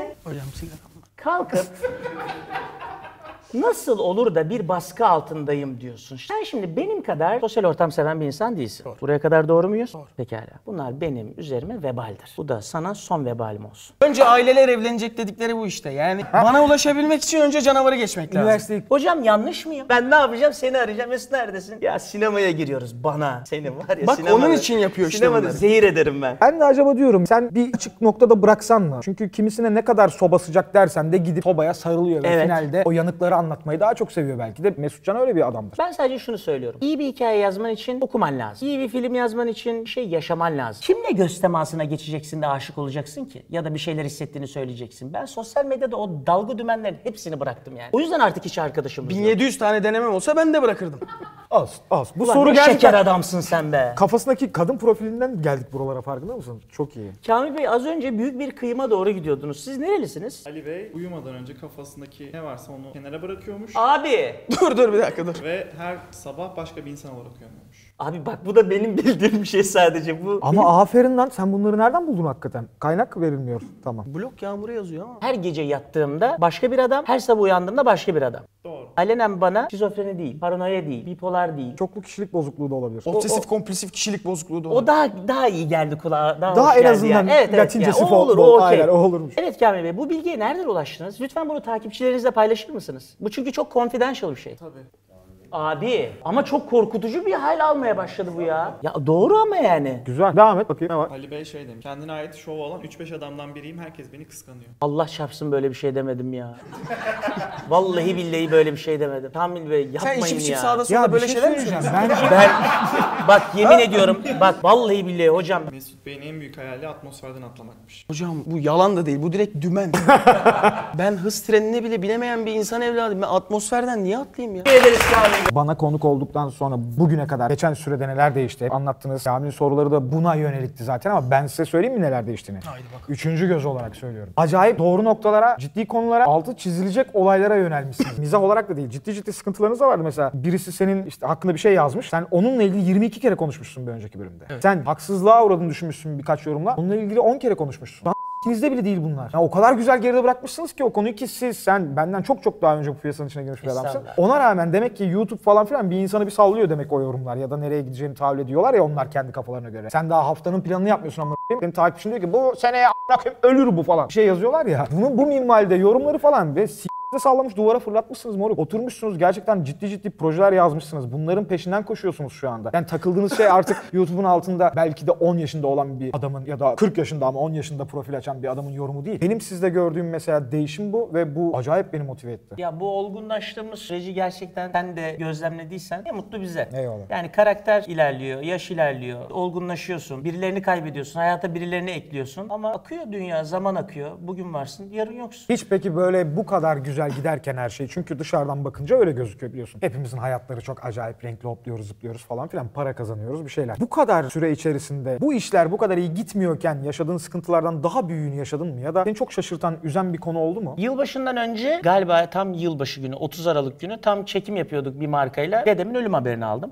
İkinci dedemin. Teşekkür ederim. Eskiden olsa dururdum. Bir düşünürdüm yani hani durduralım sonra devam edelim falan diye. Sonra bir baktım zaman çok hızlı akıyor. Devam. Hani o show must go on denilen aslında Amerikan kültürüne ait fakat bizim bir türlü içimize entegre edemediğimiz bir duygu var ya işte hayatın gerçeğiyle orada yüzleşiyoruz. Çünkü bizde de şimdi sırası mı vardır falan. Ve yanımda Mesut var. Hiçbir şekilde etkilenmesini istemiyorum. Bu benim derdim, benim tasam. Dedim ki biz gösteri dünyasındayız. Bam bam bam devam edecek her şey. Ne olursa olsun. Onu da tecrübe ettikten sonra zaten programda konuştuğumuz ve üzerine üzüldüğümüz, gözyaşı döktüğümüz, canımızı acıtan onca hikayeyi zaten unutmuş oluyorsun yani. Eskiden onun yüküyle çıkıyorduk sokağa. Eskiden onun yüküyle oturuyorduk insanların karşısına. O kamburluk oradan geliyordu yani. Şimdi yorgunluğun kamburu var. Anladım. Ama biraz da olsa bu işler demek ki seni daha pozitif bir adama çevirmiş. En azından işi düşündüğün zaman. İşimizi çok seviyoruz. Son olarak şunu söyleyeyim yani bu konuyla ilgili. İşimizi çok seviyoruz. Kamil Bey'in ayakta sorduğu ama bir türlü cevabını veremediğimiz şey şuydu. Mesela benim yaş günümde ben bir krize girdim. Yeni yaş değil yani. İşler nereye gidecek? Daha üstüne nasıl koyacağız? Update değil yani. Upgrade lazım bize yani. Seyirci bekliyor. Eleştirisi var. Negatif, pozitif, olumlu yorumu var. Buraya kadar her şey okey. Yani yenilenmekten bahsediyorum. Yenilmek yenilmekten değil, yeniliyor olduğunu seyirciye gösterememek daha korkutucu bir şey. Bir ara böyle bir çıkmaz yaşadım.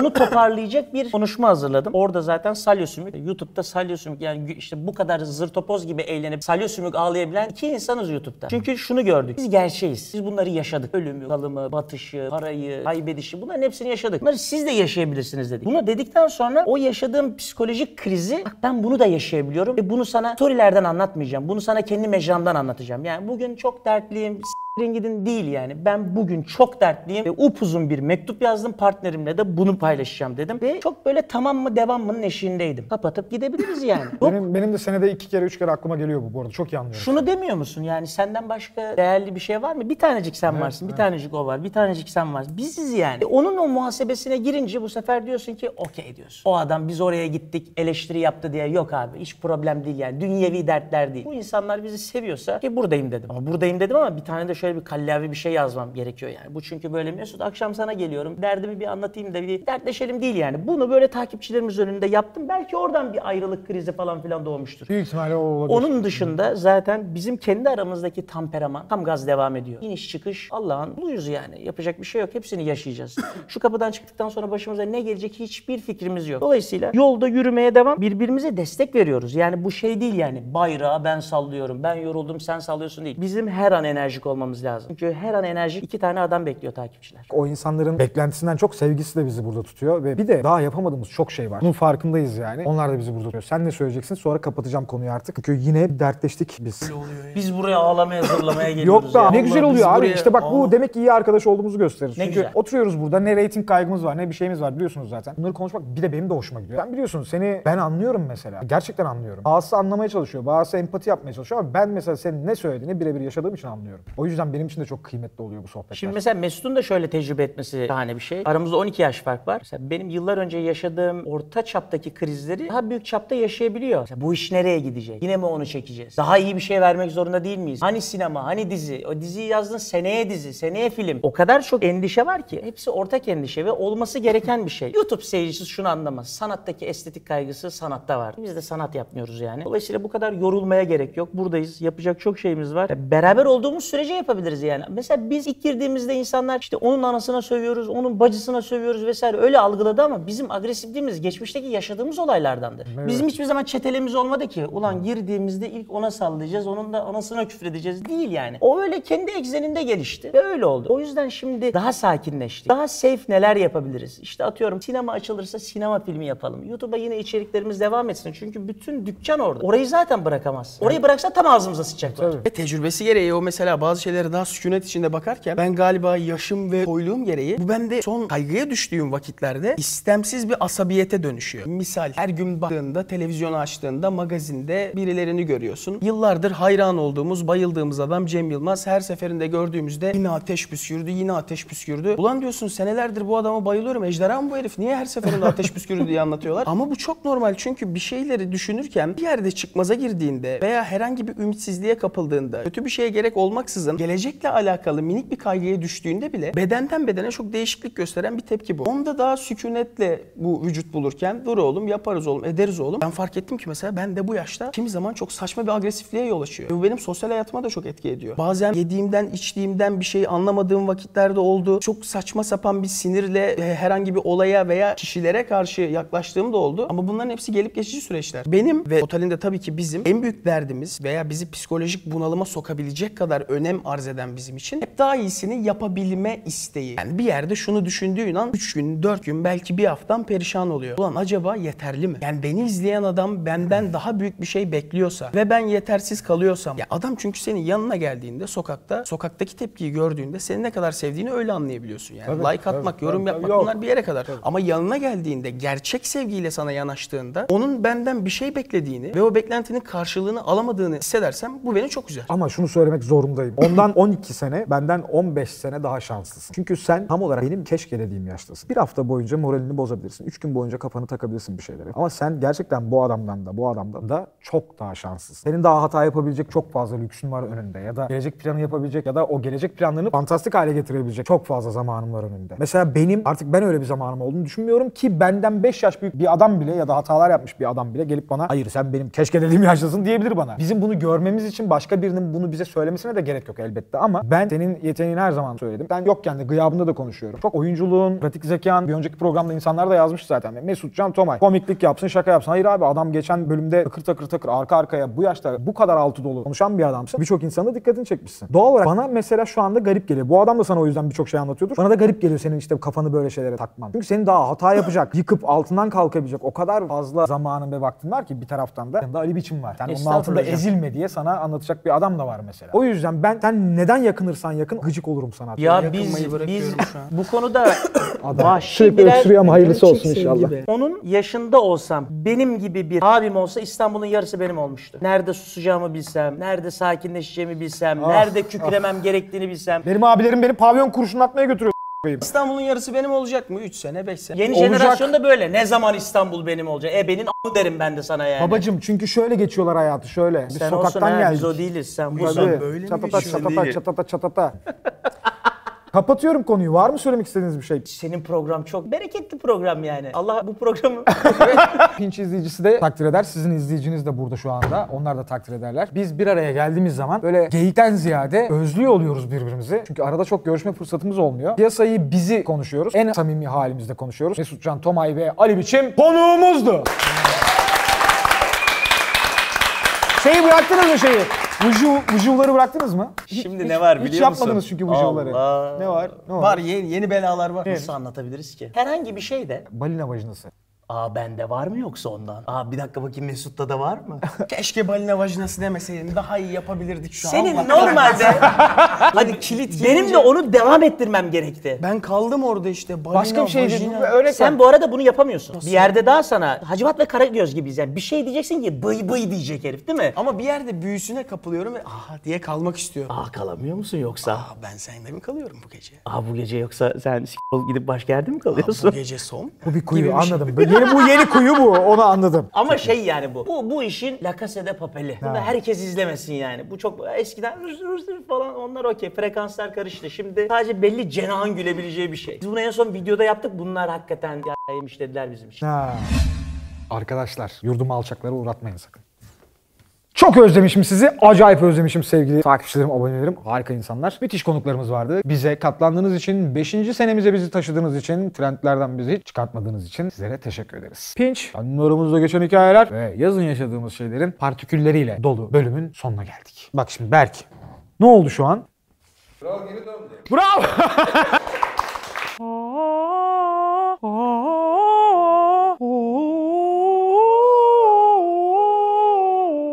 Kralı gelse alamazlar seni. Kendimi kral ilan etmem de çok narsist ve egoistçe bir şey olmadı mı sizce? Çünkü hani bari bunu kendin takma anladın mı? Bir törenle takılsın ki bir havası olsun. ama.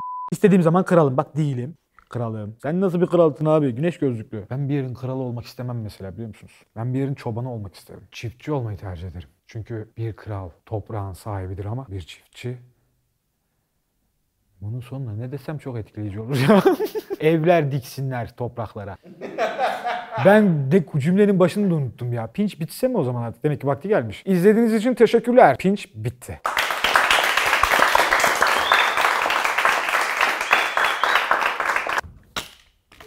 Aa bak taç atışı.